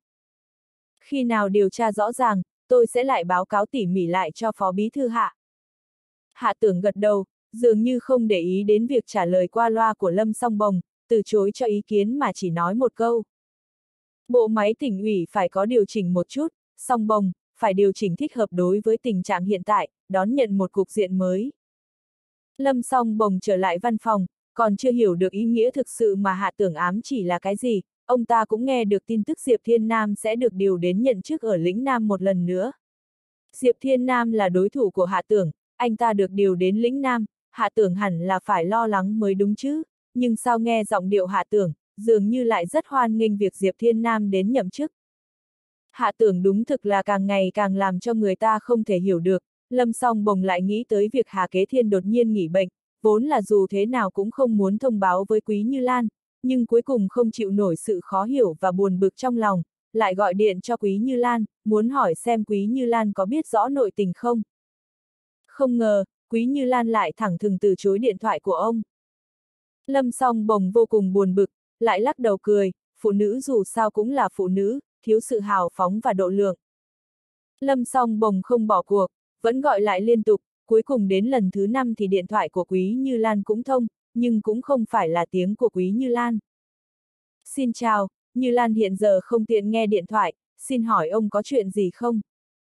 Lâm song bồng sửng sốt. Cô là ai? Tôi là Nghiêm Tiểu Thì, bạn của Như Lan. Tôi là Lâm song bồng, phiền cô chuyển điện thoại cho Như Lan. Lâm song bồng mặc kệ Nghiêm Tiểu Thì là ai, ông ta chỉ muốn hỏi Quý Như Lan một câu. Như Lan hiện giờ không tiện nghe điện thoại. Nghiêm tiểu thì kiên quyết ngăn cản Lâm song bồng. Cô ấy nói ông có chuyện gì thì có thể nói với tôi để tôi nhắn lại. Lâm song bồng có chút chần chừ, cũng không nghĩ nhiều mà nói luôn. Được rồi, nhờ cô chuyển lời cho Quý Như Lan, nói là tôi rất khó hiểu đối với chuyện của Hà Kế Thiên. Hồ bơi bên trong biệt thự, nghiêm tiểu thì để điện thoại xuống, nhẹ vỗ vỗ lồng ngực đang đập bùm bụp như muốn nhảy ra khỏi miệng, sắc mặt cô hơi hơi tái nhợt. Cô nhìn về Quý Như Lan đang bơi lội ở phía xa xa, thật lâu mà vẫn không thể bình tĩnh lại. Vốn cô cũng không định nghe điện thoại của Quý Như Lan, nhưng điện thoại lại không ngừng reo, lại thấy điện thoại hiển thị tên người gọi là Bí Thư Thành ủy Dương Thành Lâm song bồng, trải qua đấu tranh tư tưởng mãnh liệt, cuối cùng cô quyết định cầm lên nghe. Ở phía xa xa của bể bơi, Quý Như Lan giống như Mỹ nhân ngư, trồi lên hụp xuống, cô bơi đã được khoảng nửa giờ nhưng vẫn chưa có ý định dừng lại, rõ ràng là mượn việc bơi lội để giải phóng sự tức giận. Nghiêm tiểu thì nhẹ nhàng cầm lấy di động, nhắn cho hạ tưởng một tin nhắn. Hạ tưởng đang cùng bàn bạc chuyện công việc với Lâm Khang Tân, thì nhận được tin nhắn của nghiêm tiểu thì, yên lặng cười. Lâm song bồng đối với chuyện Hà Kế Thiên khó hiểu là rất tốt, cho dù ông ta có hỏi Quý Như Lan cũng không tìm được câu trả lời. Quý Như Lan cũng giống như ông ta, cũng hoàn toàn không biết gì cả. Nói đến chuyện Hà Kế Thiên, là thủ đoạn của Lý Giật Phong.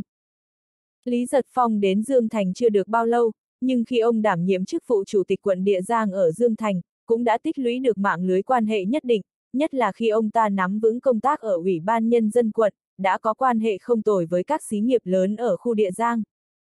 Khi Lý Giật Phong đảm nhiệm chức vụ chủ tịch quận, đã bỏ không ít công sức đẩy mạnh sự phát triển của các xí nghiệp, còn giúp một xí nghiệp sắp đóng cửa khởi tử hồi sinh, đồng thời còn làm trung gian giới thiệu các xí nghiệp với các thương gia của thành phố Yến, giúp xí nghiệp mở rộng nguồn tiêu thụ.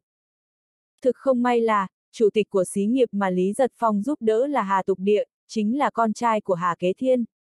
Sau khi Lý Giật Phong gọi điện thoại cho Hà Tục Địa, Hà Tục Địa sau khi cân nhắc lợi hại, liền gọi điện cho Hà Kế Thiên, Hà Kế Thiên chỉ suy nghĩ trong nửa giờ đã quyết định lựa chọn phương án lui về ở ẩn, tương lai của con trai quan trọng hơn. Bởi vì việc này vô cùng bí mật, cho nên giấu được hầu hết mọi người. Phải công nhận phương pháp của Lý Giật Phong vô cùng kín đáo. Chuyện này cũng khiến Hạ Tưởng hiểu được chỗ hơn người của Lý Giật Phong, càng thêm khẳng định Lý Giật Phong là người có thể sử dụng được. Còn chuyện hiện tại có thể sử dụng Lâm Khang Tân được hay không, còn phải quan sát thêm một chút nữa. Biểu hiện gần đây của Lâm Khang Tân cũng không tồi, trong sự kiện Hồng Hoa cũng đã thể hiện được tác dụng tích cực. Việc Chủ tịch tỉnh nhận 10.000 tệ cũng là do Lâm Khang Tân làm rõ vấn đề, giúp Ủy ban kỷ luật thuận lợi lấy được những chứng cứ quan trọng, cũng khiến hạ tưởng đánh giá Lâm Khang Tân cao thêm một chút. Đối với trưởng ban thư ký, nếu không thể nắm ở trong tay, thì nhất định không thể thân cận được, nếu không sẽ dễ dàng xuất hiện những sai lầm không thể dự đoán được. Lâm Khang Tân nếu có thể sử dụng, hạ tưởng sẽ từ từ tính kế hoạch, nếu hoàn toàn không thể dùng, hắn cũng sẽ không để Lâm Khang Tân có bất kỳ cơ hội gì để lợi dụng. Gần đây có một chuyện, tôi muốn báo cáo một chút với Phó Bí Thư Hạ. Lâm Khang Tân thấy tâm trạng hạ tưởng không tồi, liền đúng lúc nói tới một việc đáng để chú ý. Thư ký trương gần đây rất thân cận với tư lệnh thi. Từ trưởng ban thư ký tỉnh ủy, cho tới thư ký của các lãnh đạo tỉnh ủy, ở giữa còn có nhóm thư ký trưởng ban, kỳ thực đều là vì lãnh đạo phục vụ, và vì lãnh đạo tỉnh ủy cung cấp các loại thông tin tầm thường hoặc không tầm thường. Đương nhiên, để xem phó trưởng ban thư ký này có thật tâm dựa vào mình hay không, ngoài việc xem người đó báo cáo các công tác bình thường, còn phải xem người đó có quan sát một ít các hiện tượng hứng thú của lãnh đạo khác và kịp thời báo cáo hay không là có thể đưa ra kết luận. Lời nói của Lâm Khang Tân làm hạ tưởng giật mình không nhỏ. Lúc đầu khi cổ thu thật nói đến một nhân vật quan trọng của tỉnh ủy, hạ tưởng cũng không đoán được đó là Trương Lực. Khi hắn nhận ra nhân vật mà cổ thu thật cố ý nhắc đến chỉ là một thư ký, hắn cũng không đánh giá thấp Trương Lực. Chỉ có điều cho tới bây giờ, hắn vẫn không thể hiểu được Trương Lực và nhà họ quý có mối quan hệ như thế nào, làm thế nào mà lại trở thành nhân vật quan trọng được. Hạ tưởng tuy không tin rằng Trương Lực ở Bắc Kinh tiếp cận hắn, là chứng tỏ Trương Lực đã hướng về phía mình, nhưng đột nhiên nghe được tin tức Trương Lực và Thi Khải Thuận thân cận nhau, trong lòng lại nổi sóng. Suy nghĩ một chút, một nghi vấn trong lòng lại sáng tỏ ra, mở miệng nói. Khang Tân, thời gian anh ở Dương Thành cũng không ngắn, chắc là đã quen với mọi việc rồi. Trong lòng Lâm Khang Tân nhảy dựng, lời nói của Phó Bí Thư Hạ là có hàm ý khác, vội nói. Gần 10 năm, quen thuộc đến mức không thể quen thuộc hơn được nữa. Được, tôi có một việc riêng muốn nhờ cậu giúp, không biết cậu có thời gian không? Được lãnh đạo giao chuyện riêng cho, là biểu hiện của việc được tin tưởng tuyệt đối, Lâm Khang Tân thở gấp. Xin Phó Bí Thư Hạ cứ sai bảo. Hai ngày sau, có một tin tức không quá thu hút sự chú ý được đăng báo, ngày hôm trước, Trung ương quyết định, đồng chí Phu Phồn Nhiên đảm nhiệm ủy viên tỉnh ủy tỉnh Tề, ủy viên thường vụ, không còn đảm nhiệm chức vụ ủy viên thường vụ tỉnh ủy tỉnh Yến, chức vụ ủy viên nữa. Trước đó, Tần Khản đã bị miễn chức, người kế chức tiếp theo vẫn chưa được công bố chính thức ra bên ngoài. Bởi vậy gần như không cần suy nghĩ, Phu Phồn Nhiên đến nhậm chức, là tiếp nhận chức phó chủ tịch thường trực tỉnh. Nếu nói tin tức trên không có quan hệ trực tiếp gì tới lĩnh Nam, thì một tin tức khác được công bố lại biểu thị lĩnh Nam sắp sửa nghênh đón một thời kỳ mới. Trung U ương phê chuẩn, đồng chí Diệp Thiên Nam đảm nhiệm ủy viên tỉnh ủy lĩnh Nam, ủy viên thường vụ, chủ tịch mặt trận Tổ quốc. Diệp Thiên Nam sắp đến lĩnh Nam. Sau khi tuyên bố điều chỉnh nhân sự ở tỉnh Tề và lĩnh Nam, việc điều chỉnh nhân sự của thành ủy thành phố Yến cũng do tỉnh ủy tỉnh Yến chính thức tuyên bố, toàn bộ đều suôn sẻ và bàn giao trật tự đầy đủ. Trương Quốc Vĩ được bổ nhiệm làm phó bí thư thành ủy thành phố Yến như mong muốn, quyền thị trường, sau khi đã trải qua mấy năm phải cúi đầu trong giới quan trường, rốt cục cũng lại được nhìn thấy tương lai. Sự cảm kích của Trương Quốc Vĩ đối với hạ tưởng không lời nào có thể diễn tả được. Một người đang ở thời điểm xa sút xuống dốc, lại có người kéo lại, giúp đỡ khi gặp nạn, tình nghĩa này nặng tượng ngàn cân. Thế cục ở thành phố Yên, ở lĩnh Nam cũng không có mấy người quan tâm, tỉnh ủy lĩnh Nam quan tâm chính là Diệp Thiên Nam. Nếu một số người biết Diệp Thiên Nam được cử đến đây là kết quả của việc hạ tưởng ở sau lưng dùng thủ đoạn thúc đẩy, thì nói thế nào bọn họ cũng không tin. Mà cho dù có tin, thì bọn họ cũng không thể nào đoán được hạ tưởng tại sao lại muốn đem một đối thủ vô cùng mạnh mẽ ngày xưa của mình kéo đến bên người. Hành động này của hạ tưởng, là có ba dụng ý. Thứ nhất, việc trọng dụng Diệp Thiên Nam thêm một lần nữa là việc ở thế phải làm, nếu không thể ngăn chặn, không bằng thuận theo. Thứ hai, so với việc để Diệp Thiên Nam đến tỉnh Tề đảm nhiệm chức phó chủ tịch thường trực tỉnh, làm hỏng mọi kế hoạch kinh doanh lâu dài tỉ mỉ của hắn ở tỉnh Tề, không thể nghi ngờ là, nếu Diệp Thiên Nam vẫn còn ở lại tỉnh Tề, đương nhiên sẽ cùng liên kết với Hà Giang Hải. Với trí tuệ của Diệp Thiên Nam cộng với thế lực của Hà Giang Hải, nhất định sẽ hủy hoại cục diện tỉnh Tề chỉ trong chốc lát, vậy thì phải đem ông ta đặt bên người thôi. Thứ ba, tổng hợp lại hai điều đã kể trên đây, đúng lúc lĩnh Nam lại có chức vị chống, trí tuệ chính trị của đồng chí Diệp Thiên Nam rất cao, thái độ làm người thì lại rất giỏi trong việc mượn gió bẻ măng, nếu như thế, không bằng mời ông ta đến lĩnh Nam, có lẽ có thể dùng được sự thông minh tài trí của đồng chí Diệp Thiên Nam. Hạ tưởng với nhiệt tình trước nay chưa từng có, chờ mong Diệp Thiên Nam đến nhậm chức. Khoảng 4 giờ chiều, Lâm Song bồng lại đi đến phòng làm việc của Hạ tưởng. Chuyện Mộc Phong có tiến triển mới, đặc biệt muốn đến báo cáo một chút cho Phó Bí Thư Hạ. Gần đây Lâm Song Bồng trở nên tích cực chủ động hơn rất nhiều, khác hẳn với thái độ lãnh đạm rừng rưng trước đây, ông ta rõ ràng có chiều hướng muốn tiếp cận hạ tưởng. Tiếp cận cũng không có nghĩa là muốn dựa sát vào, đó là hai khái niệm hoàn toàn khác nhau, nhưng đúng là biểu hiện có thiện ý. Hạ tưởng không muốn đoán đằng sau thái độ nhiệt tình của Lâm Song Bồng là ám chỉ của nhà họ quý hay là ý nguyện cá nhân của ông ta, đối với nhân sự quá mức phức tạp bên trong nhà họ quý hắn cũng không muốn phát biểu quan điểm gì. Ít nhất có một điều hắn hiểu rõ trong lòng, gần đấy quý như Lan yên tĩnh hơn rất nhiều. Theo nghiêm tiểu thì báo cáo lại, gần đây quý như Lan chỉ chăm sóc các loại cây cỏ, bơi lội, tập yoga, hoặc là đọc sách, bỗng chốc quay trở về trạng thái yên tĩnh yêu nhã khiến cho hạ tưởng thầm buồn cười, vô cùng buồn cười. Cũng phải công nhận trình độ thích làm náo loạn thì náo loạn, thích yên tĩnh thì yên tĩnh của quý như Lan đã rất tự nhiên, người thường không thể sánh được. Tình hình như thế nào? Hạ tưởng thuận miệng hỏi một câu, ra hiệu cho Lâm song bồng ngồi xuống. Lâm song bồng chưa ngồi xuống, vẫn tiếp tục nói. Vài người thừa nhận có ân oán cá nhân với Mộc Phong, liền mua chuộc nhân viên phục vụ ở khách sạn mà Mộc Phong tụ họp, biết được thời gian xuất phát của Mộc Phong, muốn cho Mộc Phong mất mặt, nên mới chuẩn bị tốt camera đồng thời truyền luôn lên trên mạng. Kết quả này đúng như dự liệu của hạ tưởng, mấy cảnh sát giao thông cuối cùng lại là người chịu tội thay, bảo vệ tuyến mật báo bên trong quân đội, lại che giấu một nhân vật quan trọng trong toàn bộ kế hoạch hành động, xem như vẫn còn giấu giếm. Mặc dù trình độ không cao nhưng cũng giống như phần lớn các sự kiện chính trị khác, những chỗ không nên quá rõ ràng, thì tuyệt đối sẽ không được rõ ràng. Hạ tưởng cũng không chỉ rõ ra ra, chỉ nói. Tình hình cụ thể cứ để thành ủy xử lý. Ngụ ý chính là việc này sẽ dừng lại tại đây, không cần nhắc lại nữa.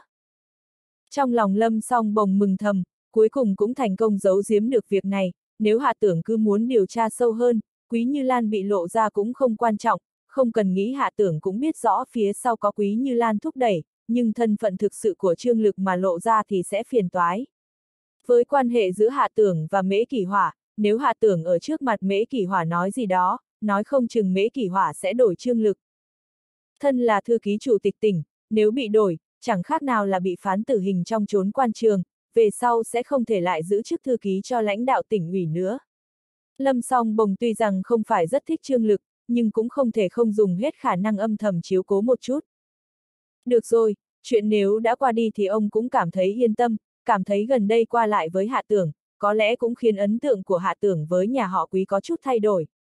Nghĩ lại cũng là bất đắc dĩ, chuyện xấu của quý như Lan, ông ta phải giải quyết hậu quả, nhưng cuối cùng cũng chưa chắc sẽ được đối xử tốt, chẳng lẽ chỉ bởi vì ông thuộc dòng ngoài.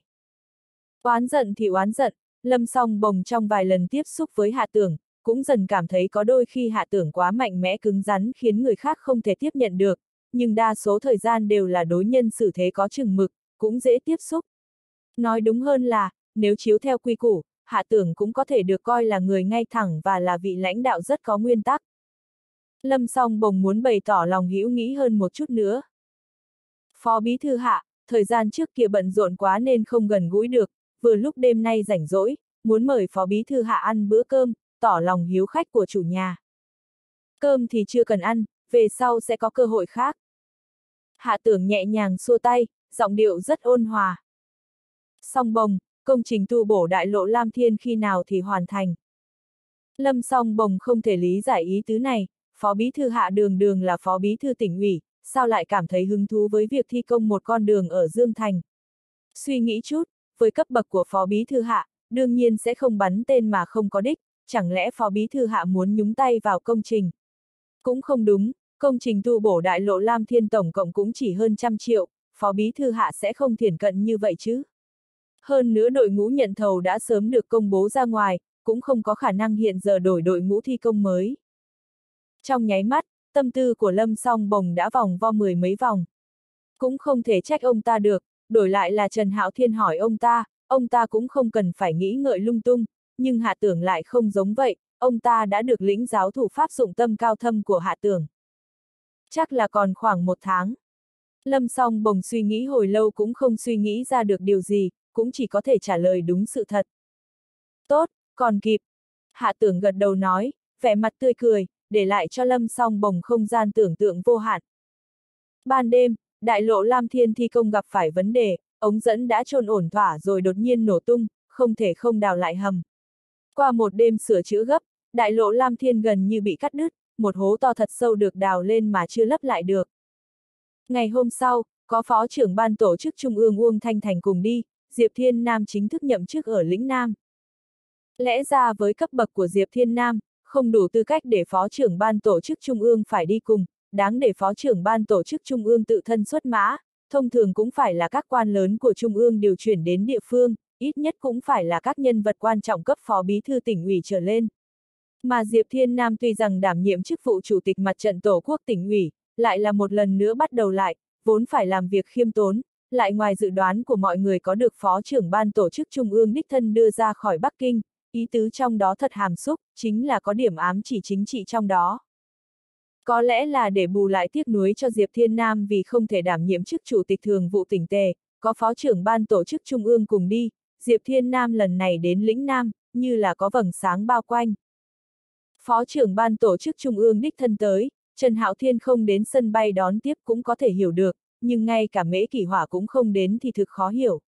Lúc Uông Thanh Thành và Diệp Thiên Nam nhìn thấy trong nhóm người đến nghênh đón, người đứng đầu tiên là Hạ Tưởng, Diệp Thiên Nam vẫn duy trì trấn tĩnh, còn Uông Thành Thành thì sắc mặt trở nên âm u. Mặc dù trong lòng Uông Thanh Thành hiểu rõ, ở trước mặt Trần Hạo Thiên ông ta không có tư cách để sĩ diện, ở trước mặt Mễ Kỷ Hỏa cũng không có tư cách là quan lớn hơn một cấp, thậm chí ở trước mặt hạ tưởng cũng không dám ra vẻ ta đây là một phó trưởng ban tổ chức trung ương cao cao tại thượng, nhưng trong lòng vẫn cảm thấy không thoải mái. Ít nhất cũng phải là mễ kỷ hỏa ra mặt mới khiến ông ta cảm thấy tốt hơn một chút. Uông Thanh Thành nhiệt tình bắt tay với hạ tưởng. Phó bí thư hạ, vất vả rồi. Hạ tưởng cũng vô cùng niềm nở. Phó trưởng ban Uông đi đường vất vả rồi. Vốn chủ tịch tỉnh Mễ muốn đến sân bay đón, nhưng giữa chừng lại xảy ra chút biến cố, hiện giờ chưa quay lại, cố ý nhắc tôi phải giải thích một chút. Tôi đại diện cho Bí Thư Trần, Chủ tịch tỉnh Mễ, nhiệt liệt hoan nghênh Phó trưởng Ban Uông đến lĩnh Nam chỉ đạo công tác. Khuôn mặt tươi cười của Uông Thanh Thành mới trở nên nhiệt tình hơn một chút. Tôi tới đây là để tham quan học hỏi thôi. Sau đó lại đến bắt tay với Diệp Thiên Nam. Anh Thiên Nam, hoan nghênh đến công tác tại lĩnh Nam. Tôi vẫn luôn hy vọng anh có thể sớm đến lĩnh Nam, hôm nay, rốt cục cũng đợi được rồi. Hạ tưởng dùng sức nắm chặt tay Diệp Thiên Nam. Diệp Thiên Nam vô cùng xúc động, có rất nhiều lời muốn nói, nhưng cuối cùng lại chỉ nói một câu. Lại được cùng làm việc với Phó Bí Thư Hạ, trong tương lai dưới sự lãnh đạo của Phó Bí Thư Hạ, tôi sẽ đỡ đi đường vòng hơn. Những lời mà Diệp Thiên Nam nói là những cảm xúc thực sự của ông ta. Đoàn xe khởi động, bắt đầu đi về phía tỉnh ủy. Trước khi xuất phát, Hạ tưởng bảo đường Thiên Vân thông báo tình hình đón tiếp khách cho tỉnh ủy, để bất cứ lúc nào tỉnh ủy cũng chuẩn bị tốt nghi thức nghênh đón. Ban đầu mọi thứ hết sức thuận lợi, từ sân bay đi vào đường cao tốc, vào đến bên trong nội thành, dọc đường không gặp trở ngại gì. Lộ trình đã sớm được xác định tốt, trên đường đã được giới nghiêm, đằng trước có xe cảnh sát mở đường, đằng sau có xe cảnh sát hộ tống, những người không có phận sự phải tránh hết đi. Thời điểm đi đến đại lộ Lam Thiên, đột nhiên xuất hiện tình trạng, ống dẫn bị vỡ khiến cho đoạn đường bị tắc nghẽn giao thông, tuyến đường sớm được lựa chọn ban đầu đã không còn đi được nữa. Sau khi xin chỉ thị của hạ tưởng, hạ tưởng yêu cầu đổi ngay tuyến đường, cần phải bảo đảm là tuyến đường thông suốt. Đoàn xe liền quẹo ngay sang trái, thực hiện phương án tuyến đường thay thế. Ai ngờ mới đi được không lâu, đoàn xe lại phải dừng lại, bởi vì lại có ống dẫn bị vỡ toang, nước tràn đầy đường, không thể đi qua, lại phải lách qua một lần nữa. Lách thì lách, không lách thì còn có cách nào khác chứ? Hạ tưởng nổi giận với đường Thiên Vân, yêu cầu phải làm tốt công tác tiếp đái, không thể lại có sai lầm. Lần đầu tiên đoàn xe bị dừng lại, Diệp Thiên Nam còn chưa nhận thấy có gì bất thường, khi lần thứ hai đoàn xe lại phải dừng lại, ông ta lơ đáng nhìn ra ngoài thưởng thức cảnh vật hai bên đường, bỗng nhiên ánh mắt dứng lại ở trên đường sắt Lam Thiên đang được thi công. Ngồi ở vị trí của ông có thể vừa vặn nhìn thấy ở cách đó không xa, đường bị đào một hố rất to, rất sâu, bên trong hiện ra ống dẫn màu đen, đang phun nước ra bên ngoài.